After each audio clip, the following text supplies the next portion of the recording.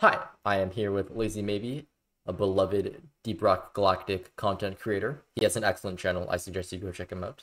Uh, we are here to rank all the overclocks in Deep Rock Galactic. We will be using a fairly laissez-faire criteria to rank each overclock, uh, generally just based on how happy we would be to receive the overclock as a newer player. Uh, this is because some overclocks, like for example Active Stability System for the M1000, don't grant extremely powerful effects, but they do augment a great weapon into an even greater one. Compared to something like AI Stability Engine, which takes something very mediocre and makes it quite good. There would be a bit of an incongruity if we were to rank something like Active Stability System as C tier because it doesn't provide huge buffs to the base gun, but it will also be unfair to AI Stability Engine because the overclock is providing extreme buffs to a bad base. Um, without further ado, let's get started. Uh, we're starting with the flamethrower here. First up, we have lighter tanks.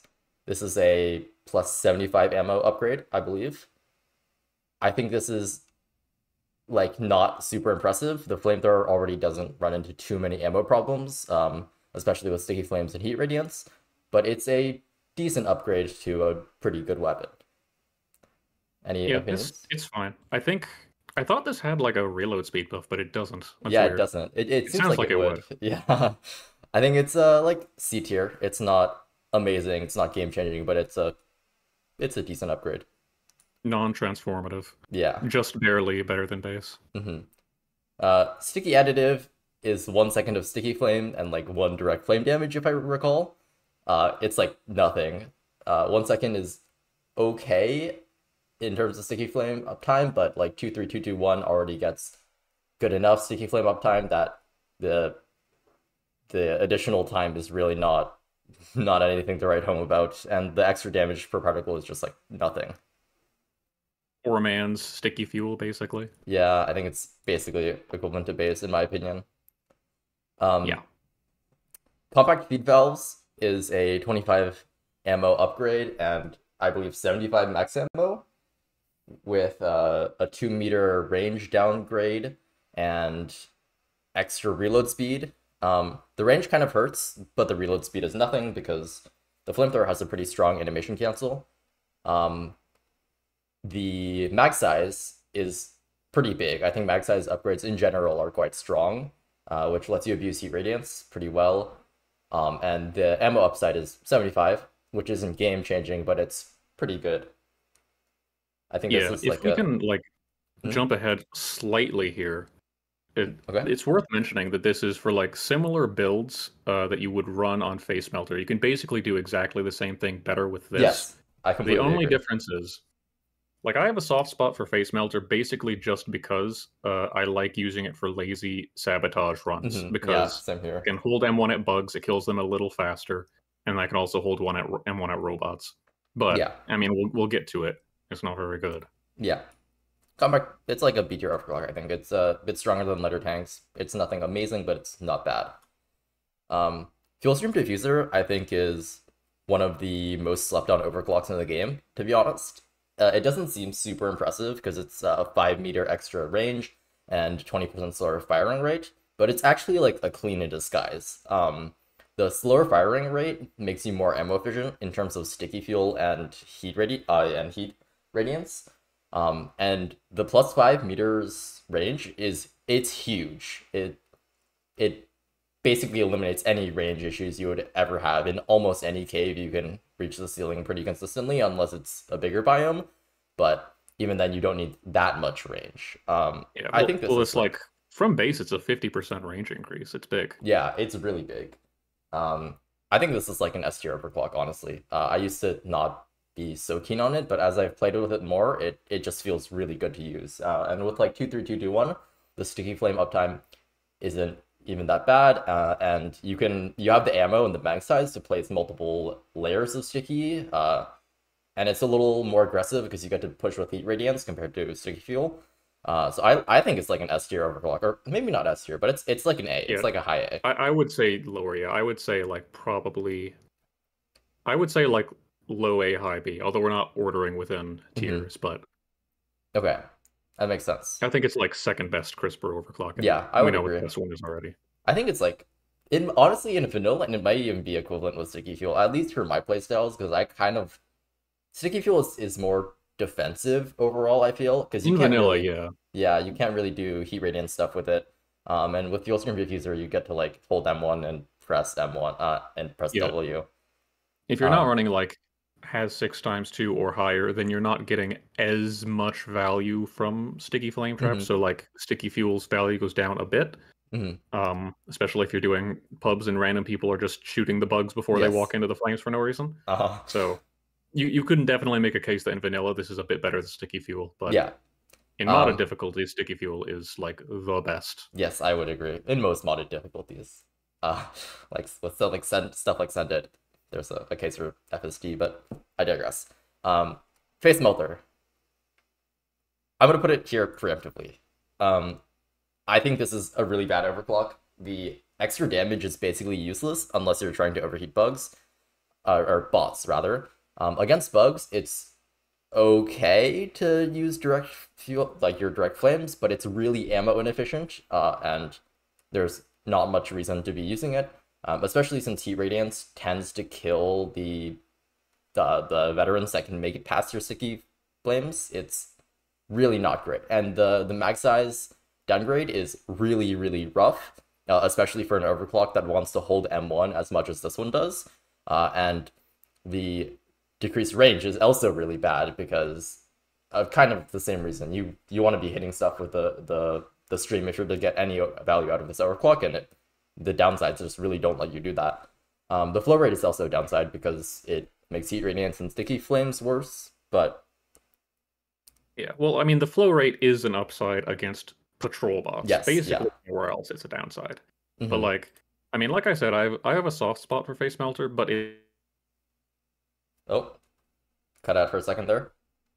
Its its downsides are they are its downsides are set up in a way where it's like they are assuming that the direct damage up is a lot more impactful than it really is. Yeah, I would agree.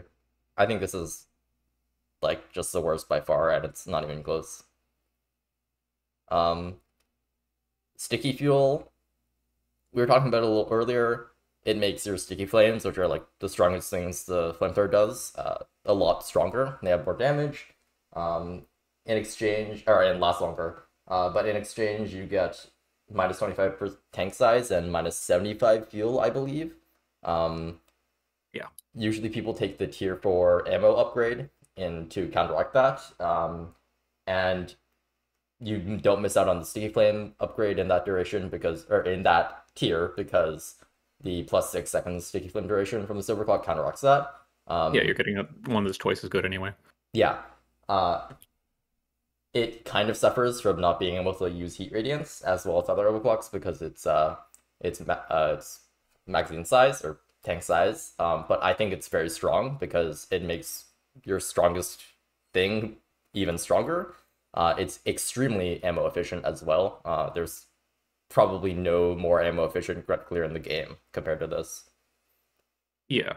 Uh, like I said earlier, this this is different between like vanilla Haz five and modded difficulties, but it's good in both of them. Mm-hmm. I think it's it's hard to put this anywhere other than in vanilla. You could put it in A. If we're taking into account modded difficulties, it should be an S. Yeah, I think we can put it in A as like a. Well, we can move it up or down later, yeah, depending well, on how. It just feel, depends but... on. Are we including like Haz six times two and such in this tier list? Mm-hmm. I think even there, it's not like compared to other stuff that I would think of as being as, not as transformative. Not like, yeah, it's not as transformative. It's really strong. Don't get me wrong, but it's like it's not it's not overwhelmingly strong compared to some other stuff that comes to mind. Um, if that makes sense. Okay, I'm just gonna keep it A tier for now. Um, improved thermal efficiency is a okay overclock for a pretty good base gun, I think, generally. It's you get a little more uptime with your stream and it's a little more ammo efficient. I is it actually? Does it take? It, gives, it gives you more ammo. Yeah, it, it's like twenty five though. It's like barely anything. Yeah, it's a small amount, but yeah. yeah, I mean, it doesn't give you big benefits, but it's um, it's giving you it's giving you more of the gun, and and the gun is like, and none of the overclocks are, other overclocks are particularly amazing, but this one isn't like, isn't yeah, huge I mean, either. The... But it just does what the cryo cannon does a little better, and that's that's a pretty good upside. It's the only clean for the gun as well, so, yeah. um, I don't think it's the upside isn't like crazy good. I think it's like a C or B. Uh, but the the base cryo cannon is good enough that it like partially compensates. Um, I would put it at a B personally because I think if you just want to do like straightforward hold M1 cryo cannon stuff, it is the best. Yes, yeah, I would. And agree. I think it was the best even back when tuned cooler was perfectly tuned cooler. Mm-hmm. Yeah, I, I would definitely agree. Uh, yeah, I, I I I can vibe with B. Um, speaking of tuned cooler here, uh, I think it's worse than nothing now it used to have no downside, and then they added a downside because it was so popularly picked. Uh, but I think the plus flow rate was never like a huge benefit, if it was a benefit at all, because uh, flow rate just makes cold radiance less efficient, and cold radiance is the bulk of your safety uh, if you're playing a difficulty that's reasonably grunt dense. Yeah. It it should be said that like a lot of the time, the thing that you saw for both perfectly tuned cooler and the current tuned cooler is that enemies all have, or almost all, except for ones that have like temperature scale effects, they all have uh, freezing temperatures that are in increments of 10. So hitting 10 mm-hmm. freeze power is important, quote unquote. It's not actually important. It almost never like for any big enemy, any enemy that takes any real time to freeze, what actually determines your freeze breakpoint is cold radiance, mm-hmm. unless you're doing it from far away. If you're yeah. And the thing yeah. is, even if it's not cold radiance determining it, it's still just not a big difference. It's like you know, usually one or two cold particles or whatever. Yeah, yeah, yeah. Which like, is uh... considering the rate you you shoot out cold particles, it's like almost meaningless. Yeah, I, I believe like the difference between Mactera with just IT uh, and 10 freeze Tuned Cooler is like two frames because Tuned Cooler freezes it two frames before Cold Radiance triggers. Um, I, I think generally the targets you would want to be using Tuned Cooler on to freeze, like uh, flying enemies, you don't actually want to be using the cryo cannon for because you have a, a secondary slot with thin containment field that is generally better at dealing with Terra, and you also have axes. Um, and it doesn't freeze so much faster that you actually like get that much more safety from it. Yeah. Uh, well, I think it's I think it's worse. I'm I'm still actually going to disagree with you slightly here. I okay. think it's approximately equivalent to base because okay. if you're playing, if you want to play around like a longer reach with tier two B, I mm-hmm. think it's like okay. Yeah, that that makes sense. I I think the yeah it's not a huge deal to miss ammo in tier two. I I can I can agree with that though my it's like a low in that yeah in that rank, but I think it's like barely sneaking up into there personally. Mm. I okay, don't like yeah. running it at all. I should mention because I hate plus zero point two charge up time. Yes, right. I, I agree. And, like, and if you like want to mitigate that, you have to take not take the mag size in tier one, and that's not good because you're all of a sudden the depressurization downside like actually fucks up your uptime. Uh, okay, yeah, I, I, I can agree with approximately equivalent. I think it's worse personally, but uh, we'll move on. I think this one is very clearly worse than nothing. Um, it has a an upside that's like completely irrelevant if you take typical tier one meg size builds with tier three charge up, um, or depressurization rather. Um, and the downside of losing a lot more uh, tank size is pretty bad, uh, and the flow rate is not actually an upside as we've discussed earlier. Uh, I think this is like it, it's very bad. It's not good at all. It has no upside. Funny. I think it's funny to hold down M1 endlessly on a dreadnought, but yeah, it, it's definitely like not strong. Yeah, I mean, it, like if you want to freeze a couple grunts forever, like this is your overclock. Uh, but I think it's it's not very good at all. Thing is, improved thermal efficiencies, uh, pressure drop rate modifier, plus the tier one uh, A pressure drop modifier together mean that like you only lose pressure at one fourth the normal rate, roughly. Mm-hmm. So it's like that already lets you shoot long enough for basically any realistic circumstance. Um, yeah. And this is like this technically lets you shoot longer, but it's not practical. Yeah, like so like even in modded where the storms are endless, you never have uptime downsides with the or you never have uptime issues with the cryo cannon if you take it. It's it's really like it third expansion solves an issue that is not an issue. Um, next we have Ice Spear. This one has a one second repressurization delay as the downside, I believe, which is like not a real downside. Um, in exchange, you get a Ice Spear that deals like 350 direct damage, I believe, and some 150 area. Um, it has like no downside. It's basically clean. The Ice Spear itself uh, takes up a lot of ammo to use, but it can be nice because you can obliterate frozen Praetorian suppressors, uh, one shot normal goobers, um, yeah, one shot menaces. I think it's it's a really nice flexibility thing for driller. Um, yeah, like if you're using the ice spear, you are probably either using it in a situation where it's important that you use it, or that it will end up like saving you ammo efficiency in the long run anyways because like you're out of axes or whatever yeah yeah and also you don't always want to use axes like all eight axes yeah. on a frozen oppressor um because there are better yeah. things to use them for um yeah I, I think this is pretty strong it's like i think it's it's high b maybe even low a um, yeah i think i think i would put it in b but it is it's mm-hmm. definitely like I think this is one of the best things you can run on, on Cryo Cannon. Yeah, I would agree. And it's a lot of fun too. It it makes your driller feel a lot more uh, self sufficient. The only thing that is bad against this, which is not really a problem with Ice Spear, is some enemies' weak point hitboxes, like ah uh, yes, being too close to their uh, normal damage hitboxes. So like shooting yeah. spitballers is yeah. unnecessarily finicky, mm-hmm.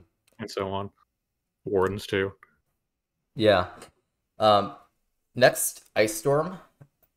Uh, I think this is a similar case to Ice Spear, um, in that it gives the driller a lot more self-sufficiency, but Ice Storm compared to Ice Spear uh, is just more of a general grunt clear thing, whereas Ice Spear is good for larger targets. Um, if your team is not like super on top of killing the crowd enemies, uh, I think Ice Storm is really, really strong, especially in pubs or in solos. Um, I think it might be like the strongest solo option for Driller. Um, even in like six by two, it's one of the strongest. Um, but it does suffer if your like team can actually kill the crowd enemies, because you don't really need to waste all that freezing power and all that ammo efficiency just to kill enemies that are no longer a threat. Uh, if your team can do that, at least way more ammo efficiently. Um, but I think it's good enough in pubs and solos that I'd put it in like in B tier. I think it's like approximately equivalent.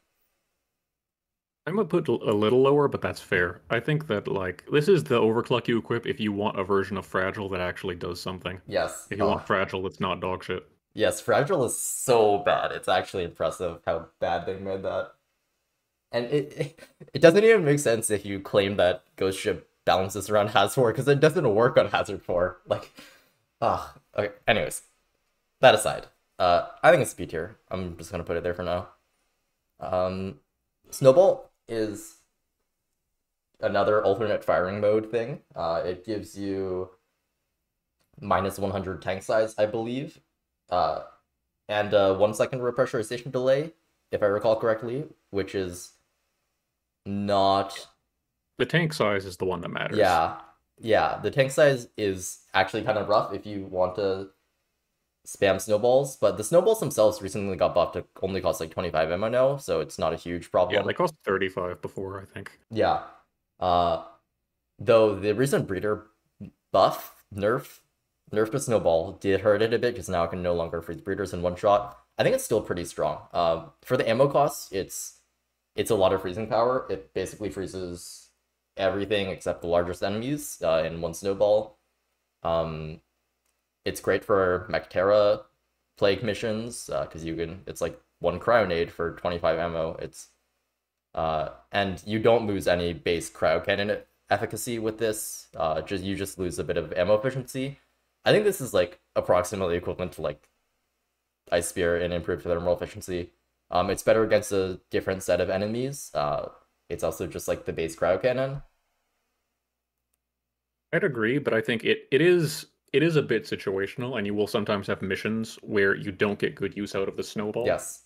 Yeah. you don't get many opportunities to use it, and then it feels like, why am I taking this? But on the flip side, you do also get missions where a bunch of Mactera spawn out of a wall and you one shot them. Yeah. So yeah, I'd agree. But even in those missions where it's like you don't feel its impacts that much, uh, the downsides aren't huge. The tank size is is like a, a reasonable portion, but it's not a huge deal in most cases, I'd say.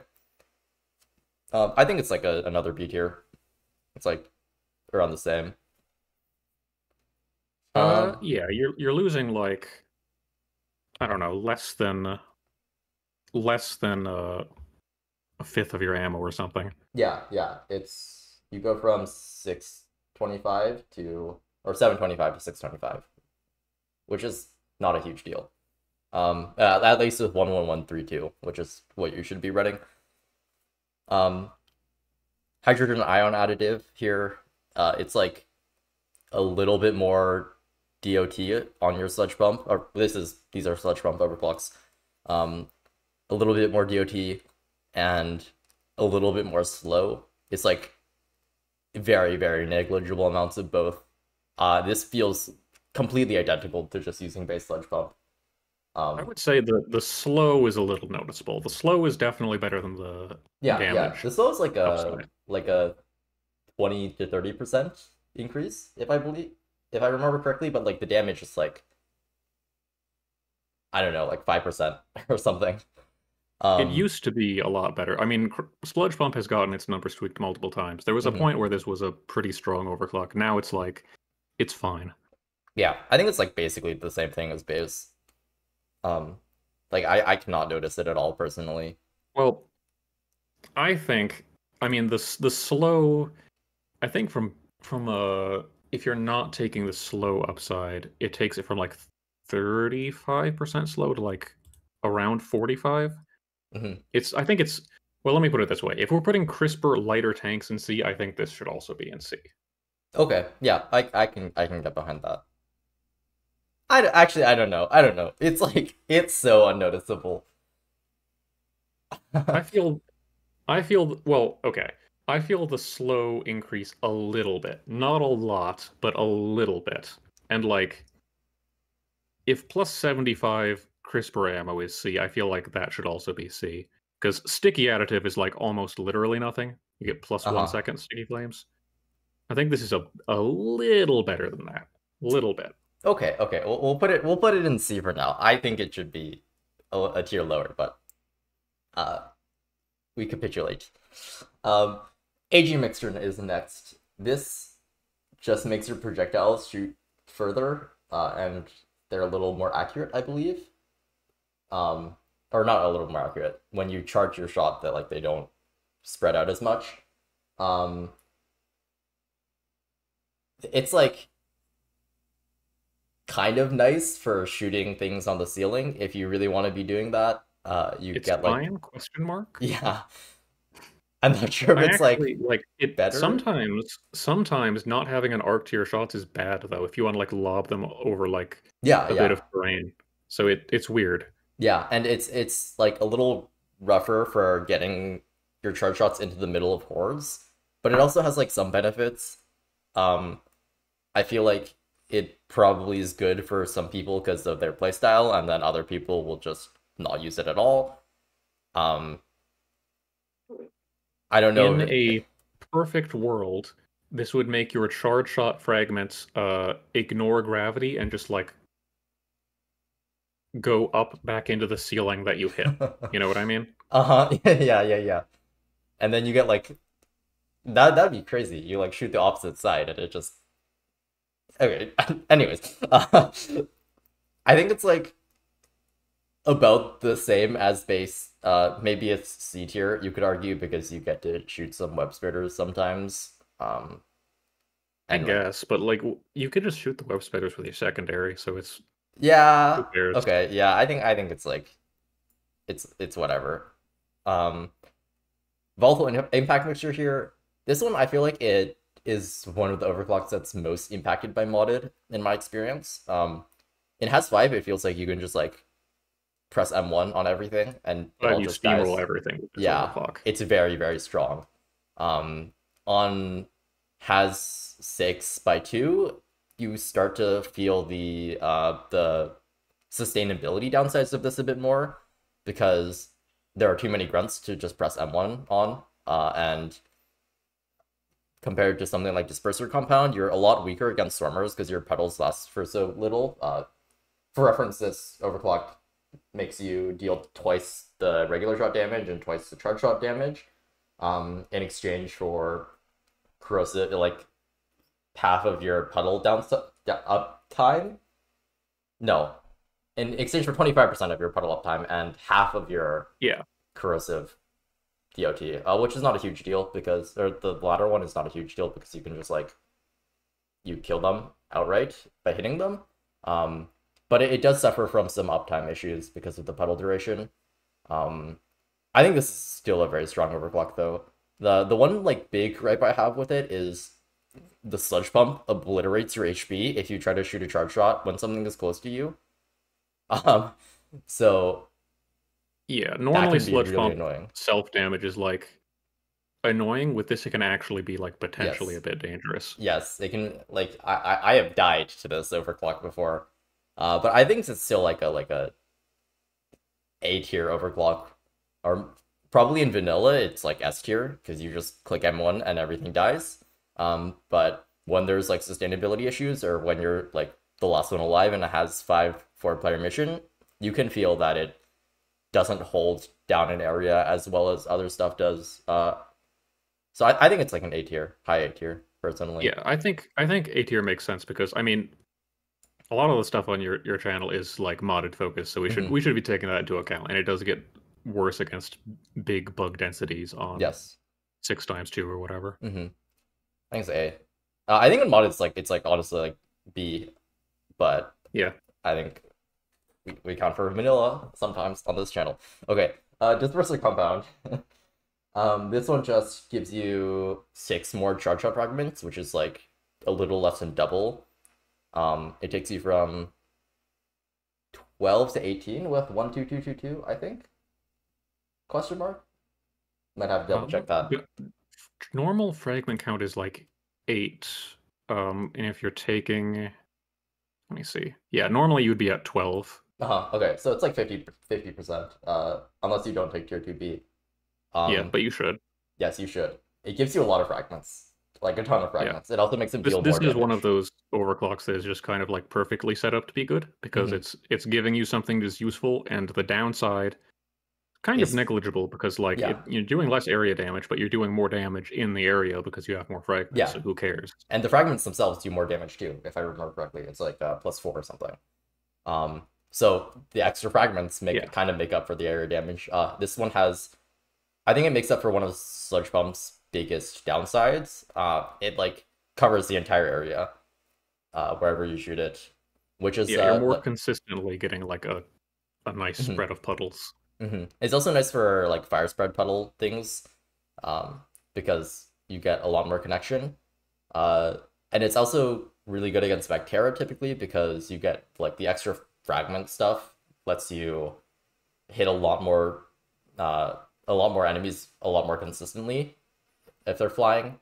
Uh, I think this is like I think this is Sludge's best overclock. Um, I don't I don't think it's like S tier transformative, but it's I think it's up there with these two overclocks. Yeah. I think it's like a yeah high A. Yeah, it's impossible to put it any lower than that. Mm-hmm. Um, next is Goo Bomber Special. I can't even remember the upsides for this thing. It's like longer puddles, bigger puddles. Uh, but the downside is is that it does also give you more fragment.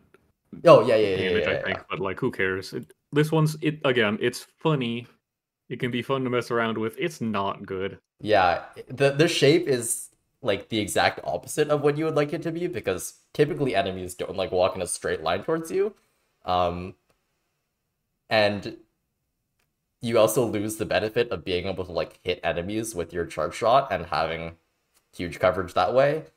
Um, Having really long uptime on some burning puddles is fun. Yes, uh, yeah. But the way that you have to like you have to shoot out a line and then move like around the line in a circle yes. to get like set up in a good position is it's it's the opportunity cost to actually doing that in a fight is like pretty terrible. Yeah, yeah. And especially if you have like teammates who would like you to kill things for them and you're like spending the time running around in a circle trying to like hit the bugs with your gun. Yeah, just... so like normally, normally when you put down like an area denial effect and your goober teammates just kill the bugs by by unloading into them, mag dumping into them before they run into it. Uh-huh. Normally, they shouldn't have done that. With Goo Bomber Special, it's actually like it's long enough and awkward enough to set up that like it is understandable that people like just kill the bugs uh, before you've got your like big X of goo on the ground on fire or whatever. yeah, I- have had some fun times with the- this overclock and like Haz five though. Like getting a pub to ignite one puddle and trying to keep like a perpetually lit line of goo through the entire mission. It's like yeah. one of the funniest ways to fuck around is driller, but it's not good. It's really not good. I think it's worse than nothing. Yeah. Um, Sad okay. story, but yeah. uh, next, Sludge Blast. This is a really weird one. Uh, it makes your puddles like shoot out in a shotgun blast thing, which do less damage but have more projectiles, if I remember correctly. They they they like use the the damage of the charge shot. Yeah, the charge shot. I think, but it's lower. I don't know. Whatever. You can play with it and see for yourself. It's it's a really. I mean, long story short, it does like a lot of damage to. If you shotgun something big, it can do a lot of damage. It's pretty clunky to deal with big groups of enemies, mm-hmm. and it's pretty painful uh ammo wise. Yes, it has a, like a huge... so because the ammo downside is not like I mean minus forty is significant. Yeah, it's like a but it, ammo. it feels like more than it is because mm-hmm. uh because your individual blasts are like less to, efficient. Yeah, well, also like you don't use sludge pump to chunk down single targets normally. So like mm-hmm. you end up dumping a lot of ammo to do the thing where you're like, oh, you quickly kill an oppressor or whatever. Yeah. But it, it costs so much of your ammo to do. Yeah. Um, there are also like you can sort of deal with storms with this if you're really far away. The the sludge blast shoots a lot of projectiles and covers a decent area, but a lot of the time, like one guard eats your entire shotgun blast and it's just wasted. Yeah.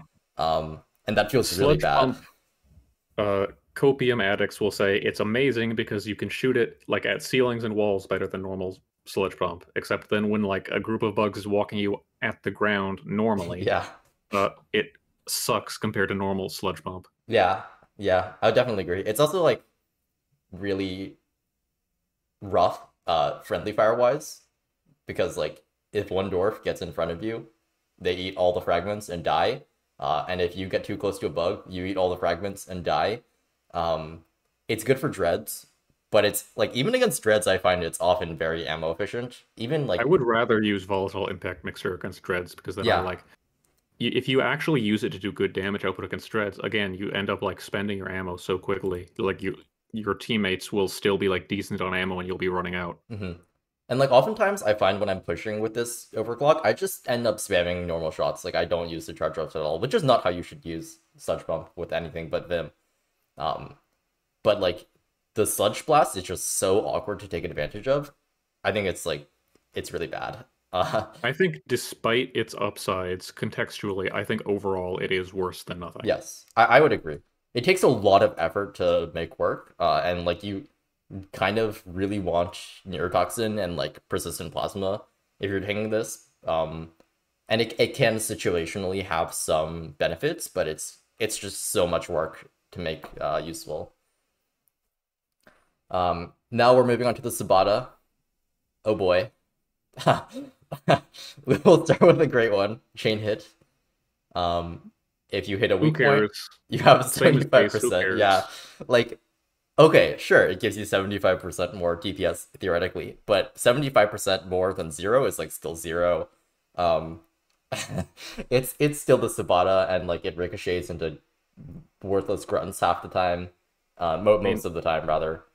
The thing is, I, I will I will say Subata's single target damage is not that bad, but it is living under the shadow of EPC thin containment field. Yes. Always. Yeah. So like if you're trying to like be strong and be optimal, like you will we ha- we kind of have to like preface all of the Subata stuff with saying that even high damage output Subata stuff, like you can make Subata do pretty good like the best you can make it do the best single target of any of Gunner secondaries, but it's still not much better than single target than Thin Containment Field. And then and Thin Containment, Containment Field, is also everything. doing that same damage in a big AoE. Yeah. So like why would you use it? Yeah. That's like always the issue with it. Is yeah. that just that Thin Containment Field exists. I, I, I would tend to agree. Uh driller secondaries are kind of kind of fucked up because in an alternate universe where thin containment field didn't exist or was way worse, then Subata would be looked at more favorably. Mm-hmm. But you know, it doesn't live in that universe, so yeah. Uh chain hit is like I think it's like it's just nothing. Um your your shots on weak point hits will usually uh, ricochet, but then when they ricochet, they will usually ricochet into something that's not a weak point and yes. do significantly less damage. And it's and it's also it's going to ricochet into a grunt that's like already dying to your 10 CC effects. Um, yeah. Homebrew powder, same story. 1.1 times damage. Who cares? 1.1 times Homebrew zero powder is, is only zero. even fun on the bulldog, and it's. I, I mean, I, I think it's like okay on the bulldog, but it's mostly that's mostly just because of the fun factor. Mm-hmm. It's not actually that good even there. On anything else, it's like yeah, all the homebrew patterns are just not not good. 1.1 times damage is just not enough extra for a whole overclock slot. And also, like, sometimes you low roll and you miss breakpoints unless you build for specific damage breakpoints, um, which is another annoying yeah. factor, and you miss out on other stuff because of that.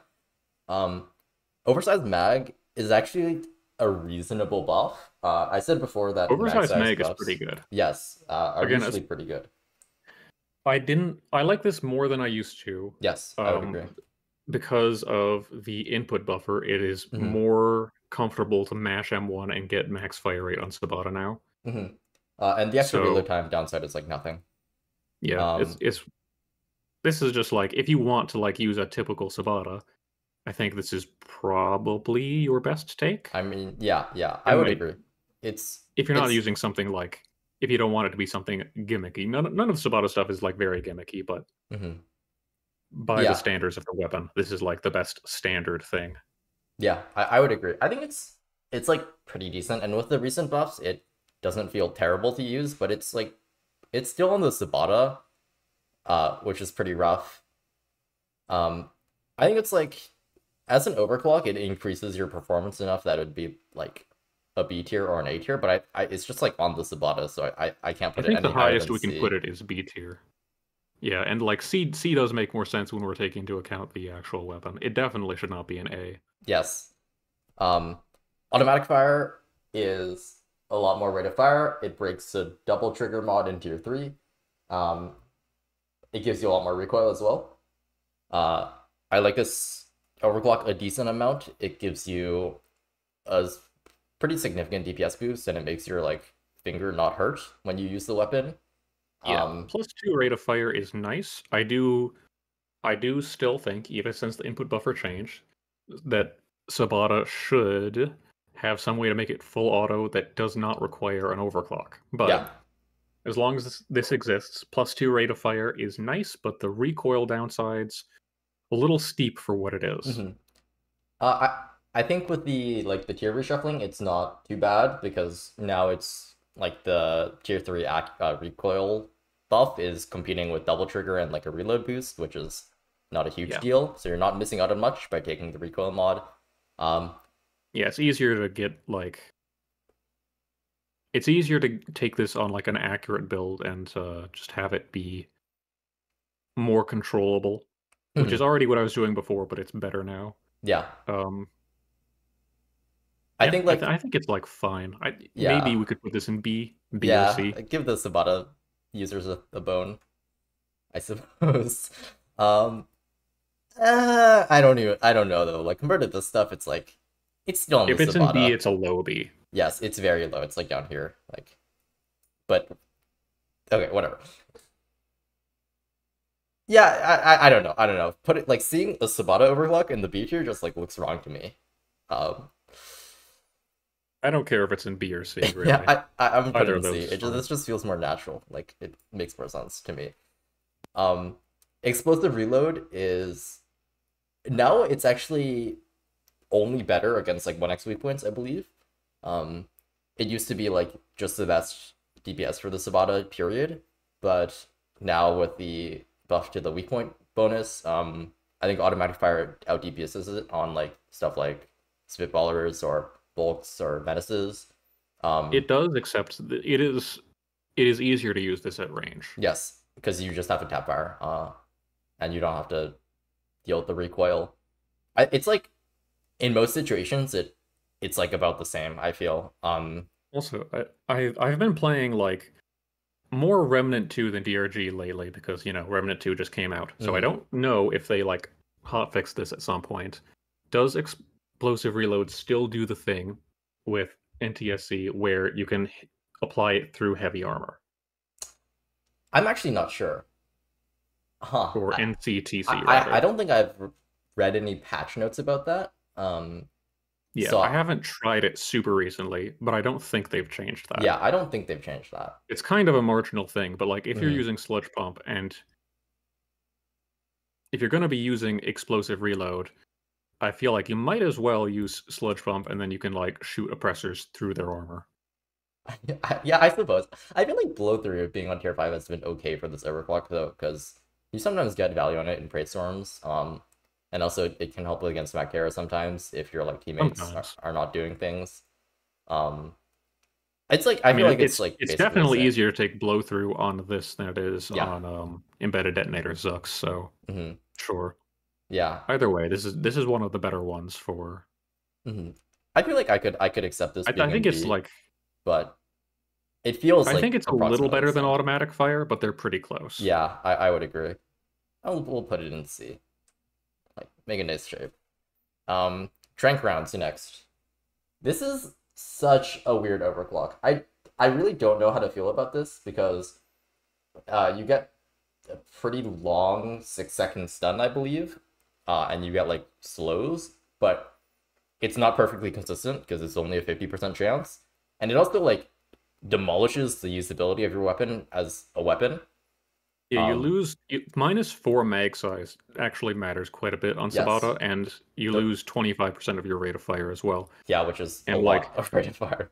The thing is, tranquilizer round fans talk up tranquilizer rounds CC a lot, but the thing is, your primary weapons already have incredible CC that is like way better than what this does, mm-hmm. and like yeah, you can make an enemy stand still in your sticky flames, but they were already in your sticky flames. And for like 90% of the enemies in the game, that means they're already going to die. Yes. And for the remaining enemies that are tanky, like a Praetorian, you would rather have something else besides tranquilizer rounds yes. to kill them with. I, I think like the main use case of this is like stunning a menace.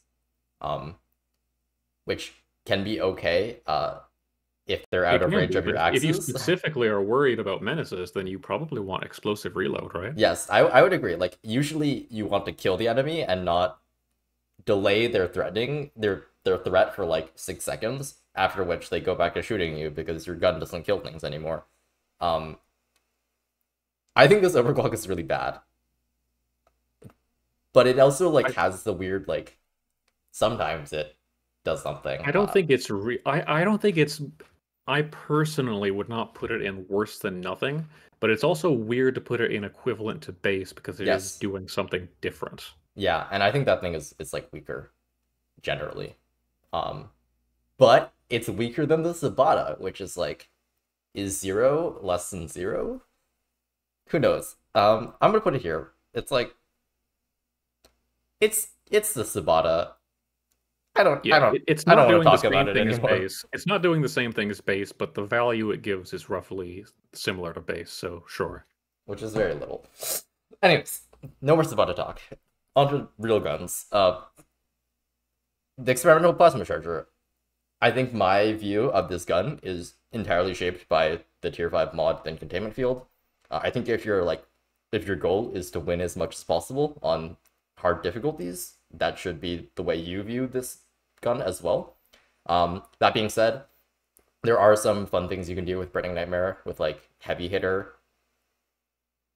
Uh, yeah. but I think largely our discussion will revolve around the containment field because it's just like by and far away the best option for yeah. this gun. And then containment field, like ten times over, should scale with your charge shot radius and damage. That it yes. doesn't invalidate so many mods completely and makes some overclocks really not make sense either. It's mm-hmm. uh, it's very stupid. It's very yeah. very stupid. I it, it, I need to make like a like a wish list video at some point because there's so much stuff that like like thin containment field and like RJ250 and heat radiance and cold radiance that like completely shafts a gun's build potential because there are just like clear best options that interact with the black box that does the strongest thing the gun does. Um, there are I, I think this is like definitely the the worst one because like yeah i would agree. I mean i like using the containment field. I think it is fun and useful. It also is like so far and away better than everything else that the gun does that it's like even i think even if you're playing in like a fairly casual context it's like it makes it feel bad to use other stuff yeah yeah especially like going from the containment field to burning nightmare and you use in containment field and it deals 240 damage in a huge aoe and then you like go to Burning Nightmare and shoot with it, and it does no damage because you're used to the plasma ball of death that kills everything in it. It just it yeah. just feels rough. Coincidentally, uh, Burning Nightmare is like as a mod, it makes more sense than the old Flying, Flying Nightmare, Nightmare, in yeah, general. Plasma Burn.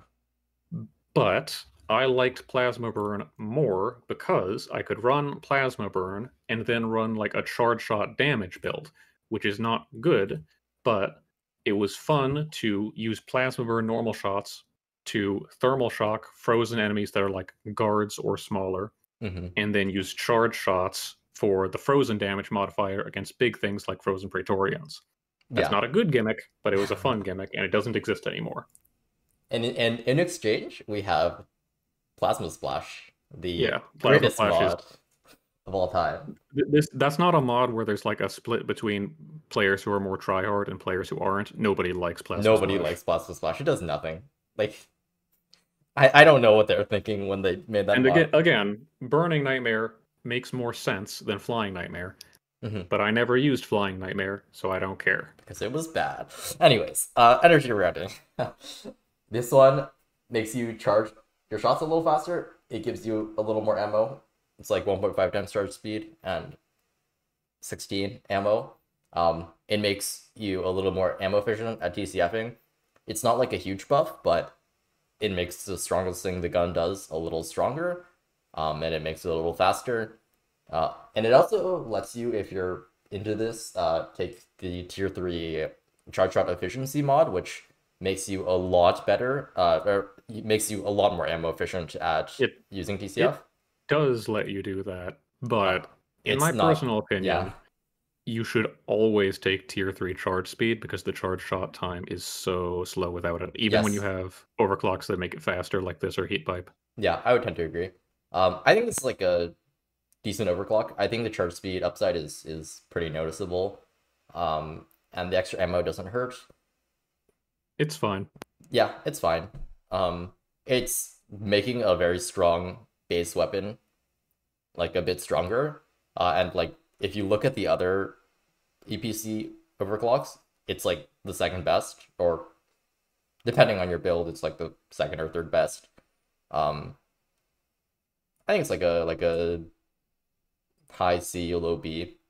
It's the minimal clips of EPC. It's yeah, fine. It's fine. I'll put it in B for now. Magnetic uh, cooling unit is also fine, except it's less fine. Yeah, it's less fine. It's a, it's fine. Uh, you get to hold your charge shot a little more, or you get to shoot more if you want. The cooling rate is almost like never uh, useful. It's fine. Um, next we have heat pipe. This one makes your charge shots more ammo efficient, and it makes you have 1.3 times charge speed, I believe. Um, but you have like double heat generation all around. It's the heat generation makes it extremely difficult to chain shots together with this thing. Um, if your goal in using TCF is to do nothing but mine an ore vein every five seconds, then cool, good for you. Um, still use energy rerouting because it's more convenient. Uh, heat pipe is really bad for combat. It completely kills the gun's combat potential. Uh, aside from like the occasional Mactera Swarm that takes one TCF to kill. Um, I think it's worse than nothing. The ammo efficiency is kind of nice, but it's really hard to take advantage of that when your gun overheats every second shot. Yeah, I think it's in the bottom tier. I think it's not that bad, but I do think it's definitely not very good. I I mean, the better ammo efficiency doesn't matter much because for what TCF does, you get to use it a lot, like a lot, a lot. Mm-hmm. So you don't really need it to be more ammo efficient. I do think. Well, this is kind of going in the other direction we should consider Haz six times two, but if we're also considering Haz five, I think on Haz five, most players are only like really using one TCF shot at a time and they're not doing them back to back. In which case, this is like totally reasonable. I can just sort of understand that, but even if you're like the type of player who pulls it out and TCFs once, uh, because it kills everything for you, like the upside is still not important at all. Uh, no. And the downside saying, is like, still that you lose a lot of flexibility. I think if, if like you if you use it in that way, I think it's like equivalent to base basically. Uh-huh. If you want to TCF multiple times, think you cut out there. Matt. Oh, okay. Um, yeah. Sorry, when did I cut out? You cut out right after you said if you want to use it like base, it's approximately. If, if you want to use it like that, it's approximately equivalent to base. If you want to use multiple TCF shots back to back, it's worse than nothing because it prevents you from doing that. Yeah, yeah. I, I think it's I think it's here because like even in the best case scenario, it's like it's it's probably like the same thing yeah. as as nothing. Um, heavy hitter this one's a little weird because typically you build like everything on TCF around uh or everything on the EPC. I said TCF because that's how I think of the gun. Um around the tier 5 mod TCF. Uh, and heavy hitters minus ammo downside doesn't seem to facilitate that, but it gives you a lot more direct damage, and that can actually be pretty nice with cryo. Um, because if you with... want to use direct damage EPC, this is like obviously the thing you take, mm-hmm. and it's fine in that niche. I think again, it's a it's a fun option. It's mm-hmm. not nearly as bad as some of the other fun options we covered, being face melter, flow rate expansion, goo bomber special, sludge blast. Uh-huh. This one is like I would call this a C tier. Yeah, I, I, would agree. It has like a niche if you're running cryo. Um, it can be nice uh, if you want to like take neurotoxin and kill tank your enemies with as like by yourself still. Um, but generally it's not amazing. It can be really convenient in like pubbing situations where you're not dealing with too many enemies and like you want to have a little bit of an easier time killing the one web spitter on the ceiling. Um, but yeah, in a I, typical I, like low Haz five, you can just like run this with burning nightmare, shoot bugs and set them on fire. It's fine. Yeah, it's fine. Um, maybe I, I I could see it being in B, but uh, I I think it's really not worth taking if you're not running cryo, and it's also like it does limit your TCF effectiveness a bit. Um, overcharger next. I feel like in an ideal world where TCF scales with like anything, um, overcharger would be okay, but it doesn't. TCF is just a black box. It doesn't interact with anything except ammo. Um, and overcharger just makes it consume more ammo and produce more heat. If thin containment no field, if thin containment field scaled based off of uh, your charge shot damage and radius, that would not only be a nerf to Thin Containment Field that it needs, but also it would mean that Overcharger could let you have a huge and more powerful Thin Containment Field blast for yeah. less ammo, which would yeah. be fun. That would be a lot of fun. And it also, it also wouldn't be terrible, I think. Like, it's what, 1.5 yeah. times damage? Which is a lot more damage, or it would be for TCF. Yeah, um, I mean, um, depending on whatever damage numbers that hypothetical would end up having, yeah. it would probably be good against a lot of enemies. But that's yeah. not the world we live in. As it is, Overcharger kind of doesn't have a use case. It's like sort of okay with Burning Nightmare, just like it was sort of okay with Flying Nightmare, but yeah, yeah, it, yeah. Burning Nightmare is, is not the containment field, unfortunately. It's worth a, worse than nothing.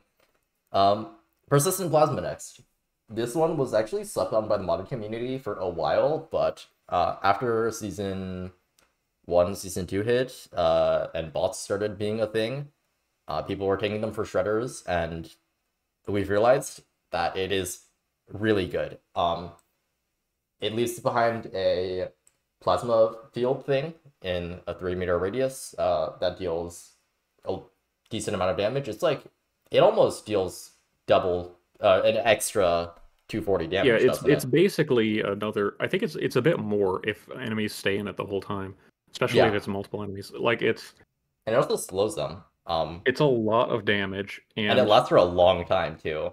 It's a lot of damage. It lasts for a long time. It's basically when you use this with Containment Field in the air, you create like a force field that flying enemies can't enter or they die.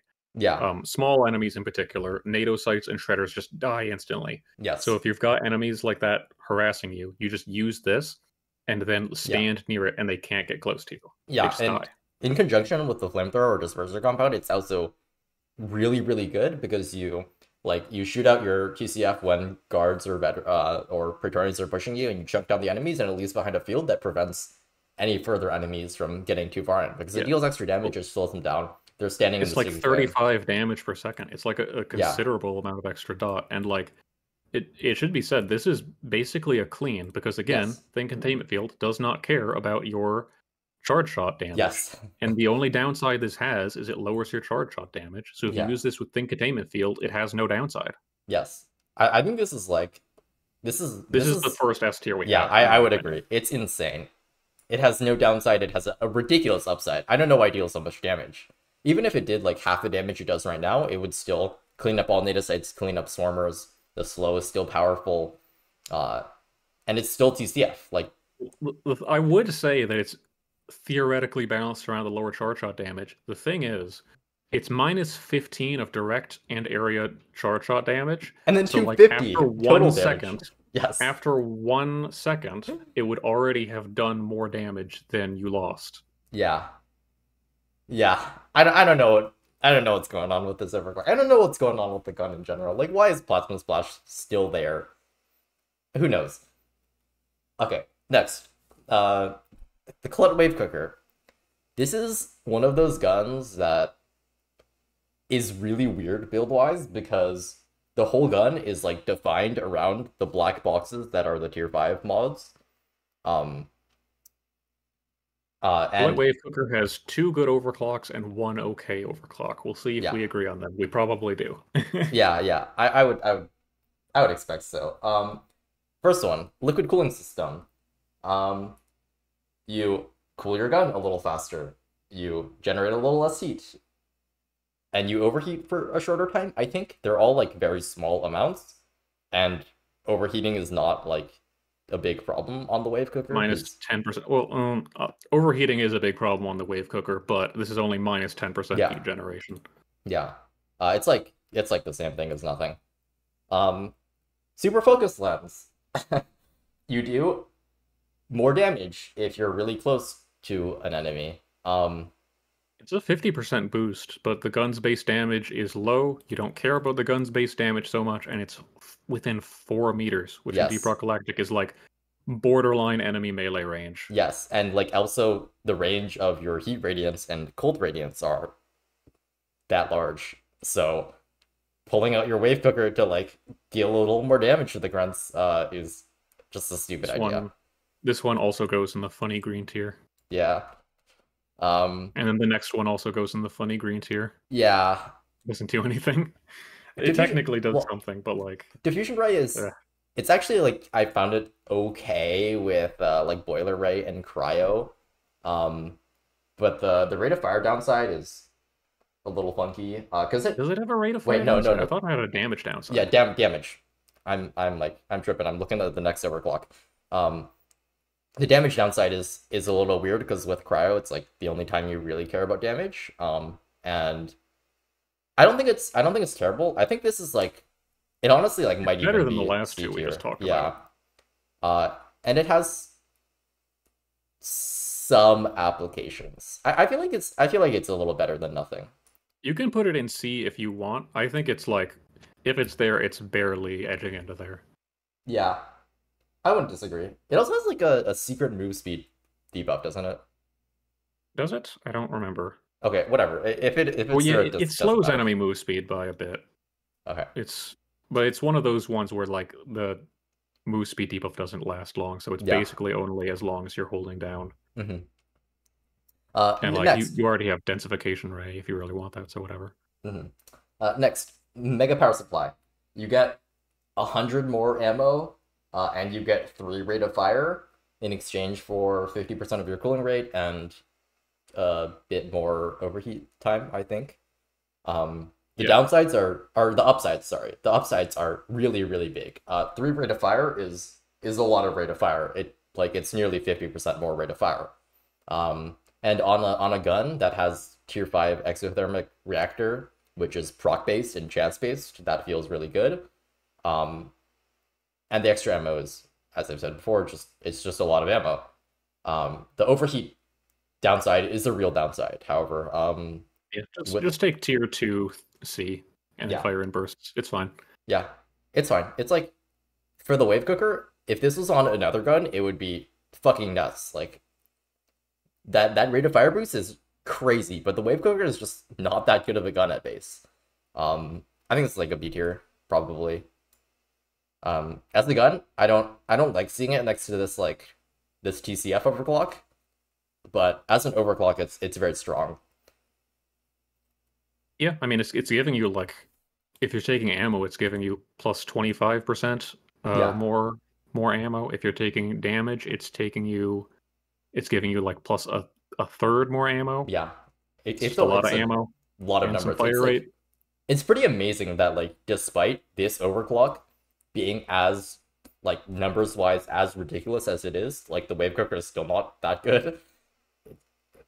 Like yeah, even unless you this... have to clear like a billion Naedocytes spread yes. around a huge cave, then you then it's better than everything else. In, but that is in most other circumstances, not so much. Yeah, I mean, if you're playing like some PH difficulty with 20 breeders on the map at all times, sure, take it. Uh, but yeah, if you're playing meme modded difficulties that give you a billion tiny flying enemies, yeah. Yeah. Um, next, blistering necrosis. Um, it's the other good one. Yes, the other good one. This the downside for this is just like a bit of heat, I believe. Um, it's like you generate a bit I have more. to be real with you here. I don't 100% know how the blisters work currently because they've changed so many times. I don't. I already have multiple videos detailing how they work, and I'm still not sure how they work right now because they might have changed again. Uh, but, but you do more damage when you shoot the blisters. Yes, which is pretty is nice. And when they pop, it deals a little more damage. Um, yeah, it's like it has no downside, uh, or it, the, the downside is not very significant. Uh, I hate that the blisters are only a ten percent chance to apply. It feels really bad, like shooting a Prate for two full overheats and just getting no blisters because yeah, you you can you usually don't get screwed, but sometimes you get screwed and it's annoying. Yeah.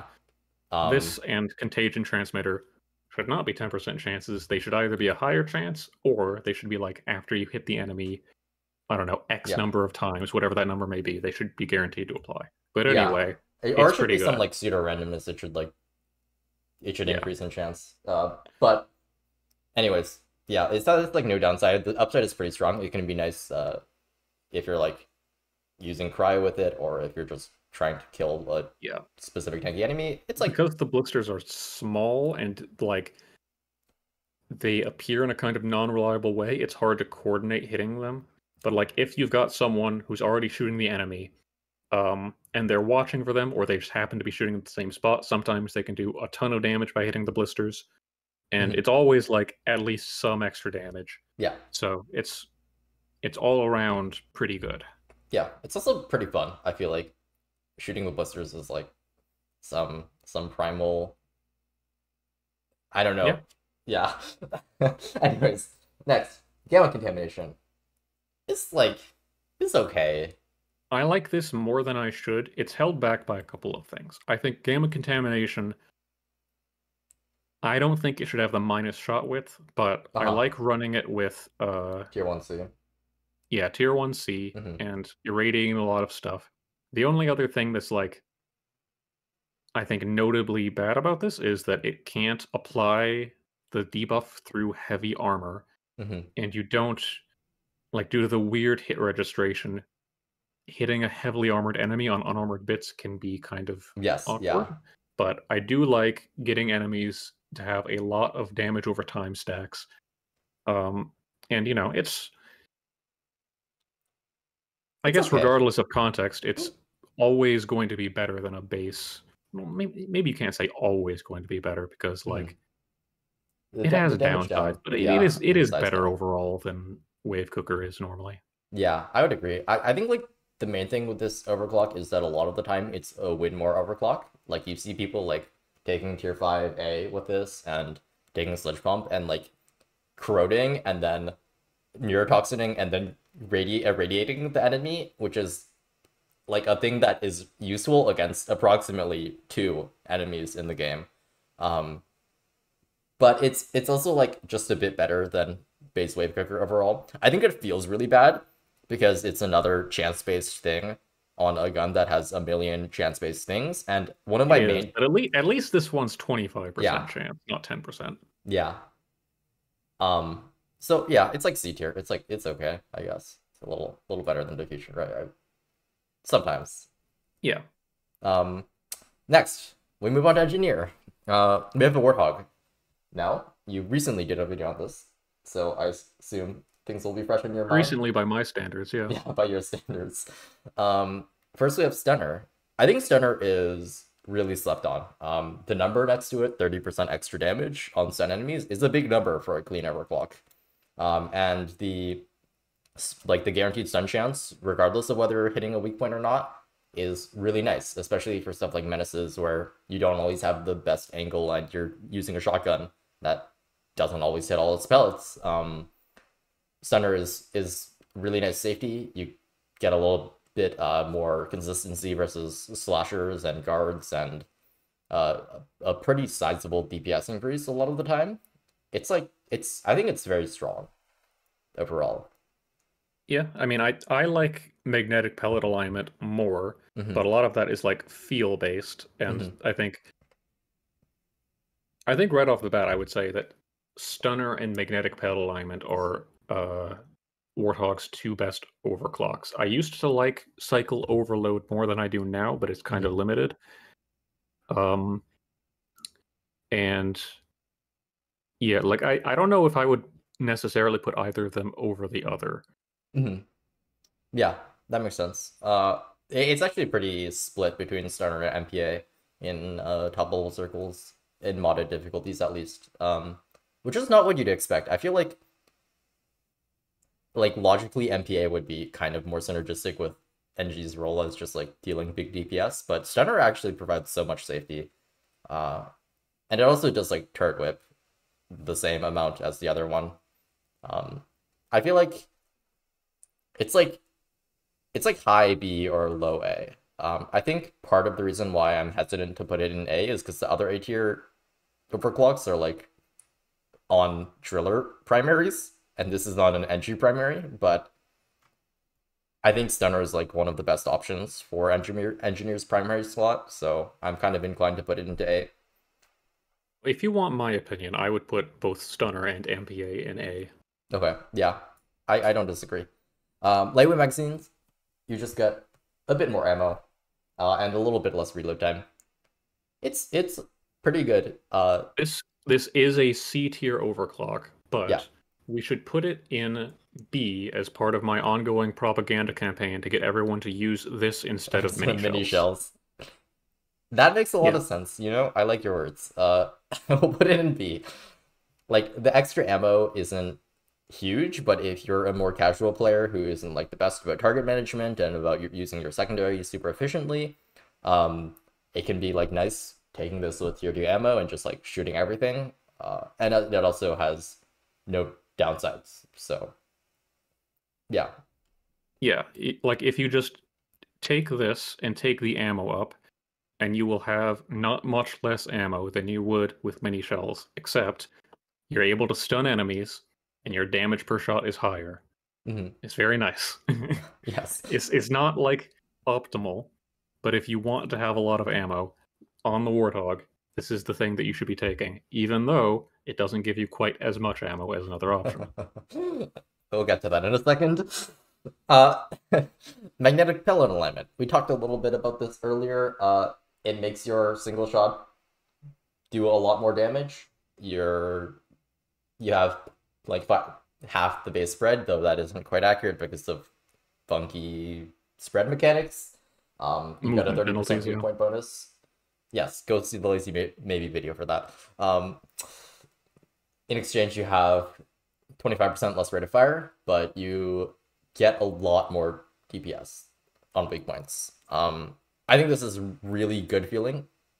I like it. This is the king of like most. game feel on Warthog. Yes, because yeah. you just like you shoot at the enemies and they die in one shot, and that feels really really good. Um, it also, practically speaking, it doesn't impact turret whip at all, uh, which is like one of the strongest things that the Warthog does. Um, the rate of fire downside is actually something you feel a decent amount.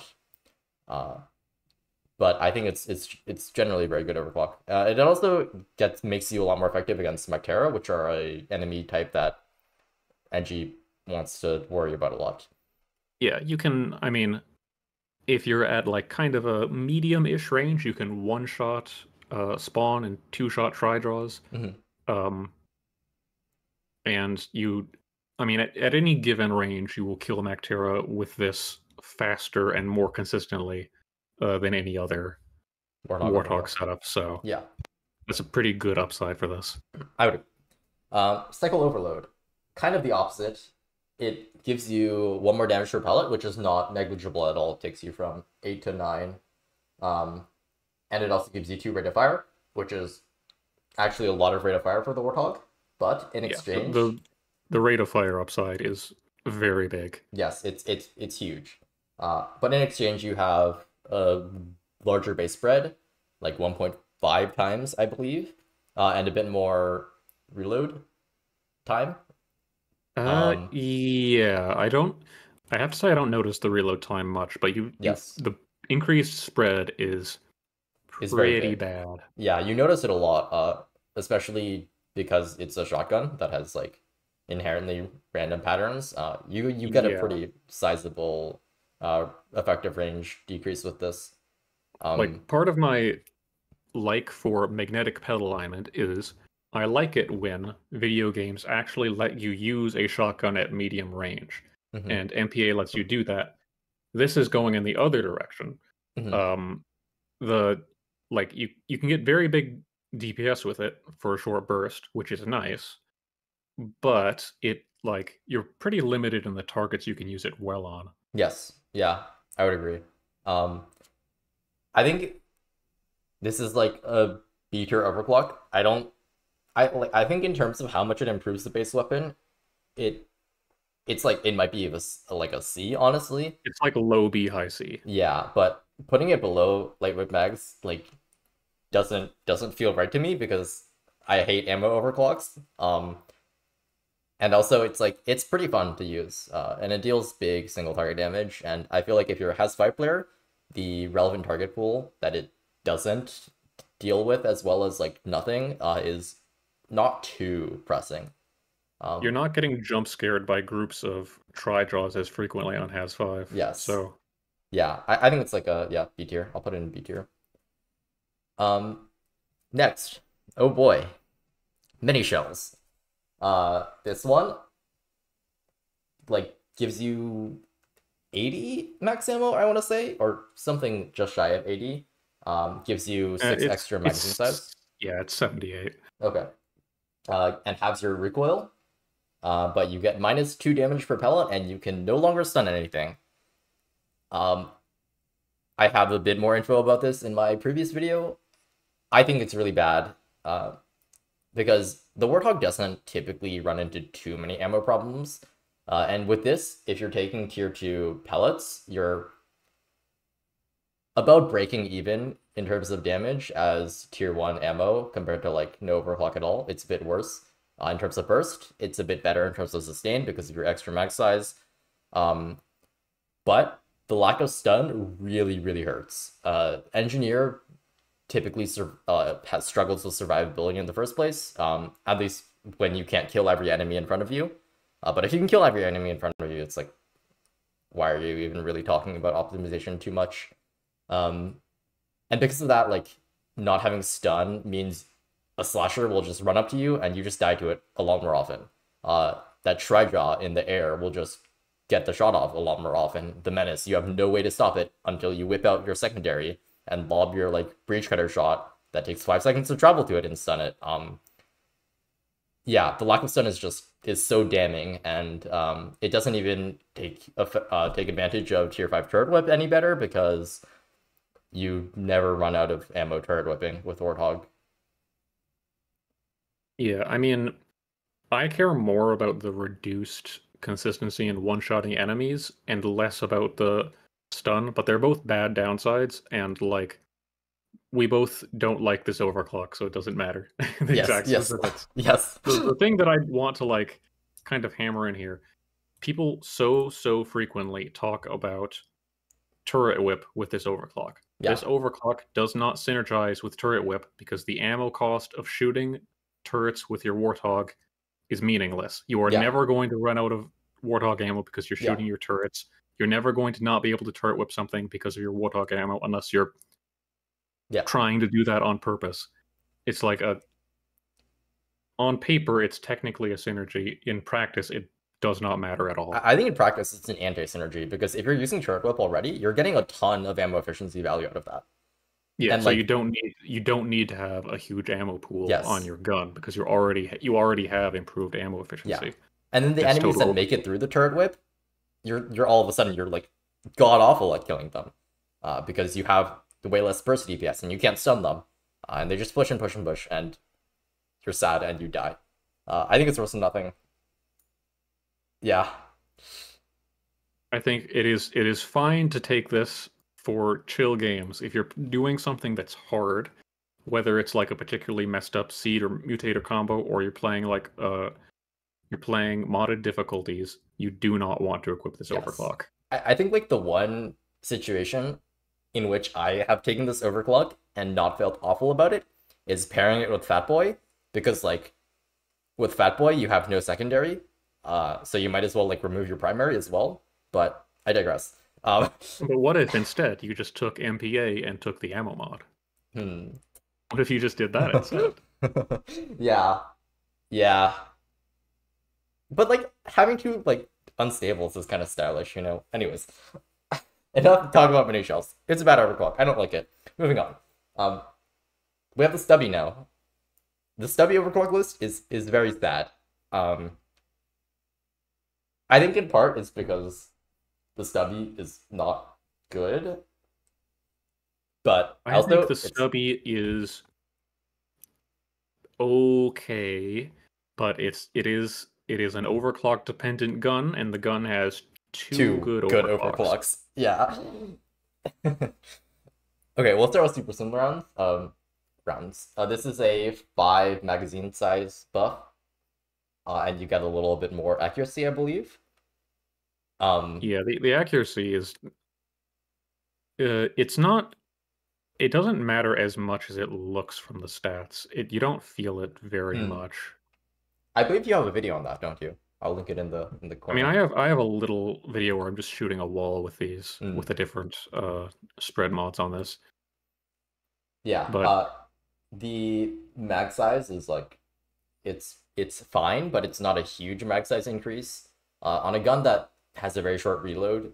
Uh, so it's it's not super amazing. It's like on a gun that had more effect, I feel like this could be argued to be a C tier overclock, but stubby at base is just so eh that yeah, I feel like it's basically the same. Thoughts? Are you a super yeah, slim enjoyer? It's whatever. In particular? It's whatever. Won't defend it to your last breath? Okay. uh, well-oiled machine. This is a plus two rate of fire, and I believe a reload buff, but as I said yeah, before, I think I think plus two rate of fire. You could this could eke it out into C, but it is it is a worse version of uh what's coming up in a couple. Yes, in in the the, the very next one. Uh, I could see it in C, but at the same time, the effectiveness boost that it gives to the stubby is not that great. If you're like building stubby to spread electricity, that rate of fire boost doesn't even matter because you just need to proc once. Uh, and stubby procs at more than enough usually, I find. Um, and it's also not a huge rate of fire boost. It's like a little less than 20%, if I remember correctly. Yeah, I mean it's half the rate of fire boost that EM Refire Booster gives. Yeah. So. Oh, so it's it's plus two. Okay. Uh. Yeah. I feel like it's I, I could see it being C, but it's also just the base stubby. Like I would not care if I got this. I would never use it. I would never equip it, unless it was like my over only overclock, and I was forced into the stubby for whatever reason. Yeah. Well, I mean that's kind of true of uh some of the other stuff in C too. Yeah. That's like that's sticky fair. additive. Yeah. Wait, sticky additive is below C. Lighter tanks and like hydrogen. Oh yeah, yeah, yeah. lighter tanks up there. Still, uh, you get what I mean. Yeah. Okay, yeah, I, I can see this being in C. But at the same time, it's a stubby overclock. You know what? Who cares? You're not going to defend it, I feel like. Like, are you like a well-oiled machine enjoyer in particular? No, nobody, nobody who has EM Refire Booster uh, equips well-oiled machine. The yeah. thing is, though, if you uh, I think that it sh- in a vacuum, like it would only be down in a prox equivalent to base, in my opinion, if EM Refire Booster uh, exists. If EM Refire Booster, like you don't have it or it doesn't exist, it can go up to C. I I could see that. However, it's a semi overclock, and I don't like it, so I'm keeping it there. Um, EM Refire Booster next we've been talking about it a while for a while. It's like one of two good overclocks that the Stubby has. Um, it's a very sizable DPS increase. Um, you get plus four rate of fire. rate of fire boost. Yes. And it's a noticeable yeah. direct damage boost. It's like a and the downside is not that big boost. of a deal. It's a bit more than twenty yeah. percent, I believe, or it's plus two rather. Yeah, if you well, it's less if you're taking damage up mods, which you probably want to. Yeah. But like it's it's still it, it's still a pretty good amount. Um, Plus two for the stubby is noticeable. It's mm-hmm. electric damage, which is better against some enemies, and uh, and worse against some enemies, but basically just oppressors. Yeah. Uh, it, it, plus two damage mod is actually like equivalent to taking another damage mod. Uh, and and yeah. in any case, it deals actually pretty good damage. Um, like taking this and dumping it into a breeder weak point feels really good. Uh, deals pretty good Praetorian damage. Yeah. Um, it... When you equip this mod, it's like Stubby versus Warthog makes more sense now because mm-hmm. it's like this has a bit more effective range and a bit less burst damage than Warthog, and it's a fine yeah. trade off when you yeah. have this overclock equipped. Yeah. Uh, I think this should be like the base weapon, honestly, but it's pretty good. I don't think it's amazing because it tends to run into ammo issues. Um, and at least if you build it for single target damage, if you build it for like crowd control, it's it's it's not very good at all. Uh, with like two one two two two or something or uh... yeah. Well, that's because uh, Stubby's electric crowd control builds aren't very good in yes, the first place. I would agree. It, I feel like Stubby's they... electric effect doesn't do damage. Yeah, it should. I, it, it does like damage. half a grunt's health or whatever. Yeah. Um, it's like I feel like it's like a B tier overclock. Uh, I don't think it's quite yeah I'm not as happy taking it as like these two, but it's like it's the stubby equivalent to cycle overload, I feel. Um, lightweight rounds. I can't even remember what this shit does. It's like some really big max ammo increase? Let me search this up. it's a kind of big max ammo boost, but it lowers your damage and rate of fire, and you shouldn't equip this. Yeah. Yes. Uh, yeah, I would agree.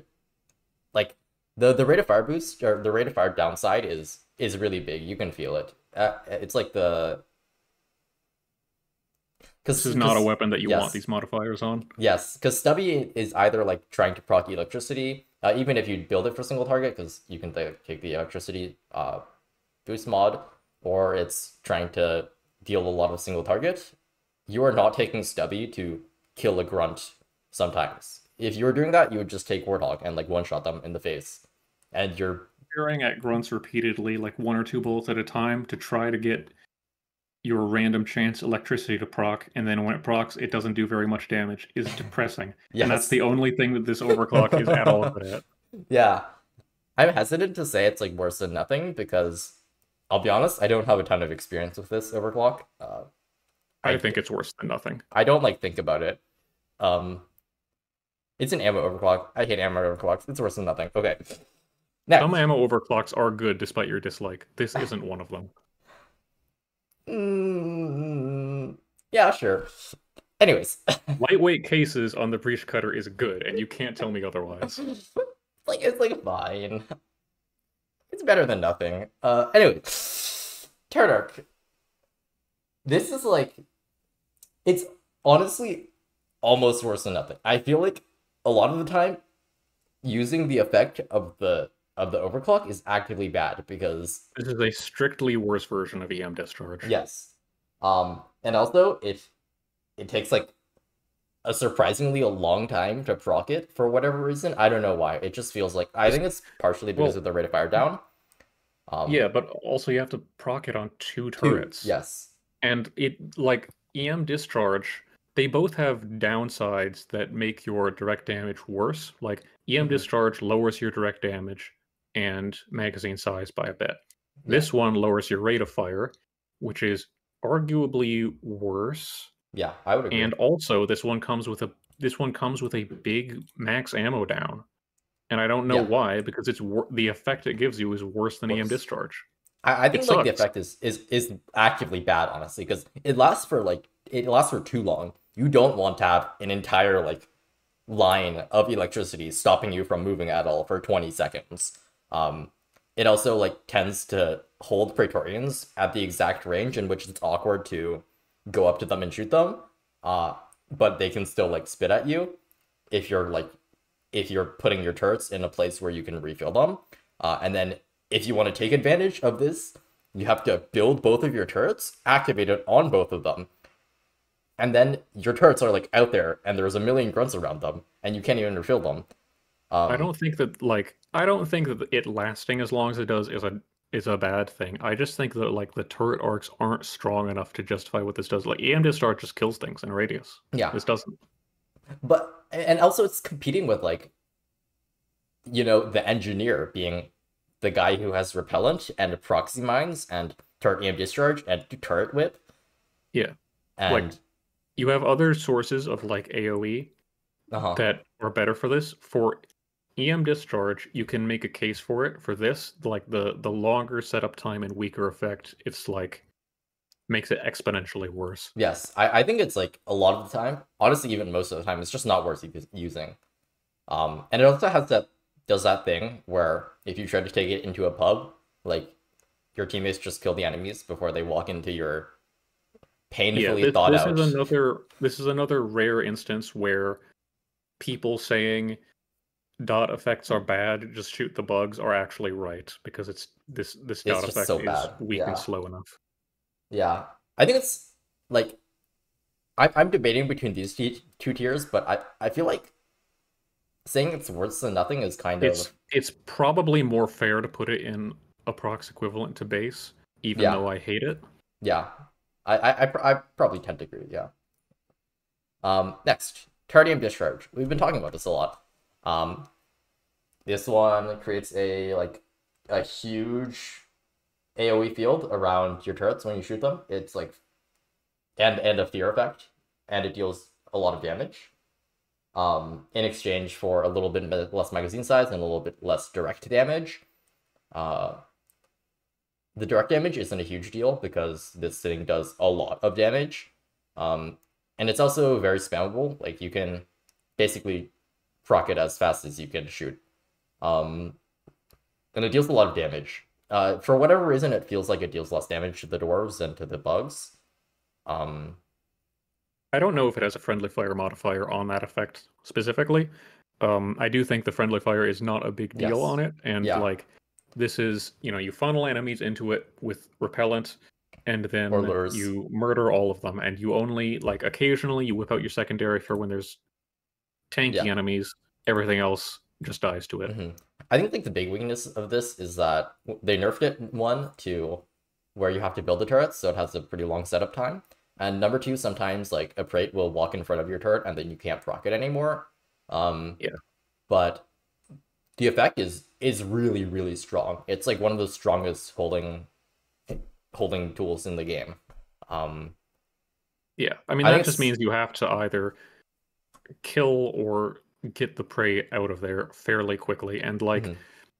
fairly frequently the praetorian will get feared and move away from it because yeah. of the fear effect it does so yeah it's not that big of a, an issue and like it's just it's the good version of turret arc yeah and and the huge diameter means that it'll hit Mactera too so it just like shuts down everything that's trying to walk through the hole or the choke um i think it's i think it's like eight here. i if it was on a gun that was a little more usable at base, I could see it being S tier. If you could have this on the Warthog, this would be S tier. Yes, I, I would. Or the Lock. Yep, I would agree. Um, but like if you take this, you're just not really using your weapon for anything but clicking on your turrets. Uh, and I feel like before it got nerfed or bug fixed or whatever, uh, it, it's probably S tier. It would probably be S tier because it, it makes the gun so much better. Um, but now that you have to like set them up and before and build them before you can actually activate the effect, it's it's probably an A tier just because it lacks the flexibility. Um, okay, moving on to the LOK-1 Smart Rifle next. Um, first is Eraser. This one is a pretty big magazine size increase. It's 12 plus mag size uh, and a one third increase to your number of locks, I believe. Um, I think the big problem increased mag size is nice. Increased max number of lock-ons is a downside. Yes, it's a downside because uh, tier five B benefits from maxing out your locks, uh, and this does not help with that. Um, it's it's it's okay. Like I think the big problem with this is that the lock is really not great at base. Um, yeah, lock is another gun that cares a lot about overclocks and it cares and it about two. A couple of two. over. Yeah, again, there are two overclocks that really like change the gun a lot. Mm-hmm. And they're like um, some of the strongest overclocks in the game, honestly. Yeah, and this is not one of them. This is this is, this is equivalent to base. Yeah, I, I would agree. I mean, like I could and, see it being in C, but the lock just you don't really get that much benefit from having more lock in your lock unless no, and mag size is a benefit, but only barely because you have a good reload cancel and mm-hmm. max number of locks is situationally a downside depending on yes. your build. So this is it's it's a wash. Yeah, an armor break module is, is insane. I don't know why this overclock exists. For anyone who doesn't know, the lock already has a built-in armor break modifier. You yeah. already do 50% more damage to armor with the locks yeah. uh, lock-on shots, and because of that, you already have like the armor penetration effect where the shot that breaks armor deals full damage. Yes. Um, which is nice. So like the lock, the lock is already good at breaking armor. This is an overclock that only has an effect on full lock, and it gives it like and a thousand percent more, a thousand one thousand two hundred and fifty percent armor breaking. Why does it do this? There's no enemy in the entire game that has armor plates with enough health for that value to make any sense. yeah, it could be way it, smaller than that. It would still break everything instantly. Like, like maybe someone at Ghost Ship just thought armor break did more damage to dreads, and they're like, "Wow, this is going to be the most overpowered overclock of all time." And then I mean, maybe I, I don't remember the exact values on like elite Praetorian armor. It's pretty high. I still feel like that's overkill. For yeah, yeah, it's overkill. it's overkill for a value that the lock doesn't care about. Yeah, I don't know. I don't know what's going on with this thing. Like I feel like part of me wants to put it in worse than nothing, just just out of principle, but it's it's yeah, it's it is nothing. equivalent to base because it doesn't do anything. Yeah. Um, next, ECR, explosive chemical rounds. This is one of the two overclocks that the lock wants, and it is absolutely insane. Like, I don't know what this thing, at, at least in the context of vanilla difficulties, um, specifically, because unmodded, if, if you're it's a little. If you're weaker. playing like a, a pub Haz five, this is yeah. the easiest way to stop.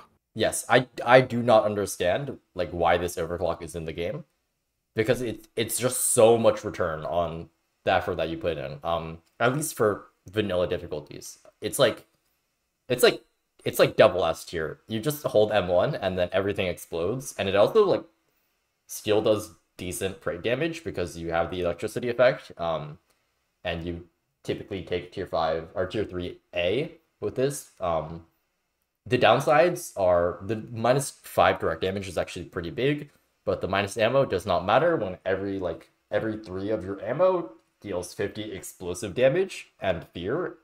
Um, and you get a ton of explosion explosions still.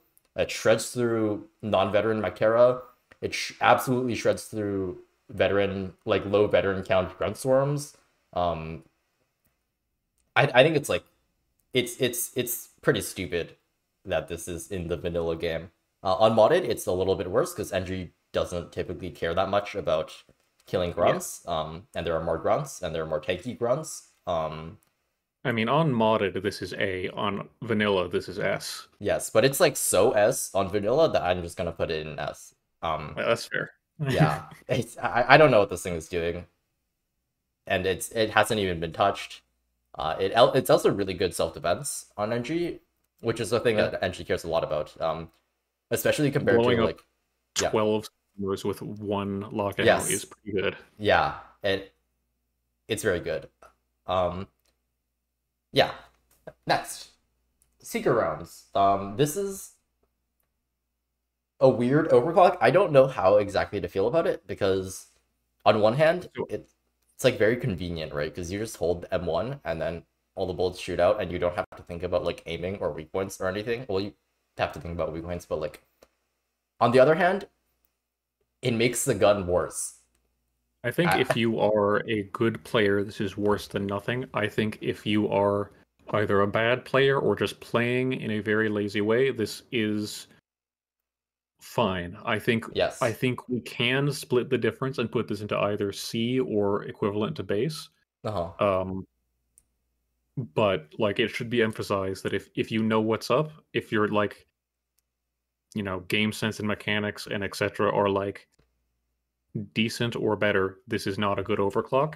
Mm-hmm. But this this is a very convenient overclock for just holding down M1 and letting bugs die. Yeah, I would agree. I, I think I think we can split the difference. I like I want to put it down here, but I feel like there's such a large player base that it does actually belong in worse than nothing. Yeah. but it it is we we can call um players with bad mechanics a, a niche for an overclock to exist. That's fine. Yes. Yeah, that's it's okay. Uh, if you, like... if you really like playing Kirby, you can equip this overclock and feel fine about it. uh, next, Executioner. This is another one of the the really really good overclocks for the lock. It like straight up doubles the lock's effectiveness for no downside, basically. Um, you get fifty percent weak point I mean, it, it, used to literally, it used to literally, literally double yeah. it because it used to give plus one hundred percent weak point damage, which was insanely cracked. It's still insanely good at yeah. plus fifty percent weak point damage. I don't know what they're thinking with hundred percent. I like, how could you, like, play with the gun for a second and not realize that one magging like five Praetorians is okay?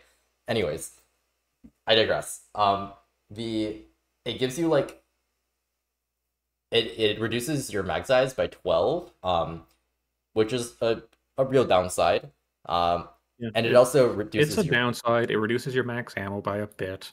It also has you know 66% max number of lock-ons which is actually an upside because mm-hmm. it gets its bonus at max locks and you may also be running tier 5B, which also gets its bonus at max locks. Yes. Having a lower number of max locks means you reach that faster. Yes. Uh, and then it also uh,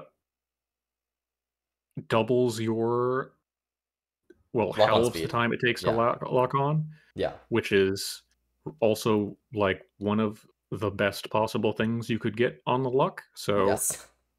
It's uh easy S tier overclock. Yeah, it, I would it agree. Deletes menaces from across the map. It obliterates any large health target.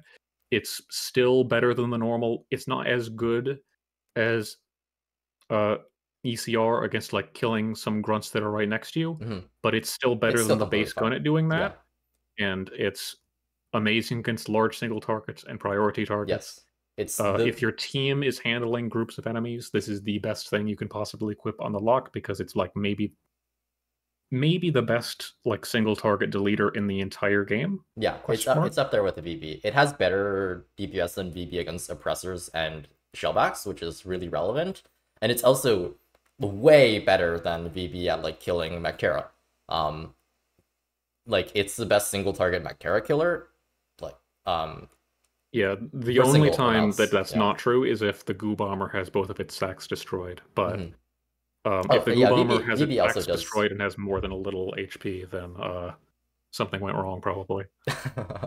yeah, uh, and VB does one shot goopers when they're ignited, which is is like a problem. But executioner also like shreds through goopers, um, goo bombers.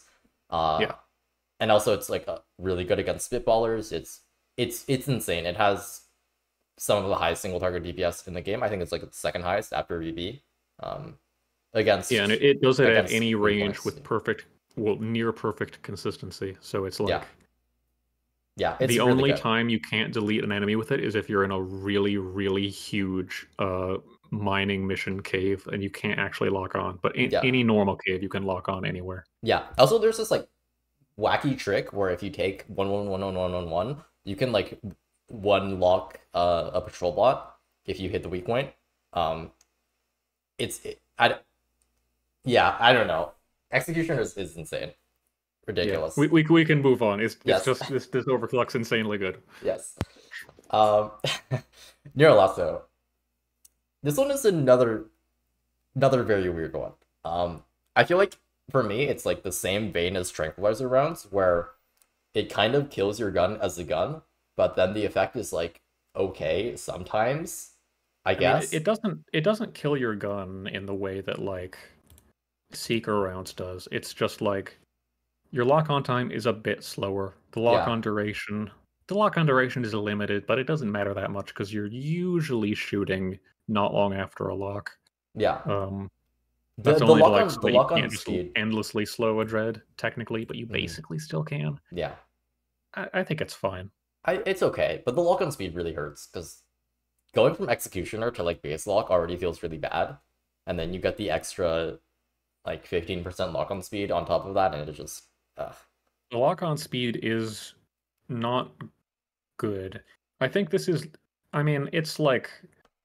I think this is kind of lock training wheels overclock because it slows down enemies and makes it easier to hit their weak points. Mm-hmm. You can get a feel for how to aim the lock to hit enemy weak points. Yeah. And then you can graduate to a big boy overclock later.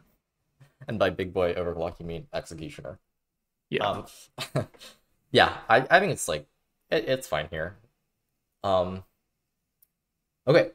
That is it for the primaries on engineer, or moving on to secondaries, starting with PGL uh, and clean sweep. Um, it, it's okay. Like, the extra AoE is pretty good. It's 0.5 meter extra. Um, the area damage is a non-consideration because you should build PGL with tier 3 heat and it just ignites all grunts uh, and tends to ignite all veterans regardless of area damage. Um, it's okay. Like, it's not amazing, but it's just a just a relatively small increase to the effectiveness of the PGL. Yeah, there's nothing wrong with it. Uh, there's nothing wrong with this or the next two this overclocks. They're almost outcompeted. This there's a lot of stuff wrong with this, but it's like not well. It not like, it's conceptually design wise, maybe, yes. but like in terms of what it does for you. Yeah. Um, this one's good. Anyways, we'll get yeah, to it. In clean sweep is clean sweep is like it's fine. Um, I kind of don't want to talk about these two too much. Like it gives you yeah, just just put them in like C or fine. whatever. Gives you two more ammo. That's pretty good.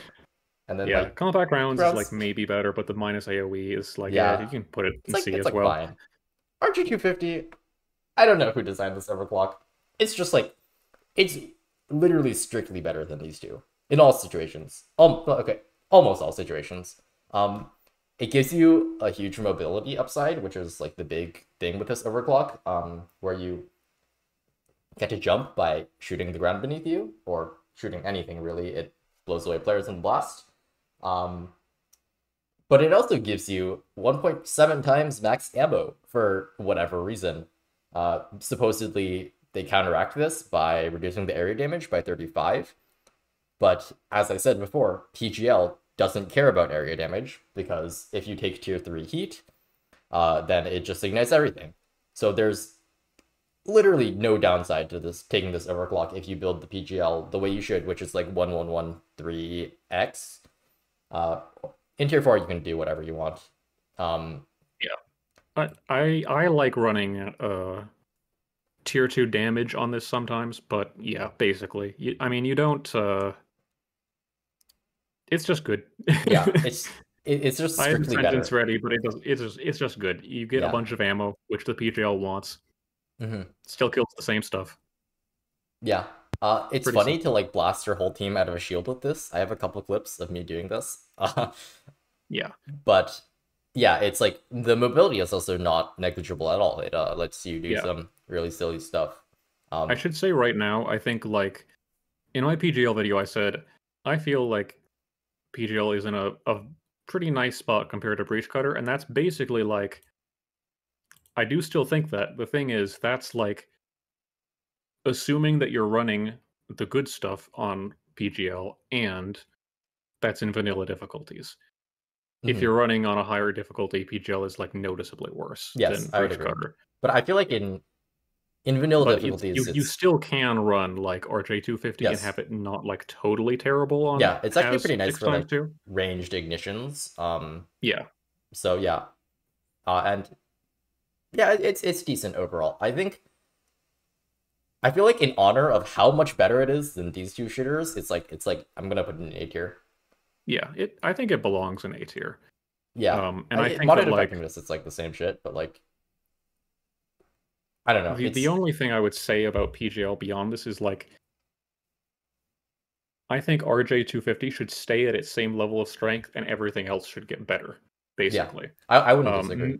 Hyperprop is also fine, but like mm-hmm. the, I mean, the base gun should have, I think, a bit more ammo and more damage, and then RJ250 should have increased penalties so that it remains the same spot that mm-hmm. it's at now. Yeah, I, I would agree. It's not. It's like I don't think it's as strong as these other things in the A tier, but it's it's so much better than the other options on the PGL, and it's also a lot of fun. Like the the rocket jumping gimmick is is is very very fun to play around with.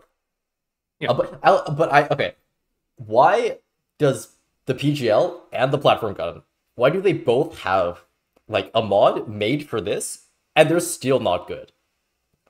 Who you mean the inertia inhibitor? Yeah, an inertia inhibitor. Who? Yeah. Well, I mean, like... the, the actual reason is because I, I forget if it was an experimental patch or or not, but like originally they made it so that disabled inertia inhibitor was just part of the base gun, and then people said, "Hold on a minute, I'm using something that doesn't care about those. I don't like this," and they said, oh, "Okay, we'll make it a mod so it's an option."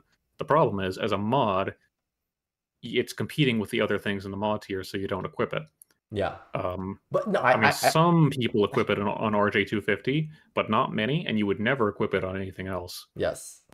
But and then there's a platform mod for it as well, and neither of them yeah. are good. Like I, I don't know, whatever. You you. That should be like a toggle. That's not a mod. It should there should be like a little toggle off to the side of the mod list, which is the yeah. inertia inhibitor. That's not like design wise. That's not a very like clean solution. Mm-hmm. But I do think that that would be like the best yeah. for the gun. Yeah, anyway. I would disagree. Anyways, moving Fat on. boy. Fat boy. Oh boy. Um.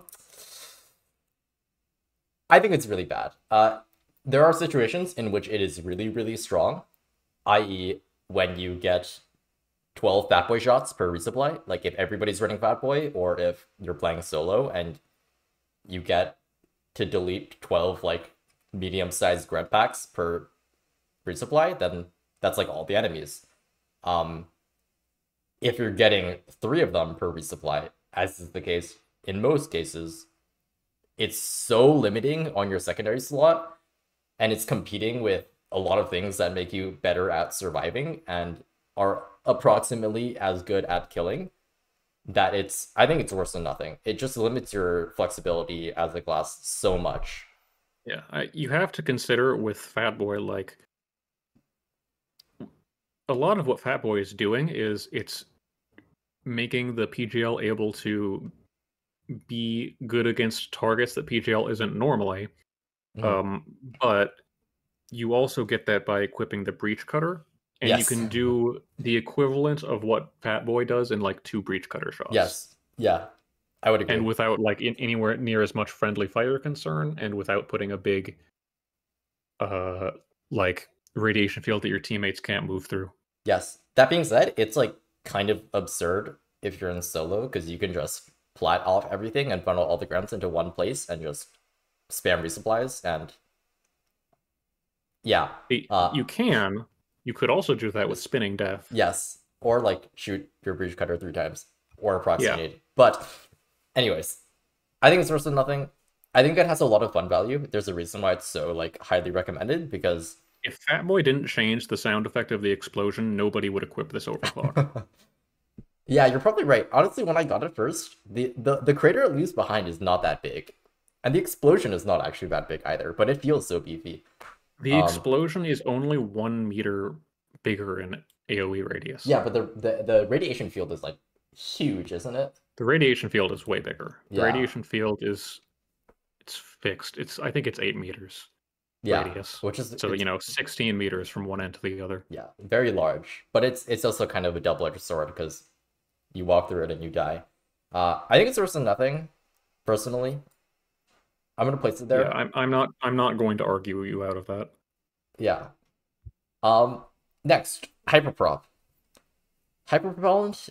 I feel like this is a pretty overrated overclock. Um, it does a lot of things that are really nice. Mainly that you pull it out, you shoot once, and you get to go back to your primary. Um, but I think the big problem with that is that NG's primaries are generally not very strong outside of this one. It's uh, nice that it's burst damage, but I would always yes. rather equip overdrive booster than this. Yes, I think in, in the vast majority of cases, uh, I I like it a lot for like attention economy. Um, if you're like doing a solo with ECR and you want a secondary that you just like take yeah, it out I mean, to something and you go back to defending yourself. ECR but, is definitely like the best uh, yes. thing you could take this with. Uh, yeah, I feel like that's less like the virtues of this overclock and more the virtues of ECR being like you want this gun out at all times. Hyperprop lets you do that. Um, but against like in most other situations, hyperprop is just I think it's just worse than overdrive booster. Um, it, yeah, it, it's big burst damage, but you're giving up a lot by yeah. making your secondary slot as NG only single target burst. Yes. And you're again running into, like with Ice Spear, you're running into the issue where if you shoot a projectile and you hit an enemy uh, at a spot where the projectile is hitting both their weak point and their normal damage uh, hitboxes, it'll do the normal damage. Yes. So if your shot is not like perfectly centered on a warden weak point, you're doing the normal damage. Yeah. Even if like if your shot is like half hitting warden weak point, half hitting its normal flesh, it's just one X damage. Yes. It also really sucks against spitballers. It's, yeah, it's so inconsistent to actually hit spitballer weak point. You can have your your crosshair like almost perfectly lined up on a spitballer weak point.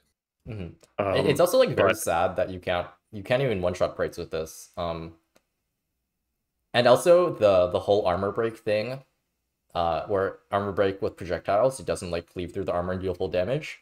Like missing yeah. slightly on a Praetorian and hitting armor and doing no damage as a result just feels really bad. Yeah, you do, you do like the I don't know what is it like seventy five damage or yeah whatever the, the AOE damage. you're gonna be doing from AOE. Yeah, less than hundred damage. That being yeah, said, I, I mean, think it's, it's, like it's fine. It I is think, fine. I just have gripes.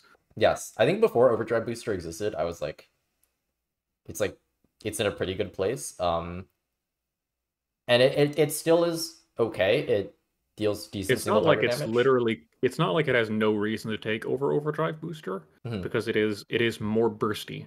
Yes. Um, you can just shoot it and then switch to something else and let Born Ready reload it. Yeah. But I do think it is overall outcompeted if you want your single target yeah. uh, to be in your secondary slot.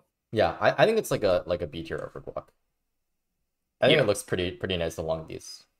And like I I, I want to make it clear that like I'm saying B tier, but these are these are all quite strong. These are not like bad overclocks. Anything C and above is an improvement to the gun. Yes, and, and at, at B B tier and above is quite a large improvement. Honestly, EM Refire Booster is like making the Stevie usable. Uh, like we could shift all the all yeah. the gears you, you can consider like C is C is kind of good, B is good, A is great, S, S is, is ridiculous. Yeah, broken. Um, so hyperprop users, don't don't flame me in the comments. It's good. It's just outcompeted. Um, yeah. In any case, that's outcompeted, and I don't like the hitbox issues. Yes. GSG, please. Next, uh, breach cutter. First, we have lightweight cases. We were talking about this a little earlier. Um, yeah, I think this is one of the good ammo mod overclocks because I think having having a few more breach cutter shots is fairly impactful. I the cutter shots do a lot. I would not and disagree. I think you can realistically end up in a situation where you're firing enough breach cutter shots that uh, having more is impactful. Yeah, I, I wouldn't disagree. But I think this overclock is really overrated because the plus three is like you get two more per resupply. Um, but you can take other stuff like stronger stronger plasma current in particular, and you can take tier one mag size pretty comfortably as a result. And then you, if you use your magazine, then you're getting more ammo from that. Um, if you're just going down like the one one one two two typical breach cutter setup, lightweight cases is like it's like a, a bit of an improvement over that. But if you're looking to have like breach cutter plus, I feel like stronger plasma current is generally a better option, and for each resupply, it gives you a little more ammo, actually. Well, not a little more ammo, but it gives well, you approximately... Let me, hit you, let me hit you with this one. I normally, with lightweight cases, I'm running uh, the plus mag size, and I pretty really? frequently am also running tier 2 damage. Interesting. I don't think I've ever seen anybody run that. In my circles, at least. I don't think that the tier 2 damage is optimal for the record, but I like shredding Praetorians faster, and then lightweight cases just gives me three more shots of it, basically. Yeah, I, okay, that makes sense. Would you like to place this in B? I feel like it should be in C, personally, but... I'm okay with either B or I C for this. I feel like I feel like people like this one a lot more than they should. Um, I would put it in B. It, so if you're asking me to choose, that's where I would put it. Um, but I'm not going to bite your head off if you put it in C. Okay, I I'm, I'm gonna put it in C. I feel like C, because it's like, it's not. It's not bad by any means. Like more breach cutter shots is is is good, but I think generally as a player, uh, and I think generally most high level players tend to gravitate towards more output uh, and less sustain as as the general general heuristic. It's not not consistent across all weapons and all situations, but I feel like the opportunity cost of taking lightweight cases is is pretty big uh, compared to other options. Um, okay, moving on. Stronger plasma current. Uh, I was talking about this a little earlier. It gives you plus 5.5 seconds projectile lifetime, um, and it gives you like 50 more beam DPS. Um, the, the DPS is honestly ne negligible. Uh, the breach does a lot of DPS already, and this does not make that significantly better.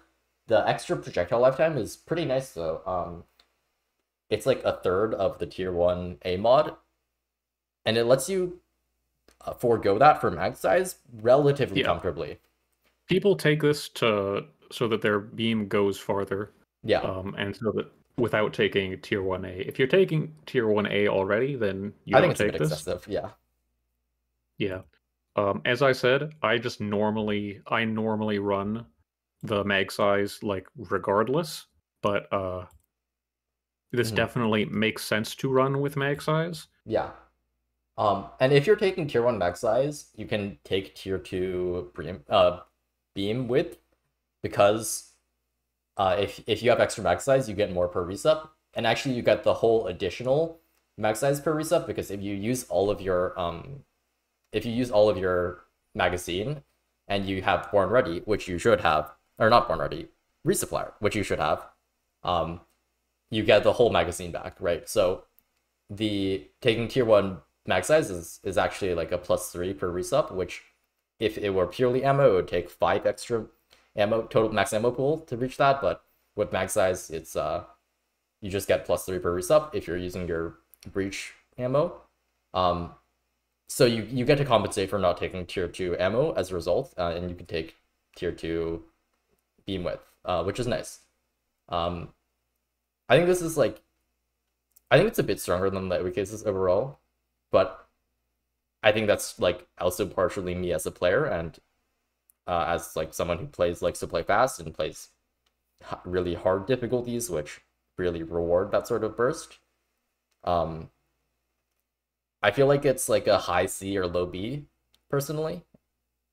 Um, I would put it in C. Okay, we'll put it there. Um, next, return to sender. I talked about this a little before. It's uh, a huge minus six ammo penalty in exchange for allowing you to reverse the direction of your beam if you let go of your uh, mouse one key.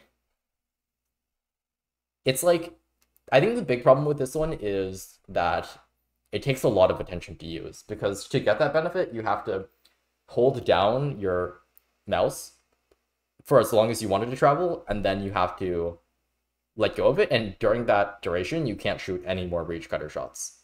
Um, yeah. So it's, it's, like it only makes you better against tanky enemies, basically. Yes.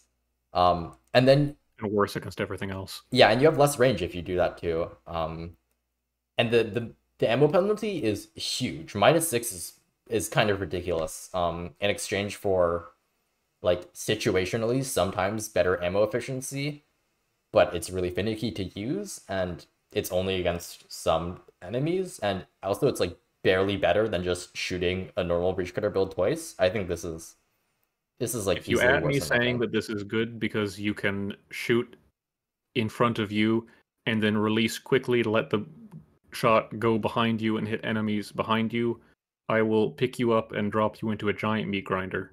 That Just is turn around. Has, have Just you actually been? Around. Have you actually been I've seen that take multiple times. Yeah. There's no way. Anyways. sorry, sorry. That is insane. Anyways. okay, okay. Second balance overclock. High voltage crossover. Um, this is minus one mag size in exchange for an electrocution effect, which is like four seconds long and it's not that much damage. Um, it deals a little more damage, uh, but the minus mag size is a really big deal, especially since it's a it's a minus one third mag size thing. So if you take tier one mag size, you end up with four. Um, this and, effect on other guns would be pretty good. On this yes, gun, not so much. It would be, but the breach cutter at base already just like kills so much stuff by its own on its own um, yeah. And the the target Anything that you would want to get that that like the electric effect would do meaningful damage to already gets one shot by the breach, and anything bigger, you're probably just shooting more shots to kill with the breach. So yeah, yeah. Eh. I it's I think it's worse than nothing. It's it's not terrible. I don't think. I think you like... could you could put this in equivalent to base, but it could also be in worse than nothing. Yes. It's it's whatever. I think in most situations, it's just it's it's worse. Um,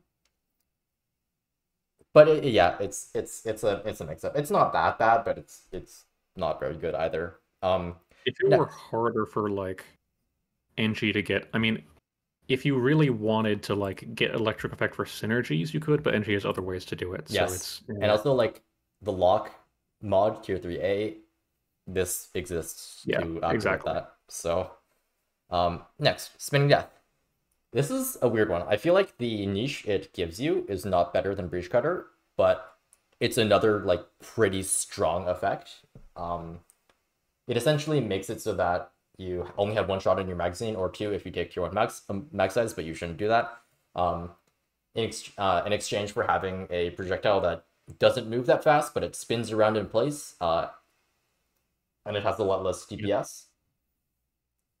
Um, I think this was already reasonably good, and then it got buffed to be better. And yes. I think this is an at the lowest B, possibly A. Really, you're you're putting it that high. I I, I think Spinning Death is quite good. Don't know if I agree. I think, like in a vacuum, Spinning Death is a pretty strong effect, but I guess this is partially me coming from a modded standpoint and a team play standpoint, especially where all the classes do different roles.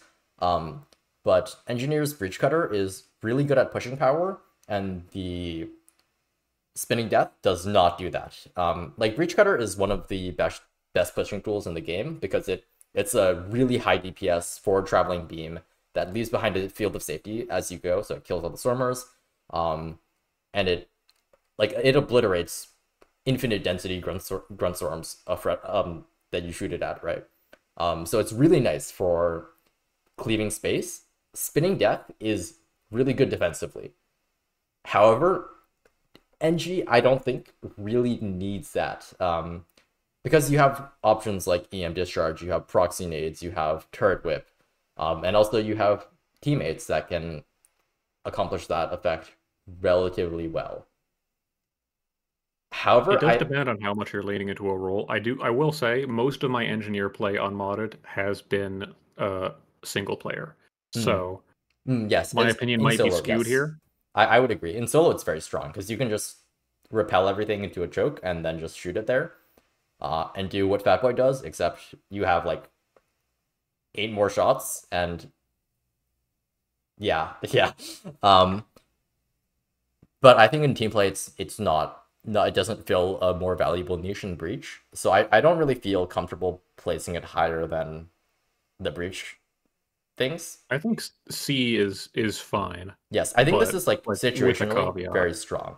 Um, like in solo, or if your team is doing the strategy where you funnel everything into a choke and hold cryo down it, um, spinning death is like good. It's like it's like A tier probably. Um, but most of the time, and in a lot of team play situations, I don't think it's better than base breach. Um, next, we have Inferno. Our last overclock for the Breach Cutter. This one says that it reduces your damage by a lot uh, in exchange for adding heat and fire damage to it. It doesn't actually do that. Uh, it like it has 90% of base breaches DPS, I believe, if you don't account yeah. for. I don't remember the exact numbers, but it barely reduces your yes. direct damage. And in exchange for like basically igniting everything in front of it. Um, and dealing yeah. it deals extra damage to fire weak enemies like Mactera and stuff. Um, yeah, like the, the easiest way to see that is that Praetorians do not have fire resist or fire vulnerability, but Inferno still kills them slightly quicker than yeah. normal Breach Cutter. Yeah, and it it's way better for Spitballers uh, and yeah. Mactera. It, it is essentially a um a mild damage increase and also it it's a significant damage increase against fire weak enemies. And also it lights them on fire, so you get fire spread, and also it like it activates VB, and you also get yeah. Executioner Tier Three A. Or uh, so it's it's a clean that makes the Breach Cutter just do in most situations significantly more damage. Um, and it also activates a bunch of fire energies. I think it's like it's probably like high B or low A. It doesn't make the Breach Cutter that much better, but it makes it credit B, yeah. Yeah, it makes it very noticeably better. Um, I'm like, look, I'm looking at RJ250 and A though, and I don't know. Well, that's the kind of thing where it's like, again, the overclock versus the full package, like I would I would say Inferno Breach Cutter is, you know, generally better than RJ250 PGL, but RJ250 is like more transformative for PGL. So I think per what you said at the start, if we're talking like how happy you are to get them, I think if you use PGL, you're very happy to get RJ250. Yeah, I I, I suppose that's fair. Yeah, yeah, okay. Well, at the same time though, it doesn't like I feel like it doesn't really belong in this B tier either. Kind mm. of. But like the thing is, Inferno is good because it's a damage upgrade for Breach that comes with some other benefits. I don't think it's actually like that huge as an overclock. It's just that it's giving nice stuff to a gun that is already very good. Okay. Yeah, that's fair. Yeah, I, yeah, I, I can, I can, I can believe that. We'll keep it in B uh, for now. Okay, moving on to the Shard Diffractor. Uh, we have efficiency tweaks. I said that I don't like ammo overclocks, but this one is really strong for whatever reason. Um, it gives you 25 mag size and uh, a bit more ammo. Um, and the funny thing is that compared to automated beam controller, it's like it actually has basically the same total ammo if you take uh, tier three uh, charge speed on ABC, which you should because it's like kind of unwieldy with max size. Um, and it also has just like no downside. It gives you a lot of mag size uh, and a pretty decent chunk of ammo, and I think it's just it's a little overtuned for a clean in my opinion. Uh, but it's also like not in- insane because shard at base isn't like isn't super crazy or anything. Yeah, I, I mean, I think it's nice, but I don't think it's. um I wouldn't call it overtuned. I would call this a nice, noticeable clean. Okay, yeah, maybe ABC is just undertuned. Uh, I think I think like... ABC is fun, but I I do think ABC is like not usually a very good idea. Yeah, I think this is like a probably like a high C or low B. Um. Yeah, I would put this in C. Yeah. Okay. I, I don't think it's B worthy, but I do think it's it's definitely better than base. Mm-hmm. Um, ABC next. This one gives you a decent amount of extra ammo. It's uh, plus 100, I believe. In exchange, you can't stop holding your fire button or you lose a lot of ammo. Um, it's like, it's fine. I think it's a little bit better than nothing the extra ammo is like decent. I think it also gives you a little bit of extra rate of fire. If I it gives yeah, correctly. it gives you some rate of fire. Um, but it's not um, like huge. Yeah, it's. I mean, if you're taking tier three B, which, like you said, you should, it's you're not rooted in place for that long using this. It is a downside. I think you could put automated beam controller in approximately equivalent to base. Like depending on the mission, it can be rough, mm-hmm. but it it it depends. I think if you were looking at it just in case of the missions it does well on, um, where you end up you like you don't have enemy compositions that punish you for like being more immobile mm-hmm. for a bit, then it would be in C. I think if you were looking at just the missions that do, it would be in worse than nothing. I think in general, it's like pretty close to the base weapon. Okay. Yeah, yeah, I, I can get behind that. Um, next, we have two feedback loops, apparently. Uh, I'll move this one down. You shouldn't um, scroll down that far. It makes me see all the overclocks we have to get through. it is quite a bit of overclocks. Anyways, feedback loop. Um, this one makes your beam gain damage and AoE, like plus one damage and plus 0.3 meters AoE for every second you hold down your fire button. Um, I think this is like a really strong effect. If you have the ammo to spend on it, you can basically obliterate a storm for as long as you can hold down your fire button. But if you want to do that, you have to spend a fourth of your ammo pool. Um, yeah. I think that this is a really, really well designed overclock because the upside is genuinely very big um, and that's that's true in both vanilla and modded. Mm. But uh, the downside is also felt. So like the, the resource management aspect of Shard Diffractor with this overclock uh, is pretty meaningful. I think yes. that this is I don't know, maybe B, B or C. I want to say B because I do feel like the contextually the upside is quite good and like the ammo penalty hurts but you can work with it mm-hmm. um i can yeah I, I can understand a b rating i think it's it's like actually really strong in solo like it might be the best shard overclock in solo um it, it kind of hurts that tier 5b is limited to four procs a second. Um, and I feel like I feel like the big dilemma with this is on tier five. Like if you don't take Dazzler module tier five C, which the slowdown, grunts actually do tend to push you. Um, but you lose a lot of ammo efficiency without tier five B. Um, and also you lose like M1 holding time. I, I think it's like a like a high C low B for how much it improves the gun. Um, it's really kind of awkward to use in team play situations because you have to hold down M1 for a long time to get value out of it. And if there's something like if there's a really dense grunt swarm in front of you, then doing that often takes too long for it to be like very meaningful because your team will kill it. Um I think it's like yeah. I think it's like a C tier for that, but it's like high C and it's really well designed. I agree.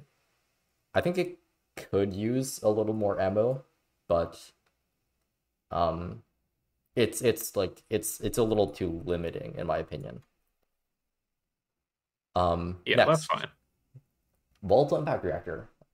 This one we talked about it a little bit before this call. Yeah. It is I, I think this is an S tier. Yes, I agree. It is it is stupid strong. Um again, this is like in the context of vanilla difficulties, how did this thing make it into the game? Like infinite range, places down sticky. Um, and the downside is you have halved mag size, but that's not a huge downside since you can take tier 3A and also it makes your gun like ridiculously good at killing a lot of enemies. And against the enemies that it's not ridiculously good at, it doesn't really suffer because 50 ammo is still good enough to chunk down a Praetorian or a Spitballer or what have you. Um, yeah. This it's is, really it good. gives you like a really really good area denial over large areas. It, you know, it doesn't it doesn't slow enemies as well as sticky flames on CRSPR, but it it still, you know, it still deals with them very well. It scales mm-hmm. extremely well with enemy density, and you can still flexibly use it to kill tanky enemies. Yeah. It's like a you're normally giving up some not not all but like a good deal of your like group killing potential by taking shard diffractor but with this you're not and it's still close to as good at uh killing uh groups of enemies. I think it's like honestly it, or single enemies. I think it's like you, you lose charge capacity but that's fine.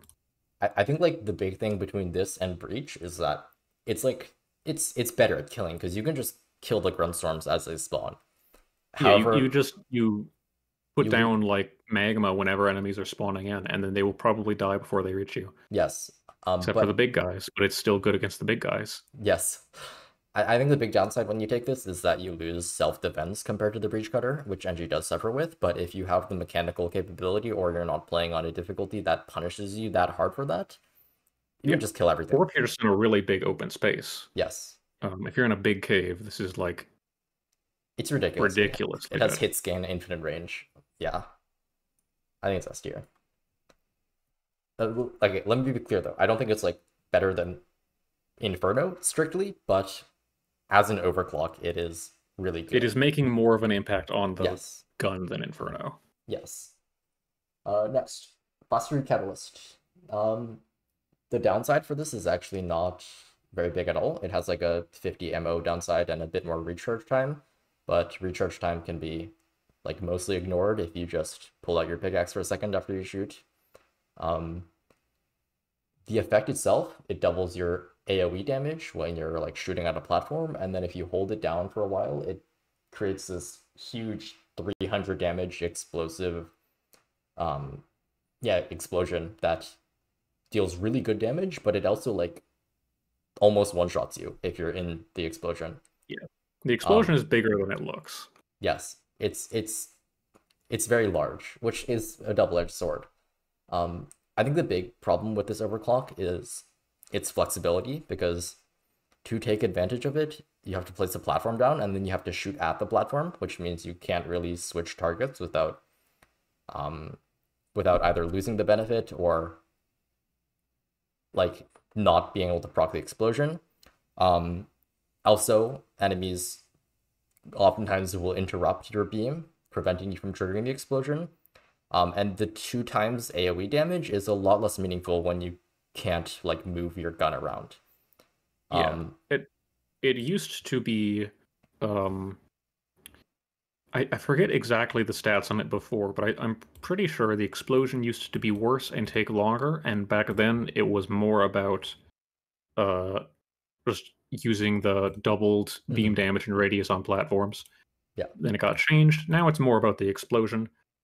It's yeah. difficult to use. It's uh, it's not always difficult to use. It's difficult to get like the full benefit out of. Yes. You know, difficult to optimize for, but it's it's still like fairly good. And I think that it's okay for it to be difficult to use because it means that like either through planning or mechanics, it has like a fairly high skill ceiling.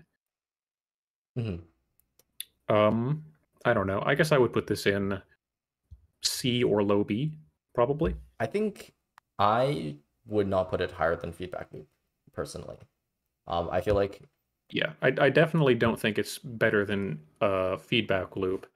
Um, but that's you know, I think I think what I said was feedback loop was also B or C, so yeah, that lines up. Yeah.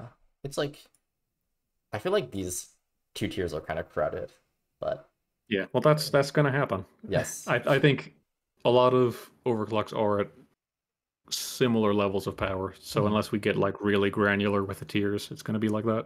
Yes. Okay, next, overdrive booster. Uh, we were talking about this a bit earlier. It basically allows you to go into an alternate firing mode where you consume two ammo but output 2.5 times more damage. Um, it has no downside if you don't activate the upside.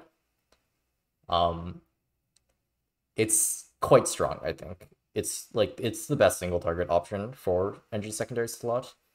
Um, as an AoE option, it's not amazing um, because it's kind of awkward to use and you have to stand in place to use it.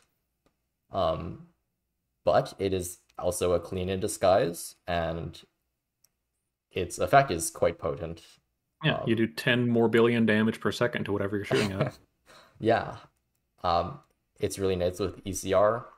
Um, it's really nice with tier 5A because you can like proc electricity with this overclock and then shred them with ODB. Um, it's really good against dreads if they're not aggroed onto you. Um, yeah, I think it's it's it's very solid. Um, I think it's stronger than hyperprop almost all of the time, but I don't feel like it's A tier, um, because the single target damage that it outputs is not like is is not so strong that it outweighs completely the difficulty of using it because you have to stand in place and use your whole mag, uh, and it's competing with breach cutter in the same slot. Um, I feel like it's a B tier overclock. I could see an argument for A, but I feel like the thing where you have to stand still can kind of screw you over sometimes, and it also takes a decent amount of uh, attention to use, unlike hyperprop. Um, I think it's better than hyperprop in like most scenarios, as I said, but I don't feel like it's as good as these. Yeah, I think I think B is fine. I depending on the day you asked me, I might put it in A, but I think uh-huh. B also makes sense. Okay. Oh, we're halfway through. We're done with Engie now. halfway. Okay.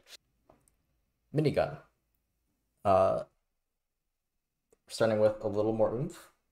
I feel like this overclock is kind of underrated. Um, it gives you one more damage and minus 0.2 seconds of spin up time. I like running this with chamber pressure. Yes, I agree. A lot of people say they like running it for the absolute minimum spin up time. I think it's better with chamber pressure. Mm-hmm. I think mm-hmm. that's kind of a fun mini synergy that going on there. Yeah, I definitely agree. Uh, and with chamber pressure, it's like kind of just better exhaust vectoring. Um, the plus one damage with chamber pressure does hit a lot, of, uh, hits a lot of the relevant breakpoints. Um, and it's just very responsive overall because of the minus spin up time. Um, yeah, I kind of agree with you actually. Like exhaust vectoring, you'll have worse accuracy than this. You will get better damage than this if you're taking if you're also taking chamber pressure on exhaust vectoring. Uh, mm-hmm.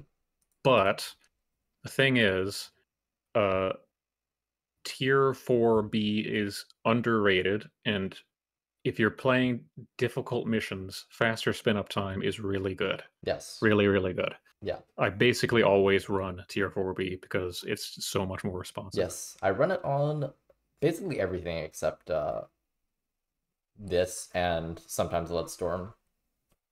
Um but ALMO, a little more lets you forego tier 4B in exchange for more damage, and then it's like just kind of better than exhaust vectoring. Um I feel like it's not like a crazy boost but it's it's in in the high C to low B range, I would say. Yeah, I mean, I would put it in C, um, but I think putting it in B with the caveat that it's barely in B is uh, mm. understandable. Yeah, I think like yeah, I don't think it's quite as shape like as as relevant or as impactful as these B tier overclocks are. Uh, so I'm gonna put it in and see.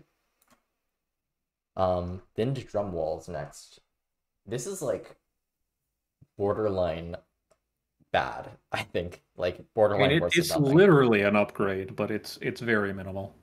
Well, it's almost an upgrade, but the it, it comes with like, no. uh Comes with no downsides. But minus cooling, cooling rate, rate is situationally not good. Yeah. Yeah.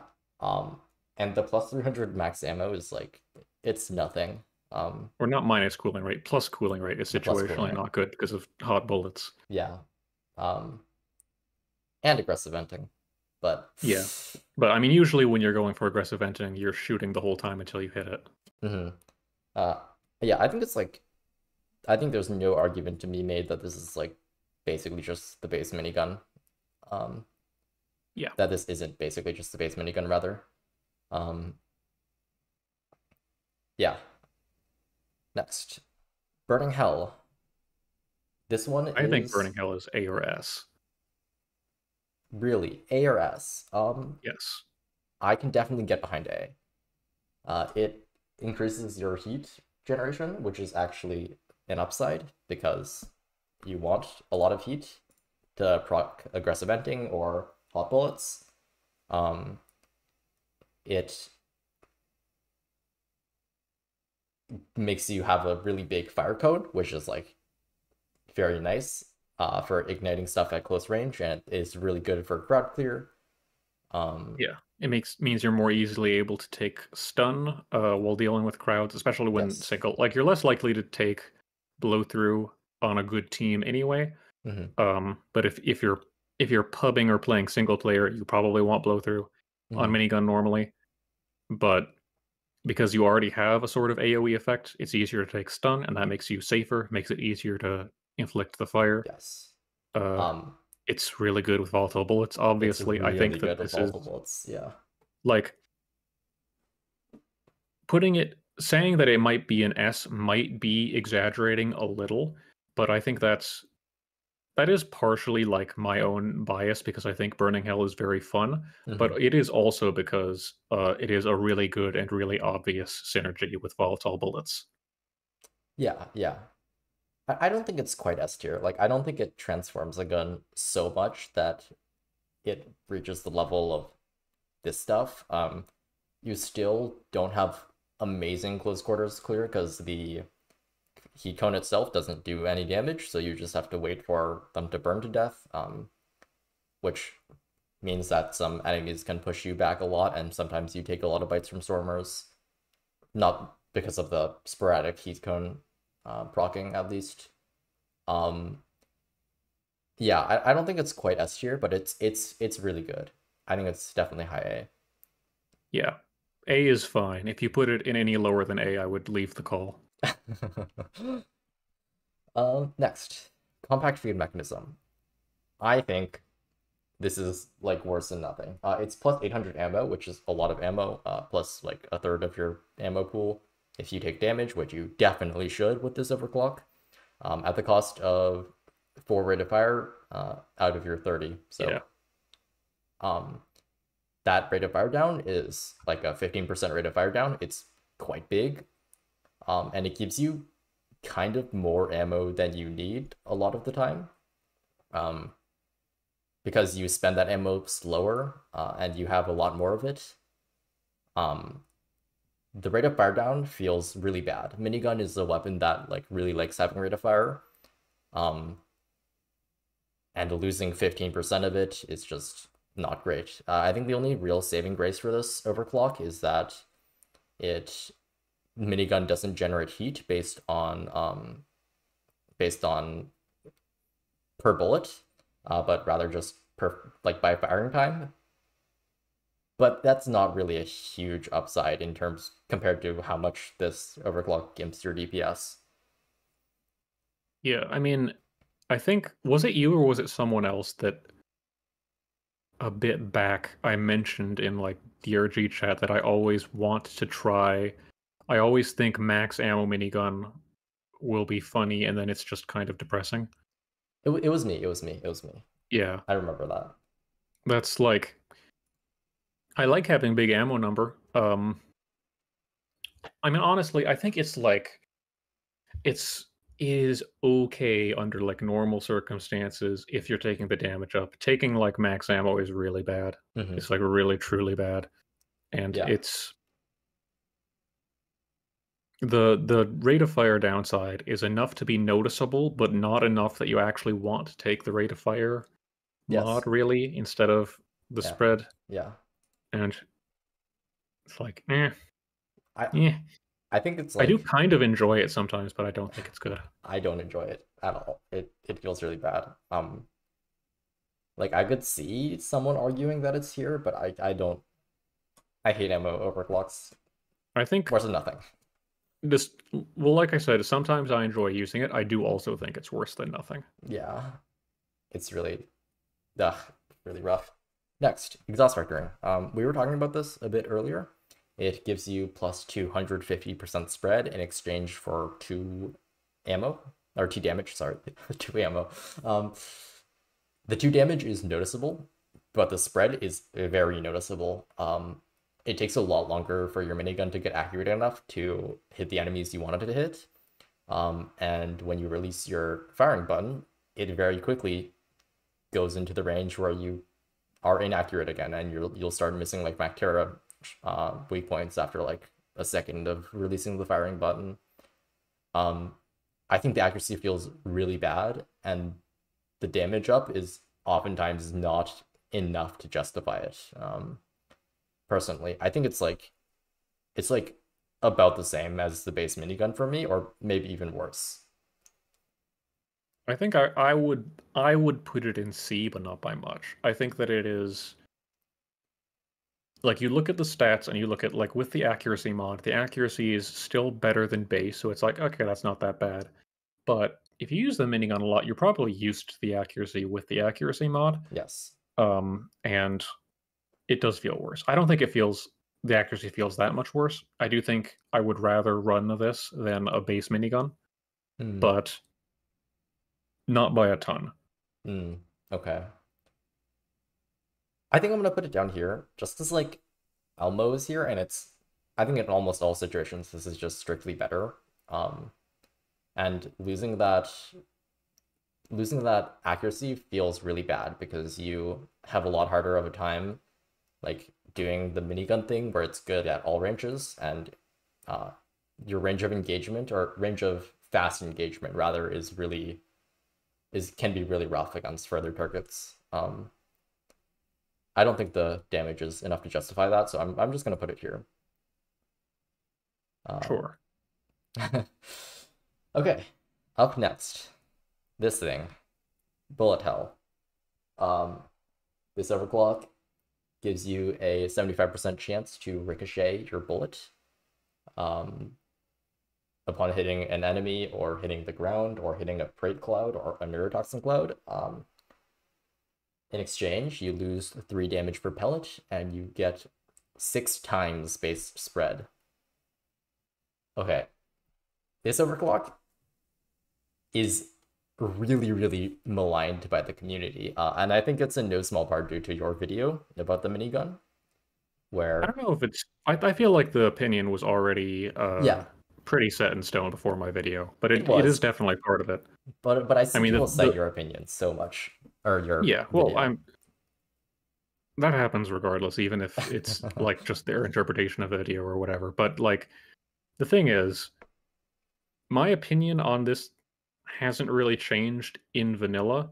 I do like running this on modded difficulties because on Haz six times two or whatever slight variations I play. I don't go super high with modded difficulties. I don't play like seven times two really, or like mm. you know lunatic or whatever. I normally just play six times two, but like on modded, I prefer I find the like the stun synergy with this a lot more useful. I find aggressive venting more useful in modded, and I find the combination of those two things particularly a lot more useful. So I, I like on on modded single player, I like this. On modded in a group, I like it okay. And in vanilla, I I still don't really like this. Mm.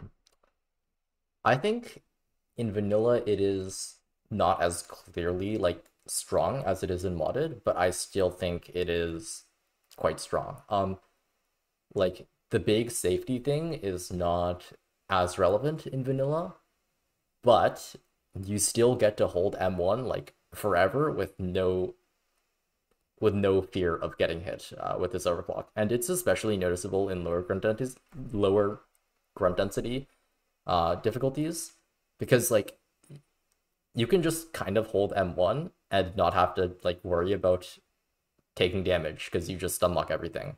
Um, it's really really ammo heavy if you play it that way, but um, it's still, in my opinion, like quite strong. Uh, I don't think it's, I don't think it's worse than base at all. Uh, and, and also with uh, hot bullets, you get decent fire spread on top of that, uh, and it's well, really. I don't think I would call it worse than base, regardless. Mm-hmm.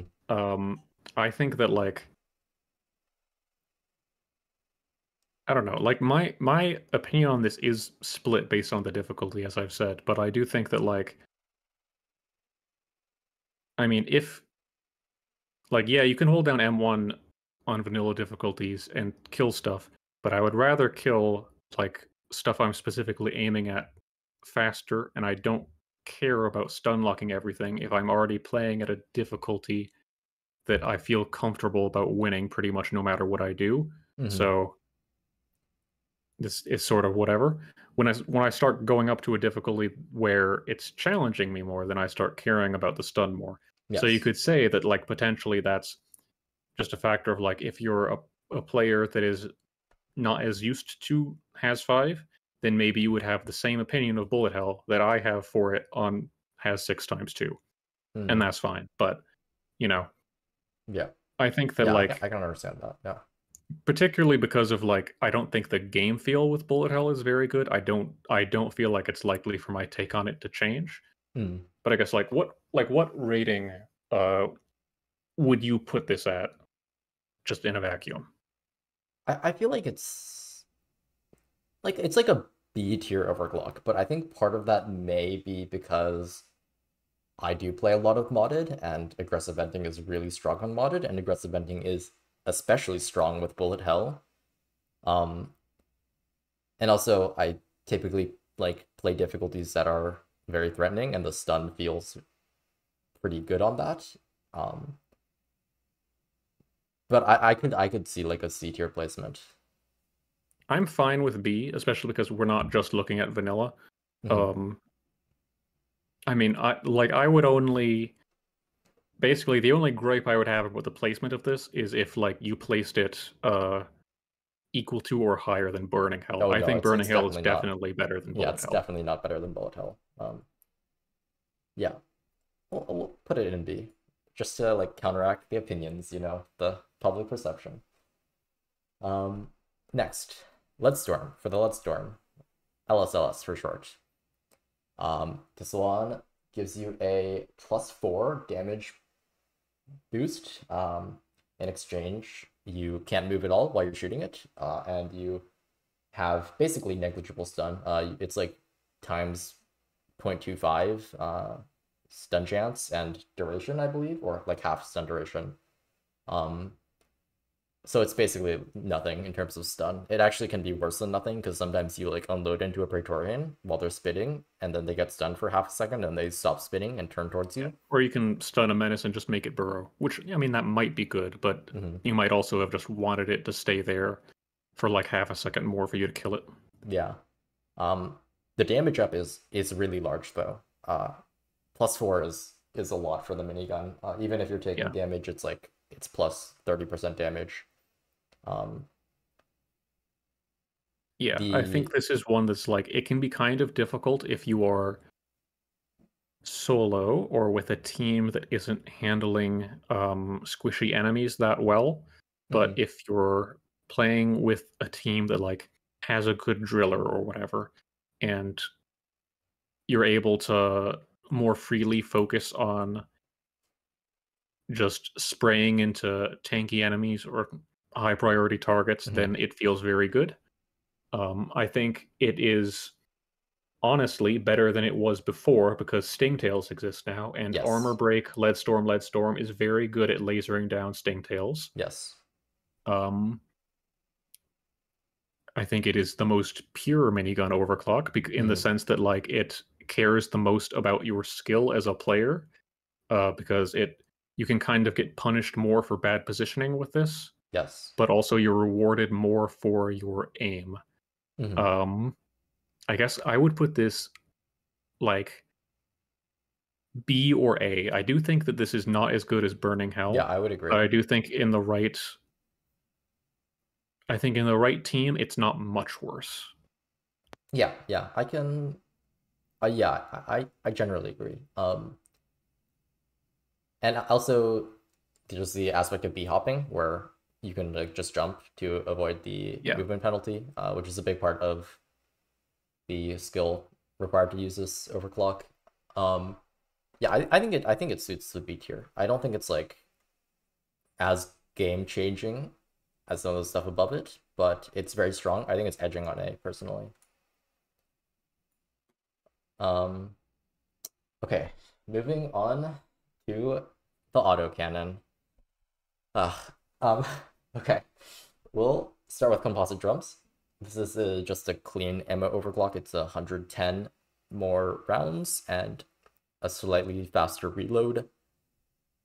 I think it's like, it's nothing. The autocannon already has a huge ammo pool, like that you can actively struggle to get through a lot of the time. Um, and adding more ammo to that ammo pool is like not particularly useful, in my opinion. Yeah, I mean, it's not a big deal. the The reload speed is also not a big deal because of the cancel. Mm-hmm. I think that it does it does mean you can cancel slightly earlier, but it's fairly marginal. Yeah. Um, I think you could put this in a putting this in C would probably be like slightly overkill. I think yes. it's probably like equal to base. Yeah, I, I would agree. Like it's a it's a ammo upside, but it's an ammo upside on a weapon that already has a ridiculous amount of ammo and also like isn't that strong um, at using that ammo. Um, okay, next, Splintering Shells. This is a plus one area damage and slightly bigger AoE. Um, it's okay. Like, uh, with the buff of Carpet Bomber, it's I think it's a little less relevant than it used to be. Um, because it like the extra area damage doesn't hit really any relevant breakpoints any uh and the radius is nice but it doesn't augment the killing power of the autocannon enough where it's like really amazing or anything. Um, yeah, I mean, I, I would put this and Carpet Bomber both into C. Um, and I guess like you do feel the Carpet Bomber's downsides more, but like now that has slightly more, slightly more AOE, I feel like it's a little more equivalent. Like if you asked me before the recent Carpet Bomber buff, which is a small buff to be yeah. fair, but still before that buff, I would have put Carpet Bomber in like equivalent to base. Mm-hmm. Um, for its you know downsides plus upsides. I think now it ekes it up into C. I think maybe Splintering Shells is still slightly better than Carpet Bomber, but mm.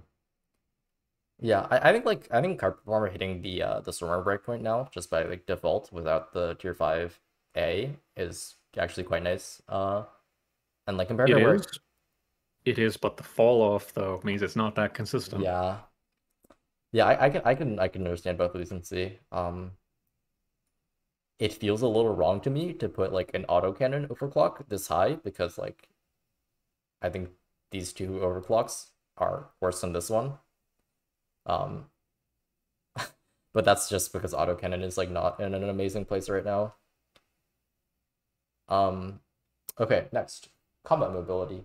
Uh this one halves your mag size in exchange for a bit of a speed boost when you're, or not speed boost, but it mitigates the speed downside of firing your autocannon, and you get a little bit more minimum rate of fire and 1.5 times faster uh, rate of fire buildup. Yeah. And a bit you more. Don't accuracy. get more max rate of fire. If you had more max rate of fire, it'd be a bit better. It's just rate of fire scaling goes up faster. Yes. Um, your base spread is a bit better, but your spread is still bad. Uh, yes. Yeah, this I mean this overclock is named after the worst thing that it gives, in my opinion. yeah. And I... it is uh it's it's I mean Big Bertha's right there. Yes. Big Bertha's right there. And it's the same downside or the same big downside. Yeah. The downside on Big Bertha is like understandable for combat mobility. It does having, not make sense half the mag size is so punishing. Yes, and you're so much better at spending it too because of the way the overclock functions. Yeah, um, you you get up to max rate of fire faster, and then you just have no ammo. Which means you reload faster. Yeah. I, I want combat mobility to be way bigger than it is. Combat mobility should be a clean. It doesn't need a downside. Yes, I, would agree. It's like the, the the downside right now is just so overboard half your mag set. If it has a downside, so it should be way less than this. Yes, yeah, I would agree. I think it's worse than nothing personally. Yeah. Okay. Next, Big Bertha. Just talking about this, it has the same downside, uh, where it has half max size, and it also has uh, 1.5 less max rate of fire, rate of fire. Um, in exchange, you get and also also it has minus 110 max ammo. Oh yeah. Uh, in exchange, you get 12 direct damage, uh, and you get slightly less base spread. It's like 70% of true base spread, I believe. Uh, and it's generally pretty strong, I think. Um, it lets yes. you kill veterans, unlike the normal autocannon. Um, yeah, like I, I am not as uh, I don't feel as bad about the autocannon as you do. I think but I do think like autocannon is with most setups, you know, worse than his other primaries and Big Bertha is like a really big boost to what the autocannon does. Mm-hmm. Even yeah. with the mag size penalty. Yeah, I would agree. Um it kind of does feel bad uh, if you don't take tier 1B because you have such a small mag, but also tier 1C is really good because of the ammo penalty, um, which puts it in a bit of an awkward spot build tree wise. I think the autocannon's mod tree is like just badly designed in general. It hurts so much because rate of fire is on like every tier. Um, but Big Bertha is like I think it's what the autocannon wishes it was at base it's just like it's pretty good at killing things. Um, in terms of how much it improves the weapon, I think it's like, I think you could like argue that it's like A tier, but I feel like the pretty large would, mag size penalty is like. I would personally put it in B, but if you yeah. want to put it in A, that's fine. No, I, I think I agree with the B placement. It's just like the, the penalty is, is really quite large. Um, all right, next up, this thing. NTP. Before I even start, okay, the overclock itself gives you a 50% chance to inflict the neurotoxin effect um, in exchange for 6 of your area damage and 110 max ammo, and you also get a little bit of a bigger um, AoE. I think because of the way the fear mod is applied and because of the consistency of neurotoxin application of this overclock, it is like stupid. I think we all know that. It's it's stupid powerful. Um it takes like a really mediocre weapon like into a, a pub ruining machine. You hold M1 and everything runs away and dies while they're doing it. Um fear is like a stupid effect and its interaction with slowdowns where uh, slowdowns extend the fear effect because fear forces the bug to move a certain distance um, is really stupid and neurotoxin payload is a prime example of why it is stupid busted. It's like an easy s tier for me. I think i think it should be s tier. I do think it is a little worse than some of the other S tiers. I think it's like slightly exaggerated how good this is. Really? Not by a lot. I don't know slightly. I, think I think that like I think people's feelings on neurotoxin payload are influenced somewhat by how boring neurotoxin payload is to play with and that it can be kind of annoying to have someone join your random game and make your game more boring. Mm. Um, I do think it's S tier but I don't think it's like I do not think it is as much of like a game defining problem overclock as people sometimes talk about it as. I don't know if I agree. Um like it takes the autocannon, which is not very good, and it like it makes it like one of the best weapons in the game, hands down. I think this is like I would rather have neurotoxin payload than persistent plasma, ECR, executioner, or volatile impact reactor. Personally, like because it's so low attention cost to use, like you just hold M1 and all the bugs get feared and neurotoxined, and it takes like no skill, but it has this absurd effect. I mean, I, I agree with like basically everything you said there, but I do I I do also think that its status is a bit exaggerated because people this may just be like me speaking of like the way people speak of NTP, but I think it is I think it is S tier. Hmm. Um I don't think it is as much of like I do not think it's like this is the best overclock. Like I think Executioner is better than the NTP, for really? instance. Yeah. I don't know if I agree with that, but I, I think it's mostly just semantics or it's it's not an important details. distinction not because we both agree on the yeah. tier that it's in. So yeah. Okay. Next, Overtuned feed mechanism. Moving on to the Hurricane now. Um, I think the Hurricane's cleans are both very strong. OFM gives you just one extra rate of fire, uh, and also gives you a little bit more rocket speed. It's like 1.2 times. Um, on a gun that has at base three rate of fire plus one rate of fire is very strong. Um, if you're not taking the rate of fire mod in tier three, it's a 33% ammo boost or DPS boost, and even if you are, it's like still a 20% or 25% damage boost.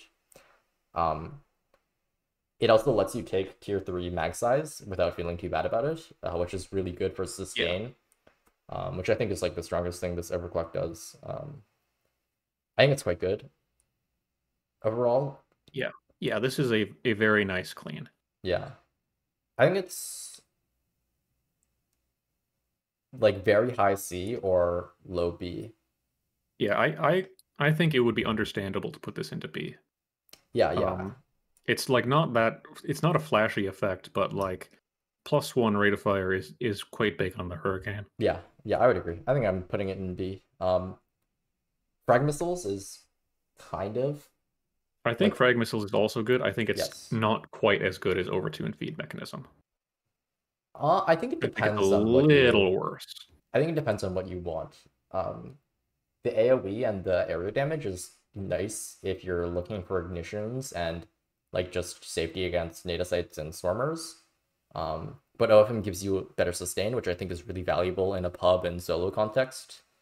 Um, I think like I think they're like very very similar in power. I think the Hurricane is in overall a pretty good spot aside from Mine Layer. Um, I, I want to yep. put this in B as well. It's like the AOE is, is actually quite a big AOE increase. It's bigger than frag shells. Yeah. Um, or smoldering shells, and not as big as the the mod, but yeah, and you're probably taking both if you're yeah, you it. should take both. Um, and also it's on the Hurricane, which is a very strong weapon at base as well. Um, next we have plasma burster missiles, which have been recently buffed, and they are a lot better now. Uh, they used to be like perhaps just the straight up worst overclock in the game, but now they um, have your damage in exchange for getting to pierce enemies uh, and to pierce terrain if you hit an enemy with it. Uh, so you get like they buffed it to like ten pierces, didn't they? Nine. Question mark. There's it they can hit enemies up to ten times. Hits up to I forget times. exactly how the interaction works. Like they're not all there's like two different values that it decreases when it hits enemies, depending on yeah how things work out. But it I don't know. Some something. The specifics aren't that important. Yes. Uh, the point is, it can hit enemies up to ten times. Um, yeah. Or I mean, if enemies get hit by the AOE, technically more, but the AOE is very small. Mm-hmm. Uh, and now it has pretty good damage. Uh, having all it has like a theoretical max damage output that is insane. Uh, if you hit all those bursts, you get a ridiculous amount of total damage. Um, in practice, you still end up hitting walls, uh, and sometimes you kill the enemy a little bit too soon. Yeah, you um, will sometimes lose some efficiency from. You still occasionally lose missiles on walls and stuff, but yes, they're so much better at avoiding them than they used to be. We're not really avoiding; they just kind of they skate just, along the yeah. walls. But yeah, I, I I'm honestly not sure where I want to put this, but I think it feels like pretty good right now. Yes, I think it's at the very least like a very high B it I think it might be a um it is really good at single target if you let it build up over time. Um it's also like pretty good at grunt clear and it's also very good at um Mactera and whatever you want yeah. to shoot it at. It's just very it's, strong. Generally. It's very flexible while yes. being good at single target. Yeah. Like it's it's less it's a little less good at like immediately lasering down something compared to Lead Storm, but like it's not that much worse. You do still deal reasonably well with high priority targets. You do good damage to big boys, mm-hmm. uh, and it's it's better at usually anyway better at clearing out like uh, groups of grunts than Lead Storm. Lead Storm, I think. And it, it also abuses the tier five stun mod very well. Yeah. Um, I think it's like uh, I'd like to put an A. A is fine. Yeah. Yeah. Uh, next, we have this one, Mine Layer System. Um, it gives you three times area of effect damage if you hit the ground with it in exchange for like 36 max ammo. Uh, it also re- removes your ability to guide your missiles, but I think that is yeah, fifty percent more AOE radius. Oh yes, it's that uh, too. Speaking of you know the bullet hell pinch earlier, this is another thing where it kind of changes based on difficulty, right? Because the only reason that anyone doesn't think that this overclock is insanely good is because they are playing on a difficulty that isn't challenging them very much. Yes. If you're playing, if you're either like not very used to Haz 5 or if you are graduating from Haz 5 to modded difficulties, you will quickly find that when you need to clear out large numbers of bugs, Mine Layer is ridiculously good. Yes. Uh, it's, it's like, like stupid good. It's unreasonable. Yeah, if if you're playing Haz five with a group of players that are all reasonably good at Haz five, you may find that uh, other players are clearing out the bugs before you can blow up the bugs with your mines. If there's enough bugs that the pl- other players can't do that, either because the other players are not that good or because you're playing on modded, so there's more bugs. Um, there is almost nothing, possibly literally nothing in the game as good at killing uh, just big swarms of bugs and grunt veterans and such yes. than mine layer. Yeah.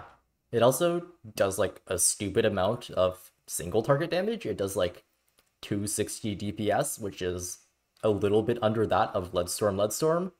Yeah. Um as long as the enemy isn't like an oppressor, you will still yeah. do good single target damage to it, even though it's not exactly made for that.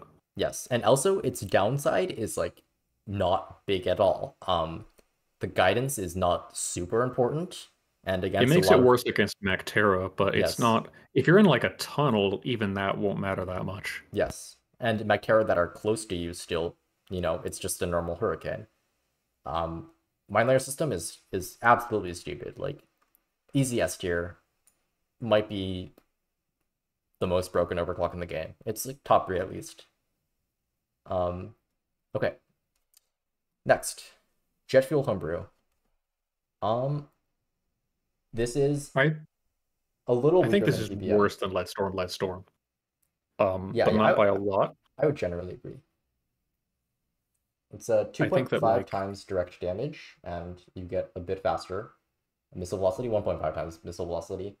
Um, in exchange, you lose half your area damage and like most of your AoE radius, and you have uh, minus 72 max ammo and times 0.75 uh, max size. Uh, so generally, I think the trade-off between this and LSLS is that you get to take the weak point mod, um, and you get more DPS on weak points, and you get more stun because of your tier 5 stun mod. Um, but you don't get ignition, and it's not quite as responsive. Yeah, this is like the upside is potentially better than Leadstorm. Leadstorm, you can do bigger damage with this, um, and it does it does retain some, you know, it retains some AOE, although that's not a big deal. So it's kind of like it's less consistent than Leadstorm. Leadstorm, and you can't just immediately start using it the same way in all situations mm-hmm. um, because of the travel time and like the way the missiles move is a bit awkward. You're not always going to have weak point hits set up, but when you do, you can uh, kill stuff pretty pretty quick, somewhat yeah. faster than Leadstorm. Lead Storm, not like insane burst compared to some burstier options, but still fast. And like I don't know, I guess this is a C tier probably. I feel like it's. I think I, I think I would put it into B personally. It's like I don't think it's so much worse than LSLS that it's into the lighter tanks category, personally. Yeah. Um, and it's I think it's also important to note that this is like one of those overclocks that does a lot of things worse than the base Hurricane. It's like if you're taking it for grunt clear, don't. Uh, it's Hurricane is really good at grunt clear normally, but it provides another valuable niche for a gunner primary to have. Yeah. Um, Rocket Barrage next. This one's new. I think it's a lot of fun, but I don't think it's very good. Um, yeah, I don't either. I think that like my initial impression was this is pretty dang good, and then I played with it a bit more, and I mm, it's not that good. Yeah, it's yeah. like it's okay. I think it is. um Honestly, sometimes it feels kind of ammo inefficient. It's not that flexible. Yeah. And like your effective range is pretty limited. Yeah, I agree. Um, it's kind of good at abusing the tier five stun mod, but like just in in terms of how it responds to player input, I guess it's a bit worse than other overclocks because it's it's very like sprayy, I guess it's you lose a lot of control um in exchange for close quarters effectiveness. Um, but it's not a amazing trade-off for Gunner to make. Um, and you can also spec it into like single target DPS if you want, and it has more DPS than JFH, but not very sustainably, and it has worse ammo economy. Um, yes, I the way that I would put personally put this is, this is an overclock that is, um, like plasma burster missiles. It is uh, it is fun and it is, it can be good at both single target and clearing out groups, but it doesn't do those things quite as flexibly. It's much worse at range and it has kind of worse ammo economy. Yeah. So it's I generally would... like a worse version of a similar niche than plasma burster missiles. Yeah, yeah. Um I think it's like low C tier, maybe middle of C tier personally. Yeah. Um okay, next. Salvo module. I think this one is really overrated personally. Um the shotgun effect that it has, which is the only thing it does. There's no downside. Um, it's kind of not a great way to spend your ammo, in my opinion, because a lot of the time you don't get direct hits with it. Um, and the plus four plus four to AoE and direct damage doesn't really make up for it. Um, I see yeah, some. I mean, it, it's it's kind of like, if I remember correctly, it um, you're able to charge the shots faster than you would actually fire them. Mm-hmm. So it's kind of like a rate of fire upside in exchange for like a lot of inaccuracy. Yeah. Um, I mean, it is. You can just choose to tap fire the missiles, and then it's like a normal hurricane. And then so you, you contract arthritis. yeah, I mean, I it's. I guess this is C because you can't yeah. really say it's. It is giving you something over base. Yes, I, I think that's something that's not very strong though. In like most yeah. situations, you're not. You don't really want to be doing it, but there are some that it, that it is okay in, and uh, Salvo is okay in those situations. I think you really want to take tier one C with this though. I see people running it with like tier one damage for unloading. Yeah, I mean you, you can let it. You can use it for single target like that, but you lo- end up good. losing more damage against groups a lot of the time. Yeah. Okay, we're done with gunner primaries. On to secondaries. Starting with the Bulldog, we have Chain Hit for the Bulldog. Um, I don't think this overclock is is very good at all. Uh, I think it suffers from the same problem as the other chain hit weapon, where a lot of the yeah. time where you're shooting weak points, it's like it hits something that you don't care about shooting at all both Subata and Bulldog care a lot about hitting weak points, and when you ricochet off a weak point, you probably won't hit another weak point. Uh, Sometimes yeah. you do, if it's hitting a bug behind the bug that you shot, but pretty frequently you don't. Yeah, uh, and you can also you can take this with a tier three explosion and neurotoxin for like a weird crowd clear build, but it's completely outclassed by magic bullets. Um, and it's also not very strong at all. Yeah, um, it's like it's it's like approximately equivalent to base, I think. There's not many situations where it's much stronger. Um, next, we have homebrew powder. This is unique among the homebrew overclocks in that it rolls from uh, 75% damage to 200% damage, uh, which averages out to be 140% damage. Um, I think it's like the strongest of the homebrew overclocks, and if you take a damage mod, it doesn't miss any breakpoints. Yeah, but... it's the strongest and it's also the most fun because yes. it, you feel like you're gambling more because the variance is bigger and it's a, a slower rate of fire weapon. Yeah. Um, and like hitting those 200% I, feels really good. Yeah, I would personally put this in C. Yeah, I, I think it, it, it would be fair to put it in equivalent to base, but I would put it in C. Yes, I, I agree. I think it's like you don't miss breakpoints that often, and the variants can feel bad sometimes, but generally, I think the high rolls outweigh the low rolls. Um, yeah. Next, volatile bullets. This monster, um, you deal 300% more damage, or sorry, you deal four times damage to enemies that are on fire in exchange for 10 damage. Um, it deals a lot of damage. yeah. It it's it, potentially more than plus 300% as well if the enemy is fire yes. vulnerable, because all the extra damage is fire damage. Yes, which is especially relevant for Spitballers. You get to one-shot Spitballers on a weak point hit, which is pretty absurd. Um, you also one-shot Goo Bombers if they're lit with a hit to the sack. Um, you like four-shot bulks if you hit the weak points. Um, it's amazing versus Praetorians. You kill them in three shots, and even against oppressors who have a massive fire resistance, it's still like really, it's really good single damage. target. Yeah, it's still double damage.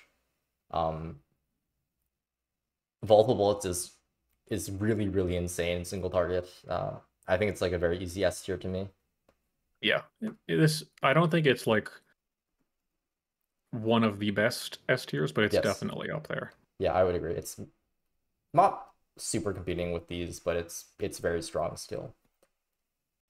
One of the strongest in the game, in fact. Um, okay, next we have six shooter. Uh, this one gives you just two more max size and two rate of fire and like six max ammo, and in, in exchange for decreasing your spread uh, and slightly longer reload, which doesn't matter because Bulldog has a okay anim- animation cancel. Um, I think six shooter is like it's okay. Um, I think it's very clearly better than the base gun, but not by a ton because base bulldog isn't amazing for doing much aside from like just killing normal Mactera um, and the occasional Tri-Jaw and like killing a guard. Yeah. Uh, well, I think I like this more than you, but mm. kind of the the comparison point between like this and um I mean, Elephant Round's the next coming up. They both do. They're both doing kind of similar things in different ways. Hmm. I, I think that it depends on the situation and who you're playing with. I think it is nice to be able to quickly kill um, more Mactera spawn. I mm. think that Elephant Rounds is better for shooting a Tri-Jaw, yes. but not that much better because like this has higher is a higher attention cost because you have to shoot twice but not mm-hmm. that much higher because you get those two shots off pretty quick. Yeah. To me, like I've become more positive on elephant rounds lately, I think. But like I would call both six shooter and elephant rounds like fairly close to each other. Um and it's hard for me to to pick which one is actually better. I think the one that I like the feel of more is definitely six shooter because I hate elephant rounds, huge recoil. Uh-huh. Um I'm I'm I'm actually pretty flipped on that. Actually, uh, I prefer elephant rounds by a pretty decent amount. Um, I feel like gunner really benefits from being able to switch to the secondary for like a second and then going straight back to firing the primary weapon, uh, because gunner primaries are strong. Um, and elephant rounds is really nice for killing like one Tri-Jaw. Um, I think it's a bit better like against menaces, spitballers, um, tanky targets in general, which is typically what I'll want my bulldog to do uh, when I'm taking it without volatile bullets. Um, but I, I, I think six shooter is also like decent overall. Um, I don't like having to shoot it twice, uh, but it's not terrible when you do have to do that. Uh, and it it is nice against uh, Mactera and when you have a when you have a team that isn't as good as dealing with them. Um, I I think I can like accept putting both in C. Sure, I think that like well, the, this is kind of just a, a difference in preference. I think, um, but I will say I think elephant rounds should have a built-in armor break modifier. I want to be able to body shot acid spares with it more easily. Yes, I agree missing that body shot breakpoint feels really bad, especially because like you or I, I at least take tier five neurotoxin, so that sometimes I kill acid spitters with body shot. But that's like that feels really awful. Yeah. Um it's a coin flip. Yeah. Um okay. Put them both in C for now. Um magic bullets next. I think this is an overclock that feels like pretty good in vanilla and really bad in modded. This does um, get a lot worse in modded, yeah. yeah. The ricochet on hitting the ground uh, synergizes with tier 3 explosive ammo and tier 5 neurotoxin. So you get like these neurotoxin clouds. Um, but I think it's because like the random chance of the the neurotoxin applying to yeah. groups of enemies you hit is much more punishing when the enemies are faster and more numerous. Yes, yeah. And also the explosion radius is not that big. Um, it's like like 1.5 meters or something like that. Um, and spending your time out with the bulldog out, like shooting the ground and hoping to proc neurotoxin uh, without like any sort of CC. Um, when you have a set of primaries that are really good at killing enemies uh, and other options in the secondary slot, namely the coil gun, um, that kill crowds much more consistently. Uh, I think it it doesn't feel amazing. Uh, I don't think it's bad per se. I have a solo with it on my channel, um, but I, I don't think it's it's very good. Uh, even in vanilla, it's not amazing. Like it's nice and it it feels satisfying to shoot into a crowd and get the the ricochet and neurotoxin, but it's only good against really small amounts of enemies, and even then, it's not like it's not anything super impressive. Um, I think I'd put it in C. Yeah, I mean it. It probably doesn't deserve to be any lower than that. Yeah, I, I think it's better than base bulldog, for sure. Uh, especially because you can like just still shoot at enemies and stun them. Um. Okay, next we're moving on to the Burt. Uh, we'll start with composite casings. This one is, I can't even remember what this does. It's like 36 ammo, right? and one more rate of fire. Yeah. Yeah. It's uh, the rate of fire is kind of okay, but it, it doesn't matter as much on the BRT because of how the how rate of fire works mm-hmm. with the bursts. I mean it it is it's better, but I feel like because compact mags coming up in a little bit, I feel like this one maybe deserves to be an equivalent to base. Mm, yeah, yeah, I I can understand that. Yeah. Um, I think full, full chamber. Full chamber definitely, definitely equivalent to base. Yeah, just like That's, one more. It doesn't do anything. yeah. It's like, yeah. What do you do? You don't do anything. You do one more damage, I suppose. Um, next we have compact mags. This one is like one of the better ammo overclocks. I think like 84 max ammo is a big number. Um, losing the rate of fire yeah. doesn't hurt as much because the bird is a wacky gun. Um, yeah, it's it's looking at the rate of fire like from from base. You would expect that you'd be losing like one third of your damage output, but it's it's much less than that. Yeah, that's um, how the um, bursts work. And it also lets you take tier four weak point damage much more yeah. comfortably, uh, which is actually pretty nice. You end up having a in general like more damage overall. Um, but it's not like anything crazy. The Burt isn't amazing DPS at base. Um, it, I think this is a, a nice, comfortable take for a normal mission. I think that it is it. I, I like using this with like Big Bertha because it means you have more ammo, which means uh, if you want to take Big Bertha without mag size, it's easier to just like shoot Big Bertha till it's dry, switch to this, shoot it while born ready, reloads Big Bertha, just do that repeatedly. Mm-hmm. Yeah, because you'll be able to use the BRT more, so you can keep that cycle up for longer. Yeah, yeah. I think uh, I think it's a like I could see this being B, but I don't think it's as strong as the other stuff in the B tier. Uh, um, yeah, yeah. I think like you you could this is like high C in my opinion, but I, I think it is definitely one of the best ammo overclocks in the game, yeah. easily. Yeah, for sure. The downside is minimal, and it gives you a lot of BRT ammo, but it's it's not like an immense upside. Uh-huh. Uh Um, in contrast, we have experimental rounds next. This is like a huge plus nine direct damage at the cost of six magazine size and 30 max ammo. Um, it gives you a lot of damage. Uh, it's almost as much damage as lead spray, but it does take a lot of ammo from you. Um, I think we should talk about this in Lead Spray in conjunction because they're like kind of the yeah. same thing.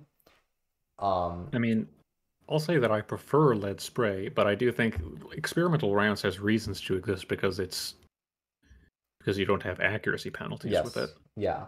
Um, I think they're like approximately the same power level. Uh, lead spray does have a bit more direct damage, um, but not by much. It's like, um, and experimental rounds is a lot better at like killing spitballers from a range at dealing with uh, menaces and whatnot. Um, lead spray is really nice for unloading into cryode enemies and really close like Praetorians and oppressors. I think they both have their niche, and I think they're both like quite potent upgrades for the birch. Um, I'd put them like both in B tier personally. Uh, yeah, I think that's fine. Okay, next we have electro minelets. I think this overclock gets maligned unjustly. Um, yes, electro minelets is it doesn't do enough damage. The electric effect does not like one shot grunts, but the slow is strong. You can apply it to a lot of enemies easily. It's consistent. Uh, you do it while also shooting through them with blow through. I think that I don't know. I think I would I would put this somewhat above magic bullets. I think yeah, that it yeah. is. I would agree. It's it's much better at handling grunt density than magic bullets. Uh, I I yeah, think the I, I think the easy take looking at it is that it's worse than magic bullets because you look at magic bullets and you say, well, the neurotoxin one shots common enemies and the electro minelets effect doesn't. Mm-hmm. But electro minelets effect has no RNG involved with it, and it has a stronger slow. Yeah. Um, and I think both those things matter a lot. Yeah, I, I would agree. Uh, and it also like has a it, it outputs a lot more of it at once compared to magic bullets because each mine has yeah. a has like the same. if enemy density is high, you can affect a ton of enemies. They all get affected no matter what. Um, it barely penalizes your direct damage. It does the the mag size is noticeable, but yes. when you shoot enemies with it directly, they take almost the same damage as a normal BRT build would. Yes, yeah. I think it's uh it's like a high C tier. I think it's generally quite underrated. People I would personally put this in B tier. Hmm. Uh, yeah, I, I I can see a B tier pick. Hmm. I'm not sure it's quite as. I think part of the reason why is because I'm looking at the C tier and like I see lighter tanks and hydrogen ion additive and magnetic cooling unit in here when yeah most of our C tier is like this is barely better. Well some of it is this is like barely better and then some of it is lightweight cases and stronger plasma current. I feel like yeah well if it were up to me lightweight cases would be up in B so. Hmm. I, okay I, I will put it in B. I feel like it does improve the like it is just uh quite a big upgrade to the bird because uh, it's like it does quite a bit of uh, single target damage still. Um, yeah. Yeah. Okay. Last, micro flechettes. Uh, I think we both know where this is going, but for the viewers at home, micro flechettes halves your damage, uh, but doubles your magazine size and ammo pool. Um, it's what bad. does this accomplish? Nothing. It does nothing. You deal like the same DPS, you have the same total damage. Yes, you can use the stun mod more, but you deal no damage. Um, it's really bad at right. doing what the bird wants what to do. What if instead of using the stun mod with micro flechettes, you took the stun mod on Burning Hell minigun and did more damage while setting enemies on fire and stunning them. Yeah. What about that, huh? or you remove the overclock and killed the enemy in front of you. Um, yeah. it's really bad. I this like might be the worst overclock in the game. Um, has really no reason to exist. Um, okay, moving on to the coil gun now. We'll start with reatomizer. Reatomizer this... is not worse than nothing, but it belongs there because it's so janky. Yes, I agree. There's like two years of bug fixing related to this, and it like it's still kind of dysfunctional. Um, Unless something changed about this very recently, you're still able to shoot through a frozen enemy into a dreadnought, and it will apply the frozen visual effect to the dreadnought, but the dreadnought will not get frozen or stop moving. So you just have a dreadnought that looks like it's frozen, just walking around and attacking you for a bit. And there's also like stupid stuff where you can transfer heat from Doretta. You can transfer things infinitely. You can transfer arbitrary amounts of temperature to enemies from Doretta. Yeah, like or you see that video from Split Central a while ago where he used a ton of cryobolts on Doretta to make yes. Doretta extremely cold and then used yes. Reatomizer to instantly freeze any enemy he wanted. It's so yeah, stupid. It's so stupid. Um, and it is like nothing in normal situations. I think some status effects still get applied permanently when they're normally temporary status effects. Um, yeah, it's like there are nowadays at least. Back when it was introduced, like Steving a bulk or a dread was very dumb and would soft lock you. Um, nowadays, it's just like it does nothing for you. Uh, it does nothing for you unless you engage in extremely degenerate strategies. Yes, which are not good. This is an overclock that should not exist. yes, I agree. I think it gets an honorary worse than nothing. Um, remove this from the game. Uh, okay, next we have ultramagnetic coils. Uh, this is a plus 5.5 meter trail radius and an extra second of trail duration. Um, I used to think this wasn't amazing, but recently my opinion has kind of shifted. Um, Coilgun Trail is actually pretty okay if you're shooting down grunts in a straight line. Um, and the extra second and extra radius of your trail makes it actually a lot easier to use versus a lot more situations. I think um, it's reasonably good. Yeah. I don't have any strong opinions about this. I think it's like C tier. It's not amazing, but it's pretty good. And the coil gun, it just like makes the coil gun do more coil gun things, which if you take tier four fear or tier three fear, sorry, uh, and tier five electricity, it's just like a very strong self defense tool that also does decent grunt clear. Putting it in C. Okay, we have backfeeding module next. This is an ammo overclock that does not have a downside, but it also does not really have an upside, in my opinion. Um, it's like a ridiculous amount of ammo, like 320 extra ammo in exchange for 20 less damage. Um, and neither of these things matter because in a typical like 22213 or 32213 coil gun build, you will never run out of ammo and you will almost never take advantage of the direct damage. Um, I think this is like the same thing as the base gun, personally.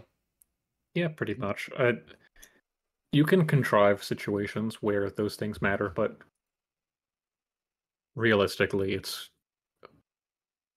you don't care whether you have it or you don't. Yeah, yeah, I would agree.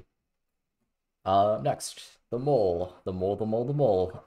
Uh, this one reduces your charge speed by like 20%, but in exchange, you get 150 extra damage every time your coil shot penetrates a wall.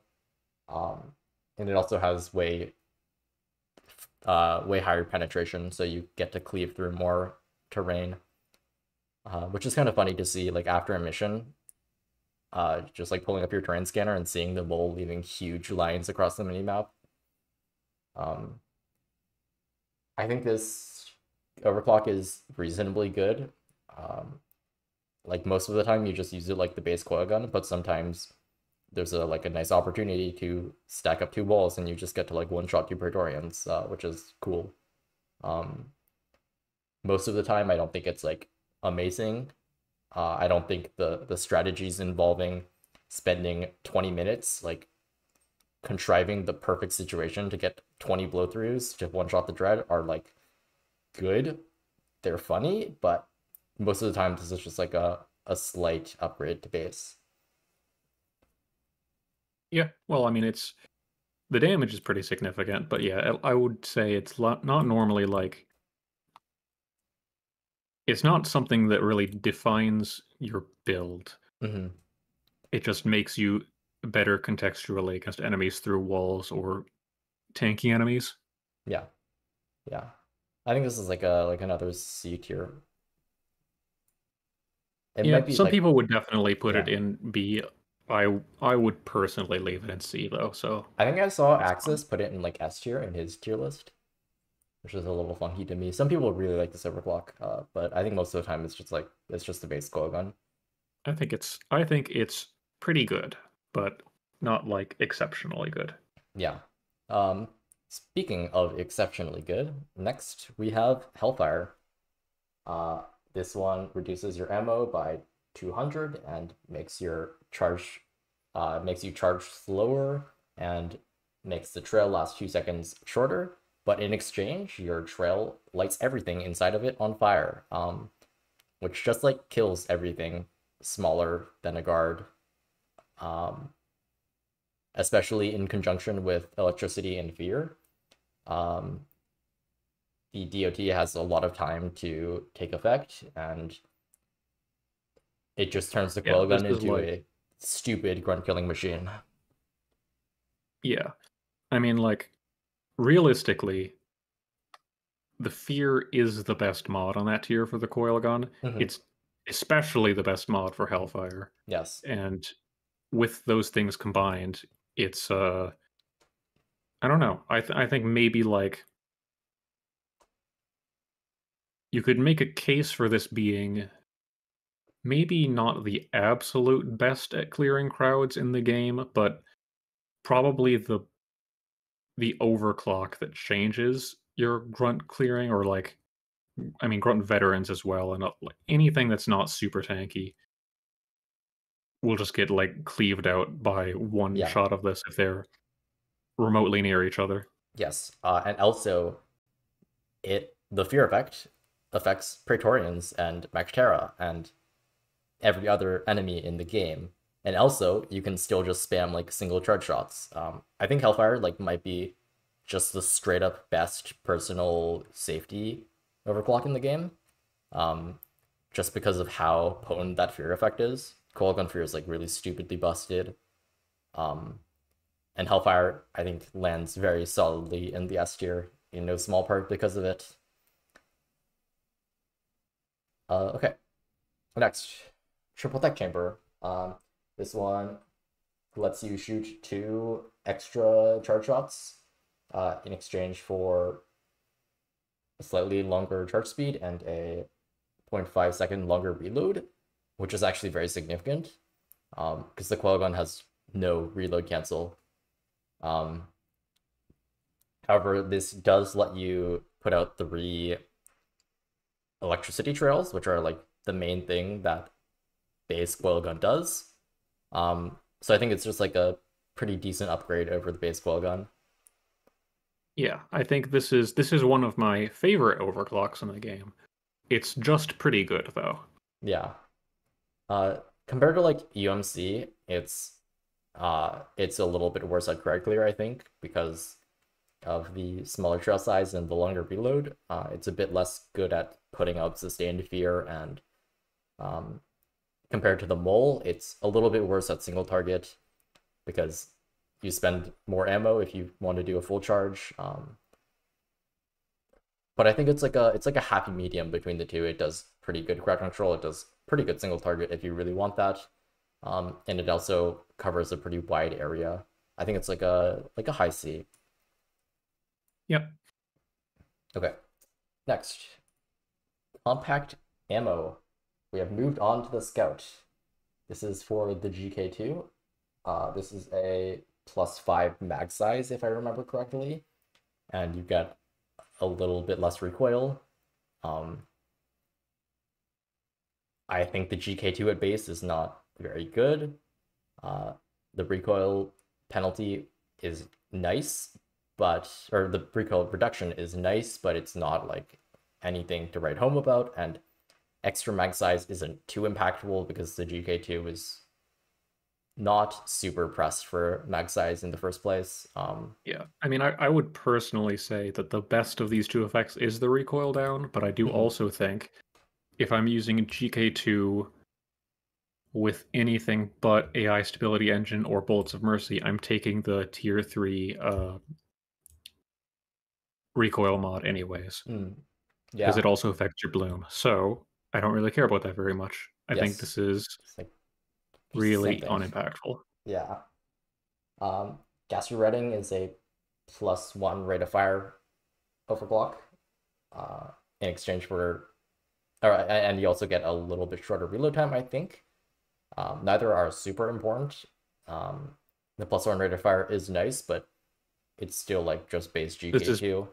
Yeah, this is probably better than compact ammo if uh-huh. you really want into the get into the nitty gritty, but it's like not by enough to yeah, make a big difference. Not very much.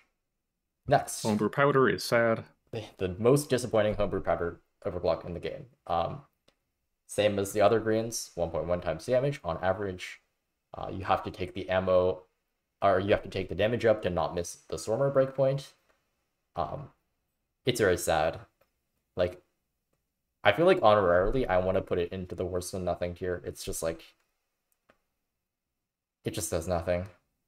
I wouldn't go that far, but I'm not going to stop you either. I hate this overclock. It's it's so dumb.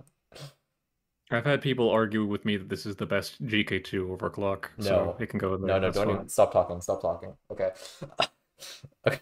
Next, we have overclock fire mechanism. Uh, this is a significant plus three rate of fire, but it also doubles your recoil. Um, which if you like try to use this without both tier 3A and tier 5A, you will not hit any shots. Um, with both, it's like it's fine, I guess. Um, it does a little more damage than if you had just taken tier 5B. Um, it's like the same controllability. It's okay. I don't think it's very good, but it's kind of goofy to like yeah, get the battle I, I do I do sometimes run this without floating barrel, um, just to run it with battle frenzy and try to chain kills on weak enemies, which is not a very good thing to do, but I do think it's fun. I think this is probably like a C tier, I guess. Yeah, I, I would agree. It's a damage it's a damage up, basically. Yeah. It's like fine. Um okay, Bullets of Mercy now. I think this overclock is not in a great place anymore. Um like comparing this to AISE, uh, Stability Engine, it's like the only time you're getting more DPS is when you take both rate of fire mods and you IFG and mag dump into a Prate. Um, that's okay. Uh, it does a lot more damage when you do have status effects applied. Um, if you're pairing this with like a Cryobolt secondary or Taser bolts or whatever, uh, it can be pretty fun to like shred through a bunch of enemies with status effects, but I don't think it's amazing, mostly because Scout has a very mobile playstyle and like hunkering down to apply a status effect to one enemy uh, is usually not amazing. Like I broadly agree with what you're saying, but I do think that it is still a substantial overclock for like compared to the base gun. Mm-hmm. I would personally put this in B. Yeah, I, I, can understand that. I think it's like very heavily outclassed by AI Stability Engine, but I don't think it's. Yeah, AI Stability Engine weak. is better, but if you know, Bullets of Mercy doesn't need to be totally judged based on uh, its competition. Yeah, yeah, I would agree. Okay, Speaking of, here's AI Stability Engine. Um, removes recoil plus 50%. Weak point bonus. Uh, in exchange, you get two less rate of fire and one less direct damage. Um, both of those damage downs are completely negated by the huge 50% weak point bonus. Um, take this as like 21222 and it shreds anything with a weak point. Uh, it's like the best single target DPS Scout has in his primary kit. Um, and because it has no recoil, it is amazing at sniping things down from a range. Um, I think, like, bringing a later overclock into the discussion here, but I think like in almost all situations, I would prefer this compared to hipster, um, because it does it does the the job of like getting to shoot everything pretty competently, but especially doing a lot of damage to large single targets. Um, and it's grown on me over time. I think I've had a, like a, a rough time adjusting to the fact that like the GK2 has a good option now. Um, but it, it it does scout things pretty well. It kills web spitters, acid spitters pretty decently. Um, it kills Mactera pretty well, not as well as the M1K does in general, but it's pretty good against them, and it is amazing against like breeders and spitballers and praetorians and uh, oppressors. I think it's a very strong overclock. Yeah, I, you will not find a single word of disagreement with me for anything that you just said. I think it's it's very good. I think this is an A tier overclock. Yes, I would agree. It's like it's very strong. Um, next, electrifying reload. This is a polarizing one, I find. Um, it does a lot of electricity damage on a lot of grunts if you're into that. Um, and I think that can be good in like pubbing type scenarios, um, but it is markedly worse because of the minus 10 magazine size um, and minus 60 max ammo. It is markedly worse at taking down high value targets, which I think are what Scout typically cares the most about. Um, and if you have a team that relies on the Scout killing those targets, uh, it, it can be pretty punishing. But if you just like want to take it into a Haz five pub and like shoot all the grunts once and then kill everything or not kill everything as your doofus teammates kill a bunch of status effect enemies, uh, it's like it's pretty strong, I think. Yeah, I mean it, it's better to specialize more towards scout strengths, but it's it's what it does is still it's good at doing it. Yes. I think for like I think for modded difficulties this is like the same thing as base. Um or maybe C tier. I think for like vanilla, it's like arguably A tier. I think I'm happy to split the difference and put it into B. I was going to say B anyways, so let's okay. go with that. Cool. Um, next, we are moving on to the M1000, the best weapon in the game by feel, uh, and class identity, in my opinion. Starting with hover clock. I know you like this one a lot. Uh, just lets you hover yeah, if, when you, if you charge. If you let me control the discussion here, I will just say put this in S. You shouldn't let me do this because it doesn't actually deserve to be an S, but that is what I would do. It is very fun. Um, I really don't like the way it's like there's uh, host client disconnect. Yeah, I don't like I don't like the client side behavior. Um, but I I love hoverclock. It's it's still very fun though. Uh, and it lets you like not take special powder and still not care about fall damage, which is nice because your secondary gets to like be more of a weapon. Um, that being said, I don't think it's like crazy strong or anything. Um, the extra mobility it provides is cool, but Scout doesn't need it that much. Um, and it doesn't practically help your combat very much at all. Um, I think in most situations, like you're getting very very little benefit from this uh, during the storm itself. Um, at least compared to just like grappling away and shooting at the same things again. I think it's like still a B tier though, because it provides so much quality yeah. of life. Um, and it's still like quite strong. I think the M1 It's nice in like bad scramble situations as well, because you yeah. like you should be staying alive as scout regardless, but it, it becomes easier to do so. Mm-hmm. Yeah, for sure. And I think the M1000 is like at base a very good gun. So like anything that just makes it a little better is very good.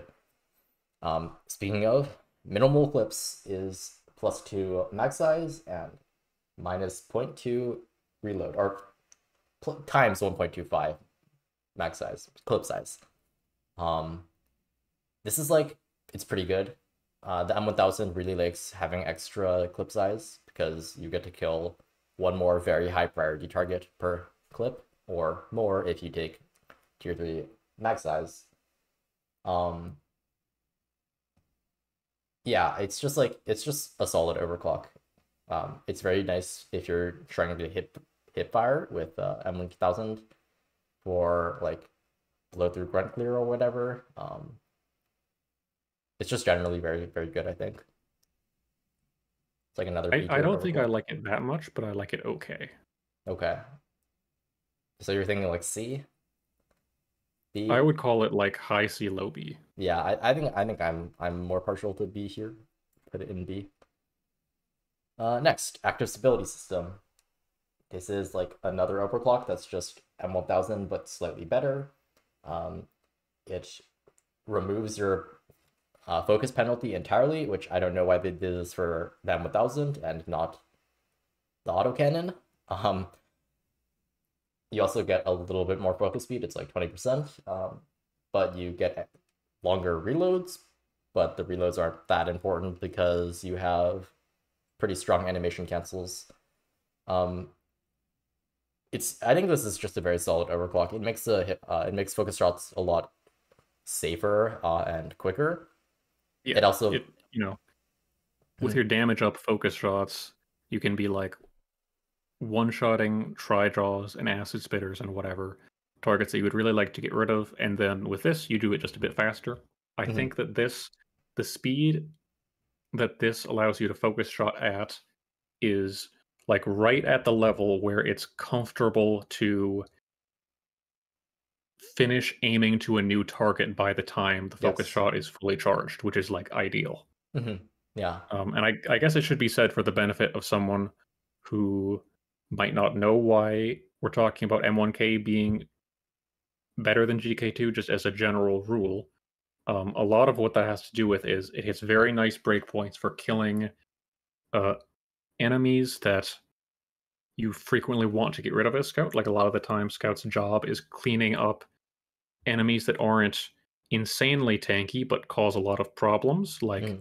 acid spitters, web spitters, uh, Mactera spawn, Mactera Tri-Jaws, um, stingtails now as well. M1K yeah. is also good against. And, and, a lot of those enemies you can one shot with the M1K if you're taking damage mods.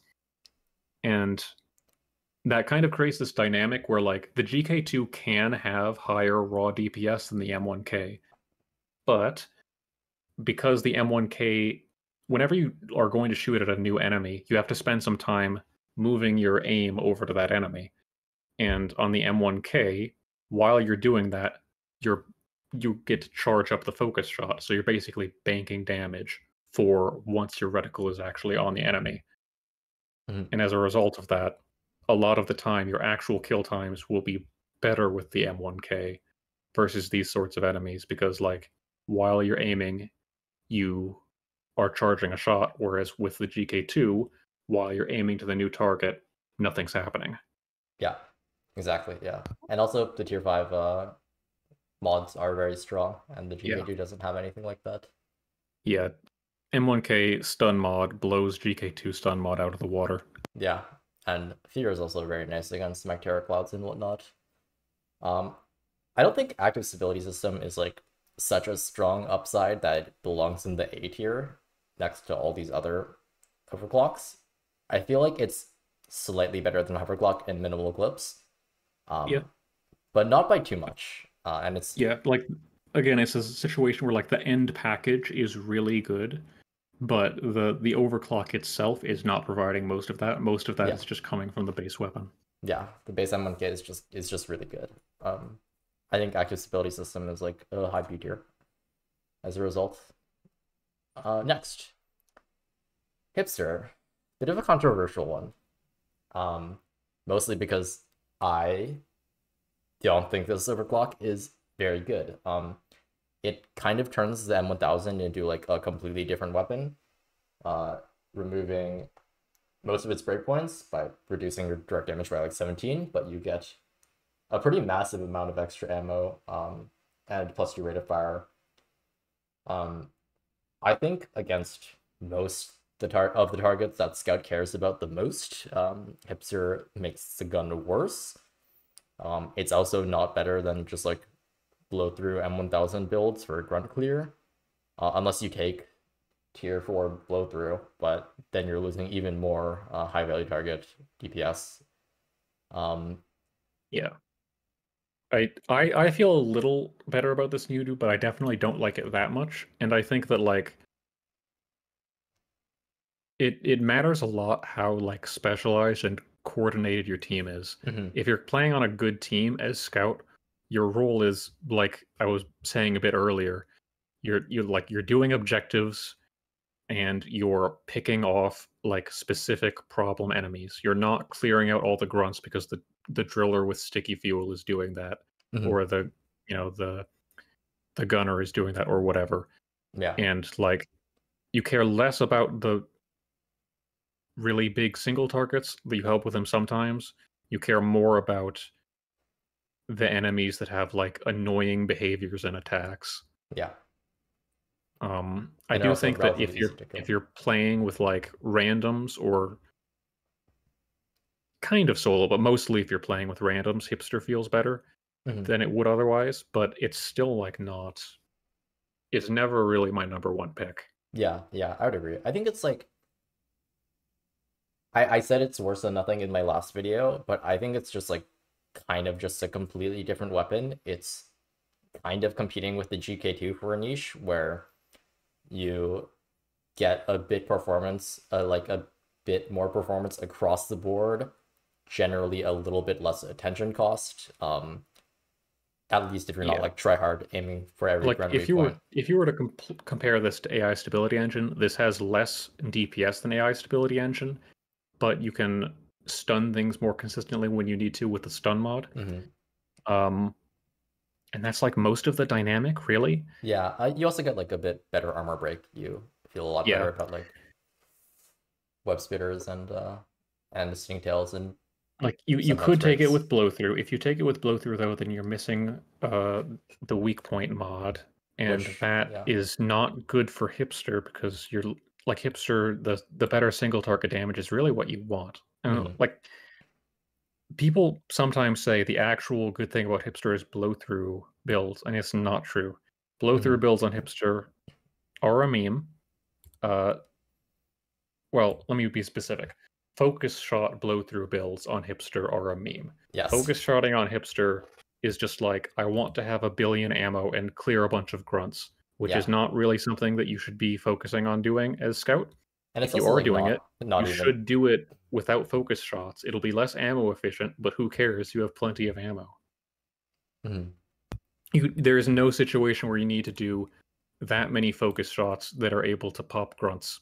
Yeah, yeah, I would agree. Uh, I think like even just like one three one one one base M1K builds are completely fine for that purpose. Um, Yeah, if, if you're using just like a normal M1K without overclocks, you're already able to clear plenty of grunts with the M1K if that's what you want to do. yes, yeah, It's it's still not a an amazing thing for Scout to be doing in an ideal setting, but maybe like you're doing single player or you're pubbing and you think that's like a nice thing to have. yeah, And you have more flexibility that way compared to hipster, because if hipster does that, it loses some breakpoints. yeah. I would agree. I think like I think putting this in worse than nothing. I, I did say it's worse than nothing in my previous video, but I feel like it's kind of unfair because it it does a thing that I think is worse than M1K, but it's kind of a separate niche entirely. Um, Yeah, like it, it's a fine niche to have. It I it's not as good as like active stability system or hover clock, popping Tri-Jaws with focus shots, but like it's still fine broadly. Yeah, I, like yeah. I would put hipster in C. Okay, okay. Throw him a bone. We'll put it in C. Uh, I think it's like, I think it's worse than the base weapon most of the time, but uh, it, it has a it has a niche, um, and I guess that's worth something. Um, next, EFS. This is kind of like Focus Hipster, except it hits all the breakpoints still.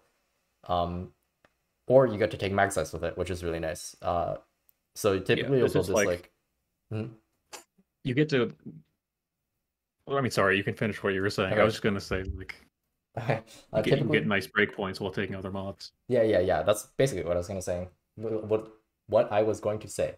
Um, you can take it with like one three one one one, and you get blow through value versus grunts and a ton of ammo, and you still kill like all the relevant HVTs in uh, in one focus drop, and they die to electricity before the stun wears off.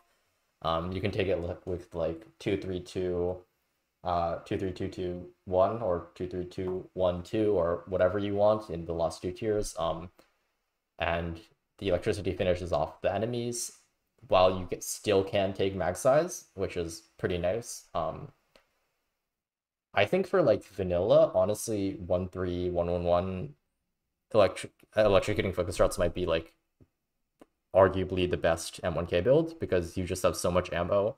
Um, and you can waste it on grunts if you want, if you're in danger, or and you still get like pretty good times to kill on most relevant targets. Um, I think EFS is really strong.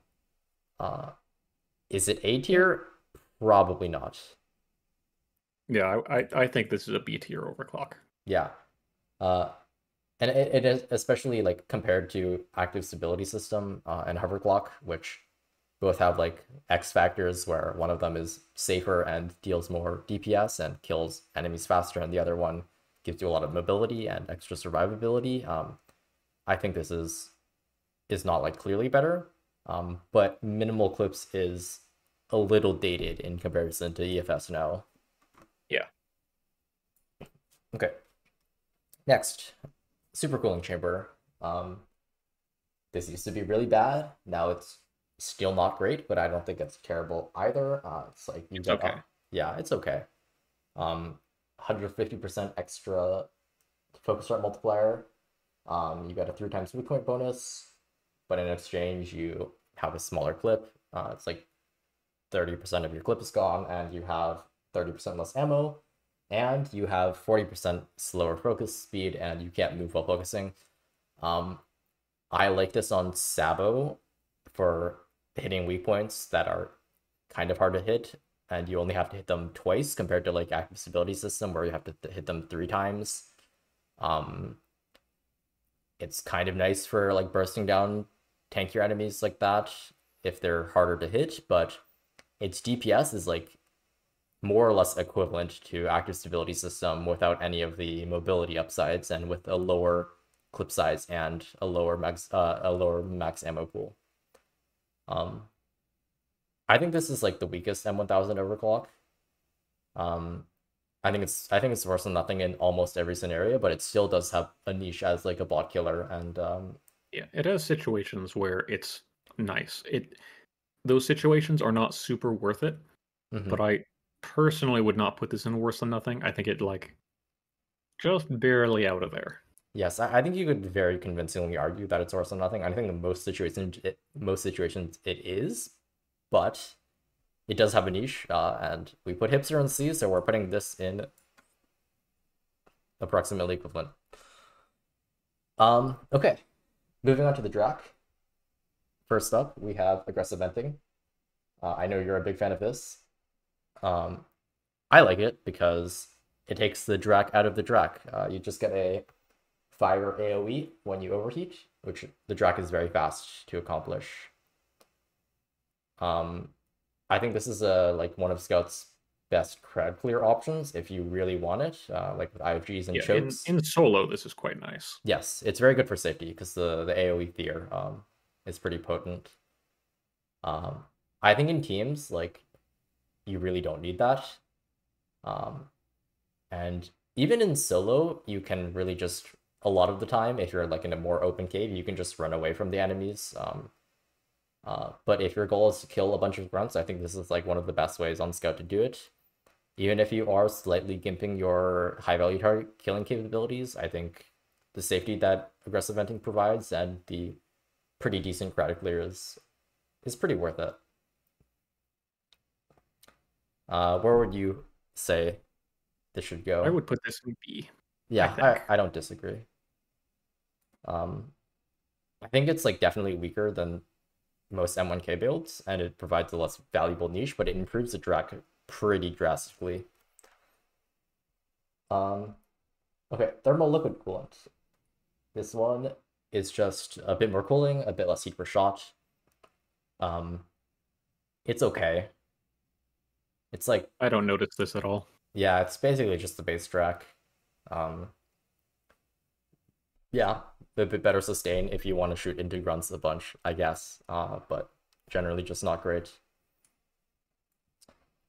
Um, impact deflection, minus two rate of fire, but your bullets bounce. Um, people really like taking this with tier 4 plasma splash. But if you do that, you are specking entirely into grunt clear. Um, because you lose weak point damage, uh, and the splash is not good against enemies that are on weird geometries or are in the sky, as high value targets tend to be. Um, also, I think like electricity is just stronger because the Drac's electricity mod is, is very strong in general. Um, I don't think this overclock is amazing. I think it's like better than nothing, but I think this overclock got done supremely dirty because it used to bounce twice um, it also used to be a clean with no rate of fire penalty, and that matters too. But it bouncing twice was a big deal. Let you get like way more value out of this. Mm-hmm. Um, at the time, I felt like kind of understanding of it losing the two bounces, but now I'm like, give it, just give it two bounces back, man. Yeah. Especially now that it has minus two rate of fire, it still wouldn't be like that good. It would be like nice in a niche. Right yeah. now, it's like barely better than normal Drac, when mm-hmm. you're doing the thing it's meant for and it's worse otherwise. Yeah. Yeah, I would agree. And the thing it's good for is like not a good thing for Scott to be doing.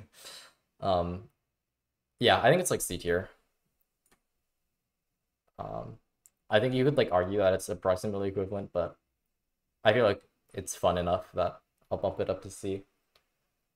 Um next we have rewired mod. This gives you approximately 2 billion ammo in exchange for overheating much faster um, you really want to take tier 5 manual heat dump with this because otherwise you're forced to shoot all your bullets, uh, which is oftentimes unsafe. Um, I think this like overclock is not good at all. Uh, I think it's like actively bad. Um, the sustainability downside that it gives you is really not worth the honestly excessive ammo uh, I feel like Draken Base already kind of struggles at running out of ammo. Um, and rewiring mod certainly makes that much worse because you can't shoot as long uh, and you can't and yeah and you have way way way more ammo um, i just don't think it's very good i think you could put it in worse than nothing i would put it in equivalent base it yeah. definitely is like an upside that does not matter yes it's kind of fun for spamming uh, hot beat but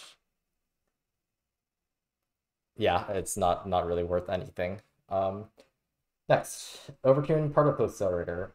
I fucking hate this overclock. It is awful. It yeah, it's bad. Yeah, completely gimps your accuracy, um, and makes you worse at sustain. And you can't like hit anything more than four feet in front of you in exchange for like double damage. But it's literally only good at shooting Praetorians in the ass and nothing else. And it's and not there even are that better good options that, for scouts yeah. doing that. Yeah. Uh, yeah, just not not good. Um, I've outlined more reasons for this in my previous video, so if you're mad at me and lazy, go watch that and then leave an angry comment. Um, shield battery booster. This used to be in a pretty bad place. Now I think it's not still not amazing, but I think it does have a niche. Um, the survivability upside it provides you is like kind of insane. You take so much less chip damage, um, and the significant extra damage is also pretty good feeling, but you your heat management is way worse. So it does yeah. support the like the run and gun play style of Scout where you get in, shoot a few bullets, and then get out. Um, and it ups your survivability by a very considerable amount. Um,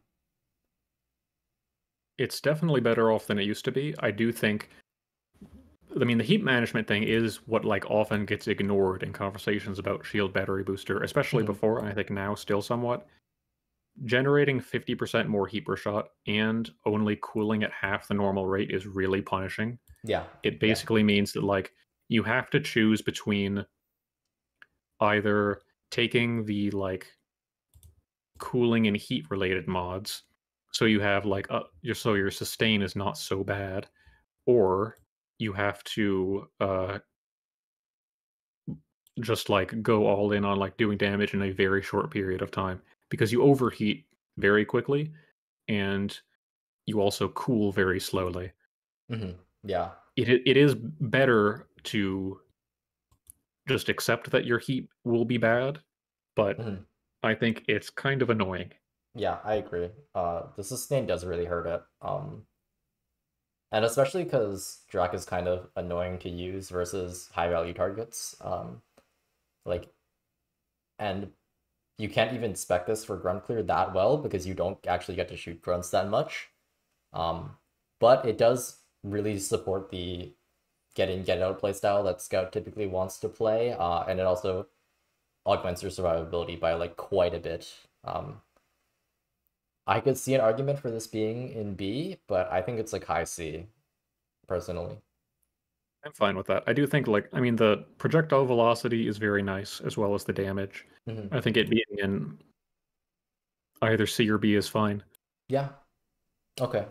Um, I'll put it in B for now. I feel like we need a little bit of extra stuff there. Uh, and I think it's I think the survivability is actually kind of like insane. Uh, Scout doesn't need it that often, but if you're like playing a difficulty that you find hard, it is really nice to just be able to shrug off chip and like fall damage and whatever. Um, okay, next, thermal exhaust feedback. This recently got a change. Uh, now it provides up to 12 extra damage, um, scaling in intervals of three for every 10% heat you have above 60%. Um, I think it's pretty strong. I think it's better now than it used to be. Um, because specifically it has worse sustain against grunts and whatnot. Um, because you want to be at high heat. Um, but it, it does a lot better job of killing those targets that Scout really cares about killing. Um, like with 32112, you can kind of shoot out bursts at max heat and you get pretty good Mactera DPS. You can one mag the Spitballer now. Um, yeah, I, I think it's pretty strong overall. Yeah, it's just, it's it is simply good. Yes, I think it's. I think you could probably put this either in B or A. Honestly, I, like in terms of how much it improves the Drac, it takes the Drac from like a really, really mediocre weapon into like quite good at killing uh, a lot of targets. I think it's like a like an A tier overclock, honestly. Um, yeah. we'll put it in A. I I don't think it's better than M1000, but the overclock improves the Drac a lot. Um, okay, next we're moving on to Scout secondaries. This is the last category, believe it or not. Um, starting with the boomstick, we have a lot of pretty similar options here. I feel like we can talk about them in conjunction because they all do very similar things. Uh, we're missing jumbo shells for whatever reason in this tier list, but compact shells, stuff shells, and jumbo shells all do very similar things. Um, compact shells lets you take double damage without feeling like you don't have that much ammo, um, and you still end up with like 30 max ammo. Um, stuff shells lets you take single damage and still do pretty good damage, or you can take double damage and have a little bit more damage um, than base while still having more ammo than like single damage jumbo.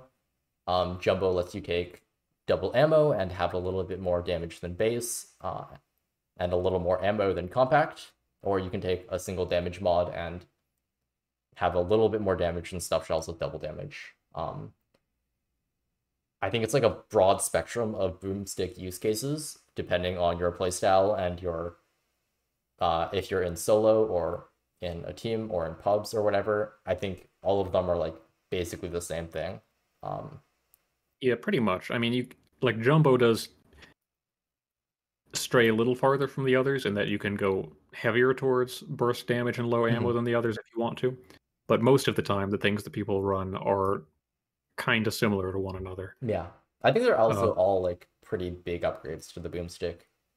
Um, it's a lot. Yeah, they're ammo. all noticeable. Yeah, I think that like, I mean, I think you could literally put like all of these in B. Yeah, I wouldn't disagree. And then like edit in a jumbo uh, shells. Jumbo shells later. Yeah. Mm. Okay. Then... I think special powder is also BB by the yeah. way, because I don't really think it's like.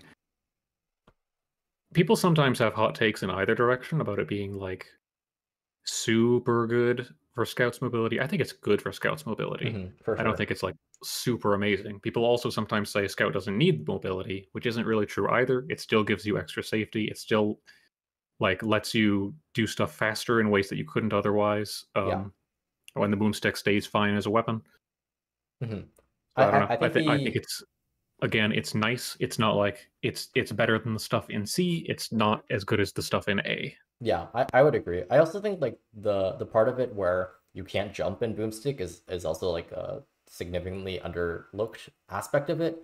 It does make the boomstick more awkward as a weapon, and recently I've like found myself uh, starting to shift towards not using special powder at all because I value the flexibility. But I think it still does provide a lot of survivability and a lot of mobility um, and a lot of ease of use um, for the boomstick. Uh, yeah, I, I I agree. It's like a it's a B tier overclock, I would say.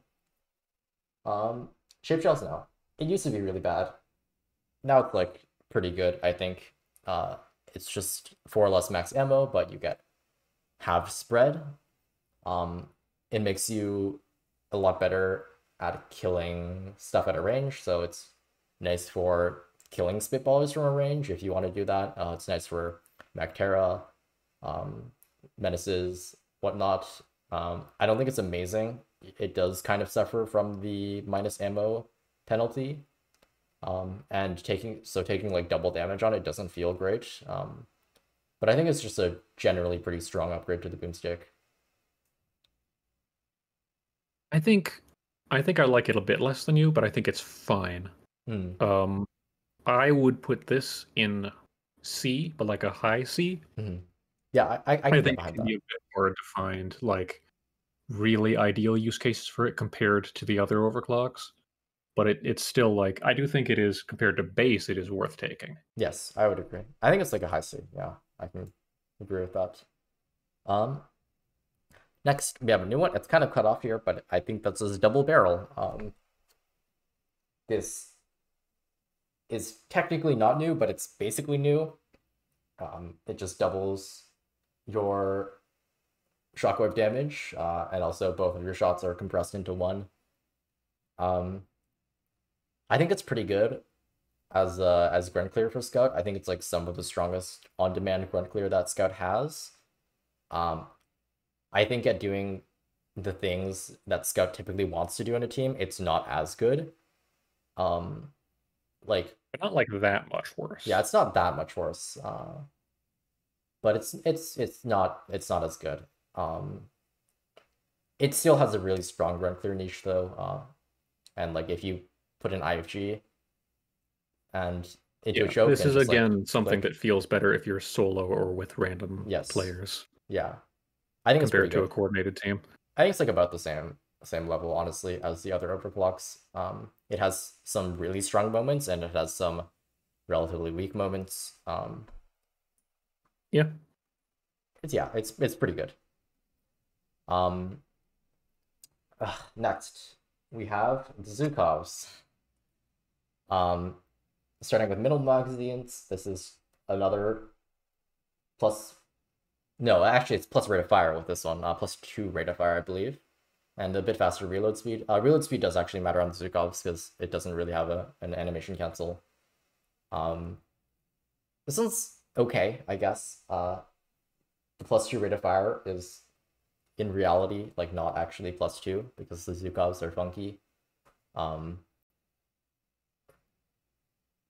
and it's it's not like a very big boost at all. It's like a seven percent boost to DPS. Um, yeah, it's like it's honestly barely different from the base gun at all. Uh, I think it's like basically the same thing.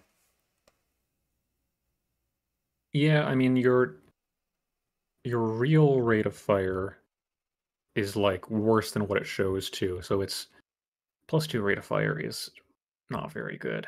Yeah. I don't know. This is again, it is technically strictly better, but it's close enough that we can put it in equivalent to base. Yeah, Uh, next, custom casings. This is plus 30 mag size and minus 4 rate of fire. Um, like, it lets you just fire the Zhukovs for longer, but that's not a really valuable thing to do. Um, because Scout doesn't really want to be standing there firing their weapon for like a long time. Um, and the minus rate of fire, minus four this time, is actually it's noticeable. It's like a minus minus ten percent, uh, a little bit more than that. Um, and also the Zhukov's reload is not bad at all, and also you can take tier five um, get in, get out if you want, and it's even nicer to reload. I don't think this overclock is very strong. Um, I don't think it's like worse than nothing though. Yeah, I don't. I, again, it might be another equivalent to base, I guess. Yes. With the rate of fire downside. I think it's also like especially hard to deal with the Zhukovs because the Zhukovs just do nothing. um. Okay, we have cryo Minelets now. This is a polarizing one. Um, the downsides are not like that bad. It's just minus ten mag size and minus one direct damage. Um, and if you build this for ammo, you get, or with tier 1 ammo, you got a pretty absurd amount of ammo. But the only thing you can really freeze are like grunts and praets sometimes and oppressors if you really you try. can sometimes you can sometimes freeze wardens but yeah, like yeah. yeah i mean it's it's not I, I think you generally shouldn't be freezing oppressors with this i think yes. that it's very gimmicky it is an, yet another thing where it's like if you're playing with an uncoordinated random team, this can be pretty good. You can carry with this with some with some green beards. If you're playing with people who know what's up, it's not that good.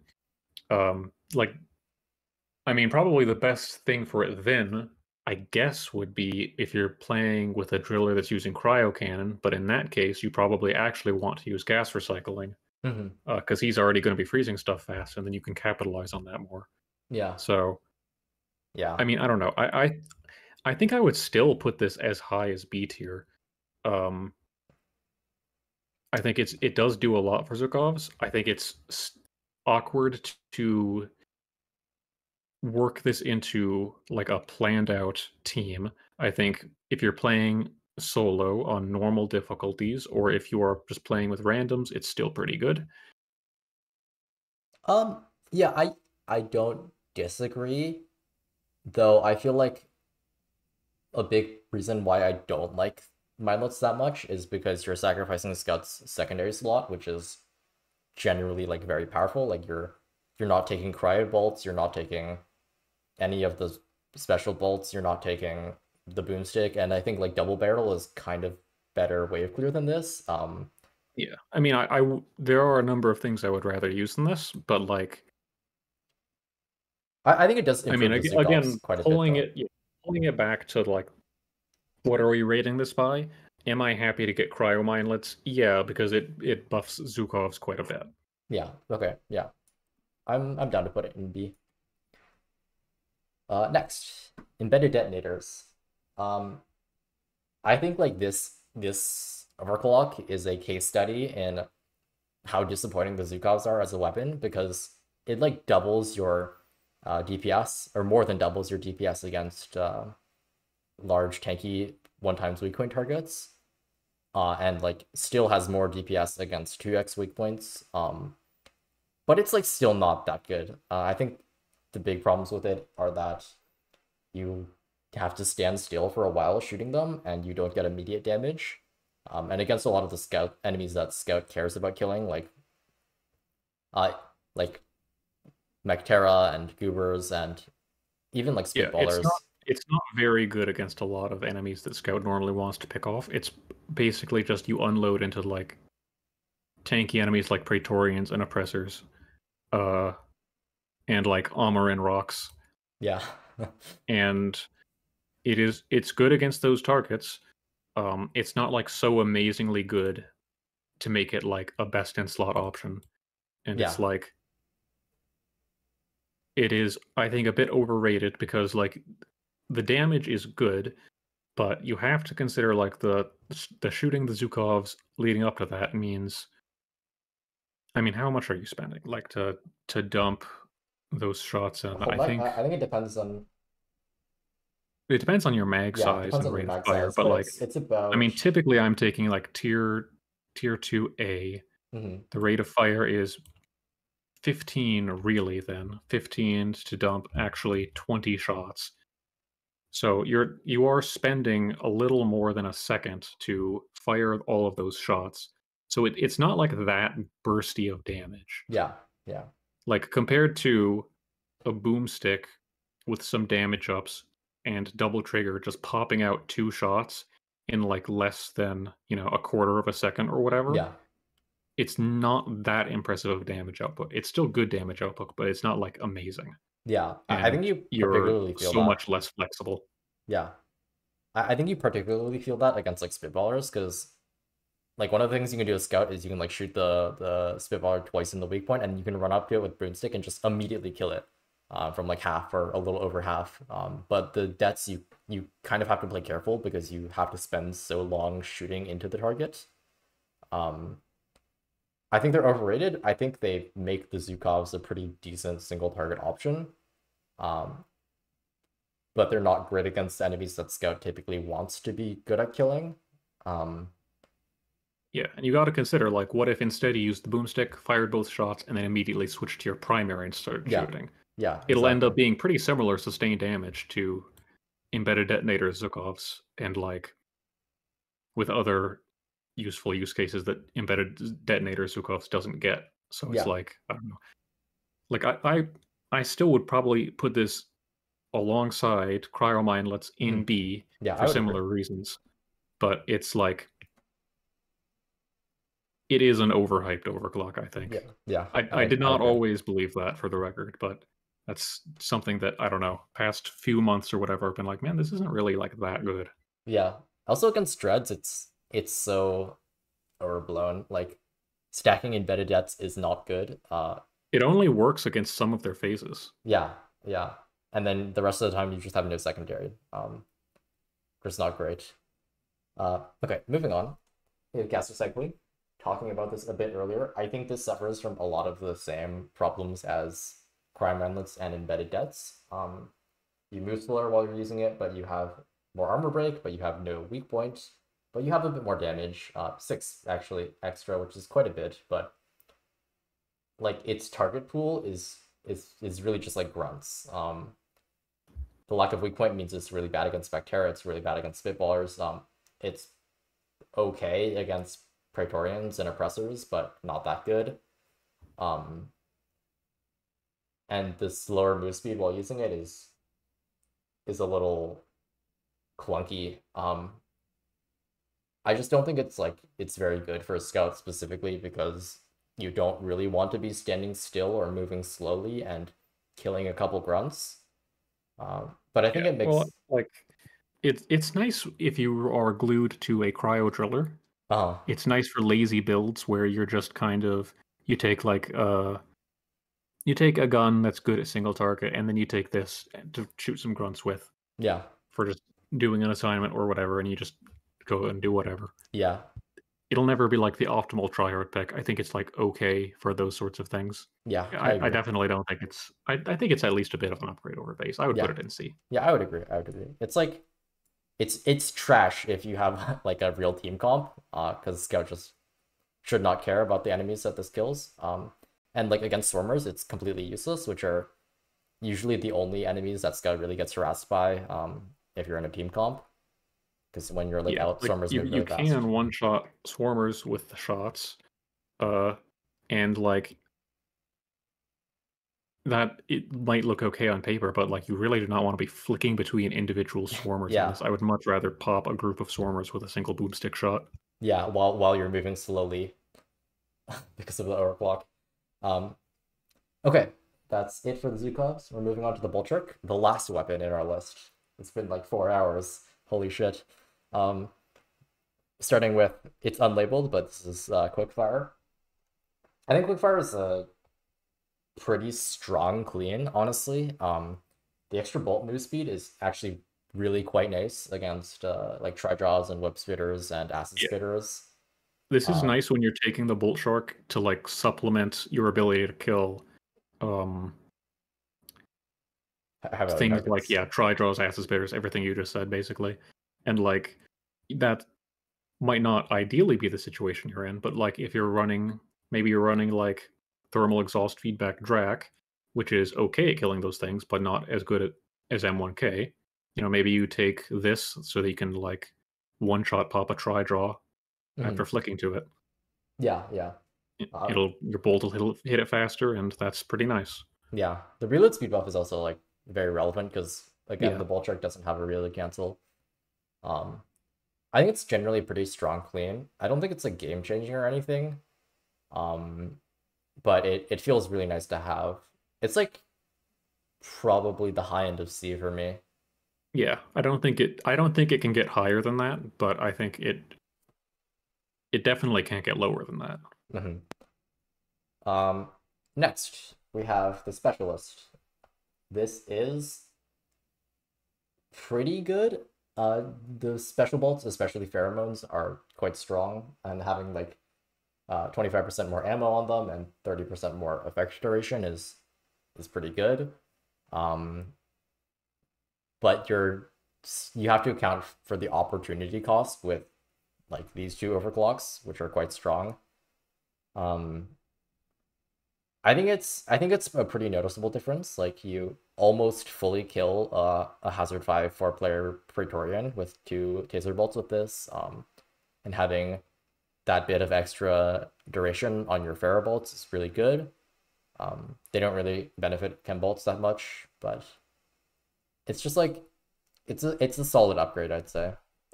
Yeah, I don't know if I would. Again, I think this is probably a C tier, but mm-hmm. Again, it's a good C tier. Yeah, as eh, they're like high C. As far as cleans go, these are both pretty good overclocks. Um, okay, now we're at cryobolts.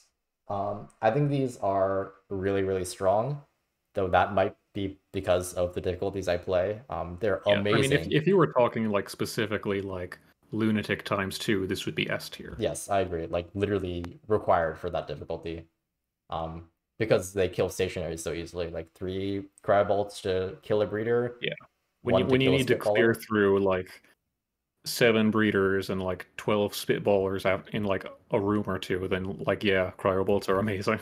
Yeah, yeah. Uh, in normal gameplay, like Haz five pubs and whatnot, I do find that sometimes this these are one of the overclocks that pubs just tend to ignore and you like try to crowd grunts, but your teammates just kill them before they reach them. Um, I think it's still very yeah. nice though. Um, yeah, I I think in general this still belongs in like A tier. Yes, I agree, and they're very strong in solo as well. Um, especially comboed with Ferro Bolts, you can get some pretty insane grunt control and clear. Yeah, I'll put them in A tier. Okay, next we have Firebolts. Um, I think these are extremely strong in solo. Uh, they're like the best wave clear that Scout has in solo. Um, but in team play, they're kind of not great. Uh, like the only time you really get use of out of them is like against like four grunts that your team doesn't b- bother killing, or like against some swarmers, uh, swarmer nests, or yeah, they, they they are like worse the more you are playing with and near your team. Mm-hmm. Um, like, which doesn't mean only solo, because sometimes sometimes a scout you're just off in a different part of the cave. Mm-hmm. Um, I do think like it is worth mentioning in my uh Bolt Shark video, which came out like not long after the Bolt Shark did, I was like, I, I don't think firebolts are that good. Now I'm like, eh, firebolts are really good. Mm-hmm. But that's the kind of thing I don't normally like, you know, post an update about because I don't want to post a video saying, "Oh, guys, firebolts are good actually." but like, yeah, they're they're very strong situationally. In other situations, they're not that great. In general, yeah. they're still very good. Yeah, I think they're like a B tier. I think most of the time you'd prefer cryo bolts. Um, yeah, they're they not have... as good as cryo bolts, but they are they are good. Yeah, they they have their moments, and of course, all the all the ball trick builds have special bolts, which are very strong in general. Yeah. Um. Next, we have Bodkin points. I think this it's like the opposite of firebolts in yes. that firebolt scales better and better with enemy density, and this scales worse and worse. Yes, like this is one of those overclocks that's hilarious to me because balance wise, it just doesn't make sense, right? Like on Haz 3, you click once and you wipe half the swarm. And then like on Haz 5, it's it's it's really mediocre. Uh, you lose a lot of really nice breakpoints that the bullet shark naturally has against high value targets in exchange for like sometimes killing three grunts. Uh, sometimes you get okay value versus Mactera, uh, but that's about it. Um, yeah, I, I mean, I like Bodkin bolts because I think it's it is easy to use and it's fun to have the bolts bouncing around. Yeah, it is. It's difficult to justify a lot of the time because, I mean, if you're in situations where you don't have good angles on anything other than one or two enemies, then it's like it's it's kind of nice. But like, it's it's too niche. Yeah, basically. I, I would it, agree. It is kind of nice against Mactera, but you have better things for them. Yeah. So, eh, whatever. Yeah, I think it's like it's it's here or here. I think it's they're really fun, but I I think most of the it depends time, on the difficulty you're playing yeah. on more than almost anything else. Yeah, I, I agree. I think on like on Haz five they're probably just worse, but if you're like playing on Haz four, then they're probably pretty strong. Um, and especially like as veteran density increases with your difficulty, these fall off pretty yeah, drastically. If you're frequently getting guards and slashers, then it becomes a lot worse. Yeah. Um, I'll put this here for now. I, th- I think they're like I think they belong here if you're playing the harder difficulties or especially modded. Um, but they're fun and like if you're a newer player, definitely give them a try. Uh, okay, our last one here. It's kind of the opposite. Trifork, which just makes you shoot three bolts at once. Um, and you get a bit more max ammo, but a bit less damage per bolt, and a significantly longer reload time. Um, these are kind of weird. Uh, in particular, they can have like really good situations. Yeah, I, I have situations where you one shot a menace or a warden or something like that, mm-hmm. and and goobers. Uh, yeah, they like they kind of. It's weird, right? Because they have high burst, sort of, but you need to enable the burst with something beforehand. So, mm-hmm. like, not really. Yeah, and and also the fact that they gave praets and oppressors pierce resist. Yeah, means this is Praetorians and oppressors should not have piercing resist. Yeah, and Trevor really it, suffers because of that. Yeah, it it's like it's really ammo efficient to use them on Praetorians and oppressors, even if you take the time to proc electricity. Um, and it's so like, generally, your target pool is, is pretty limited. It's like smaller than Praetorians and Goober or above. Um, yeah, I, I mean, I like I honestly, I still think Trifork is in a fine place overall, but because it only works well on certain enemies, it, it only works well on big enemies that are not the common big enemies. Mm-hmm. So you have long stretches of missions or sometimes entire missions where you don't have good opportunities to use it. Yeah, yeah. But then when you do have good opportunities to use it, you can just like one shot goo bombers and it feels awesome. Yeah. Yeah, I agree. I think it's it's very awkward. Um if enemy diversity was a bit better on Haz 5 or a bit higher on Haz 5, I think it'd be fine. Uh, and if Mag Shafts was a little more consistent um, in terms of like actually hitting weak points um, and whatnot, I think it'd also be better. Um, but like the spread of the bolts and the pretty limited target pool of Trifork, I feel like it's it's hard to put it higher than C for me. I think C tier makes sense. Yeah. And that is the last one. We have yeah. finished after like four and a half hours. We're clocking in. Yeah, we're clocking in at uh four hours and forty minutes of recording. Yeah, holy shit fun doing editing to this. Oh, God. Okay. We'll go over everything pretty briefly, see if there's anything we'd like to move up or down. Um, the only important thing to remember is you need to put jumbo shells into B tier after the fact. Yes. Yeah. In the image. Uh, I feel like these two overclocks are maybe not in the A tier necessarily, but I, I don't mind them being where they are. Um, I think it would it would be reasonable to drop them down to B tier, but I think like again from the like the the standpoint of how happy am I to find these, I think both of those are A tier for me at least. Mm-hmm. Yeah, yeah, I, I can agree. Yeah, they're they're pretty pretty significant upgrades to the Warthog, and the Warthog is a pretty good gun as well. Um, I feel a little bit awkward about this top row of C tiers. I feel like lighter tanks is not as strong as quickfire. Hydrogen Ion additive is like not as strong as ALMO or splintering shells. I feel like these two probably should move down to here. Um, uh, yeah, that's fine. I don't have a, any strong feeling about that. Also, this shit. How did this make it into the C tier in the first place? I don't even know. Are you a magnetic cooling unit? Yeah. I well, remember. I guess it's it's like okay, it's fine. I don't I don't feel like it's like heavy hitter tier or in the same yeah. vein as the rest well, of these. I mean, you might as well now now that everything's in their spots. You could go rename like C to okay, B to good, A to great. You know. Okay. Yeah. Sure. Because the mm. first two have. Oh wait. Okay. Okay. Good. Great. And then what is S tier? like broken, maybe. Busted. Yeah, or X Factor. Crazy shit. Yeah. Can't get demonetized though. Uh... You're allowed like one. I don't know. I don't know how it deals with written text staying on the screen though. Uh yeah, we'll just say like overpowered, I guess. That hurts Overpowered me. that hurts me. Okay. And that's it. Here's an overview of the overclock tier list. I said it in the beginning, and I'll say it again now. Do not let me or my opinions stop you from using what you find fun.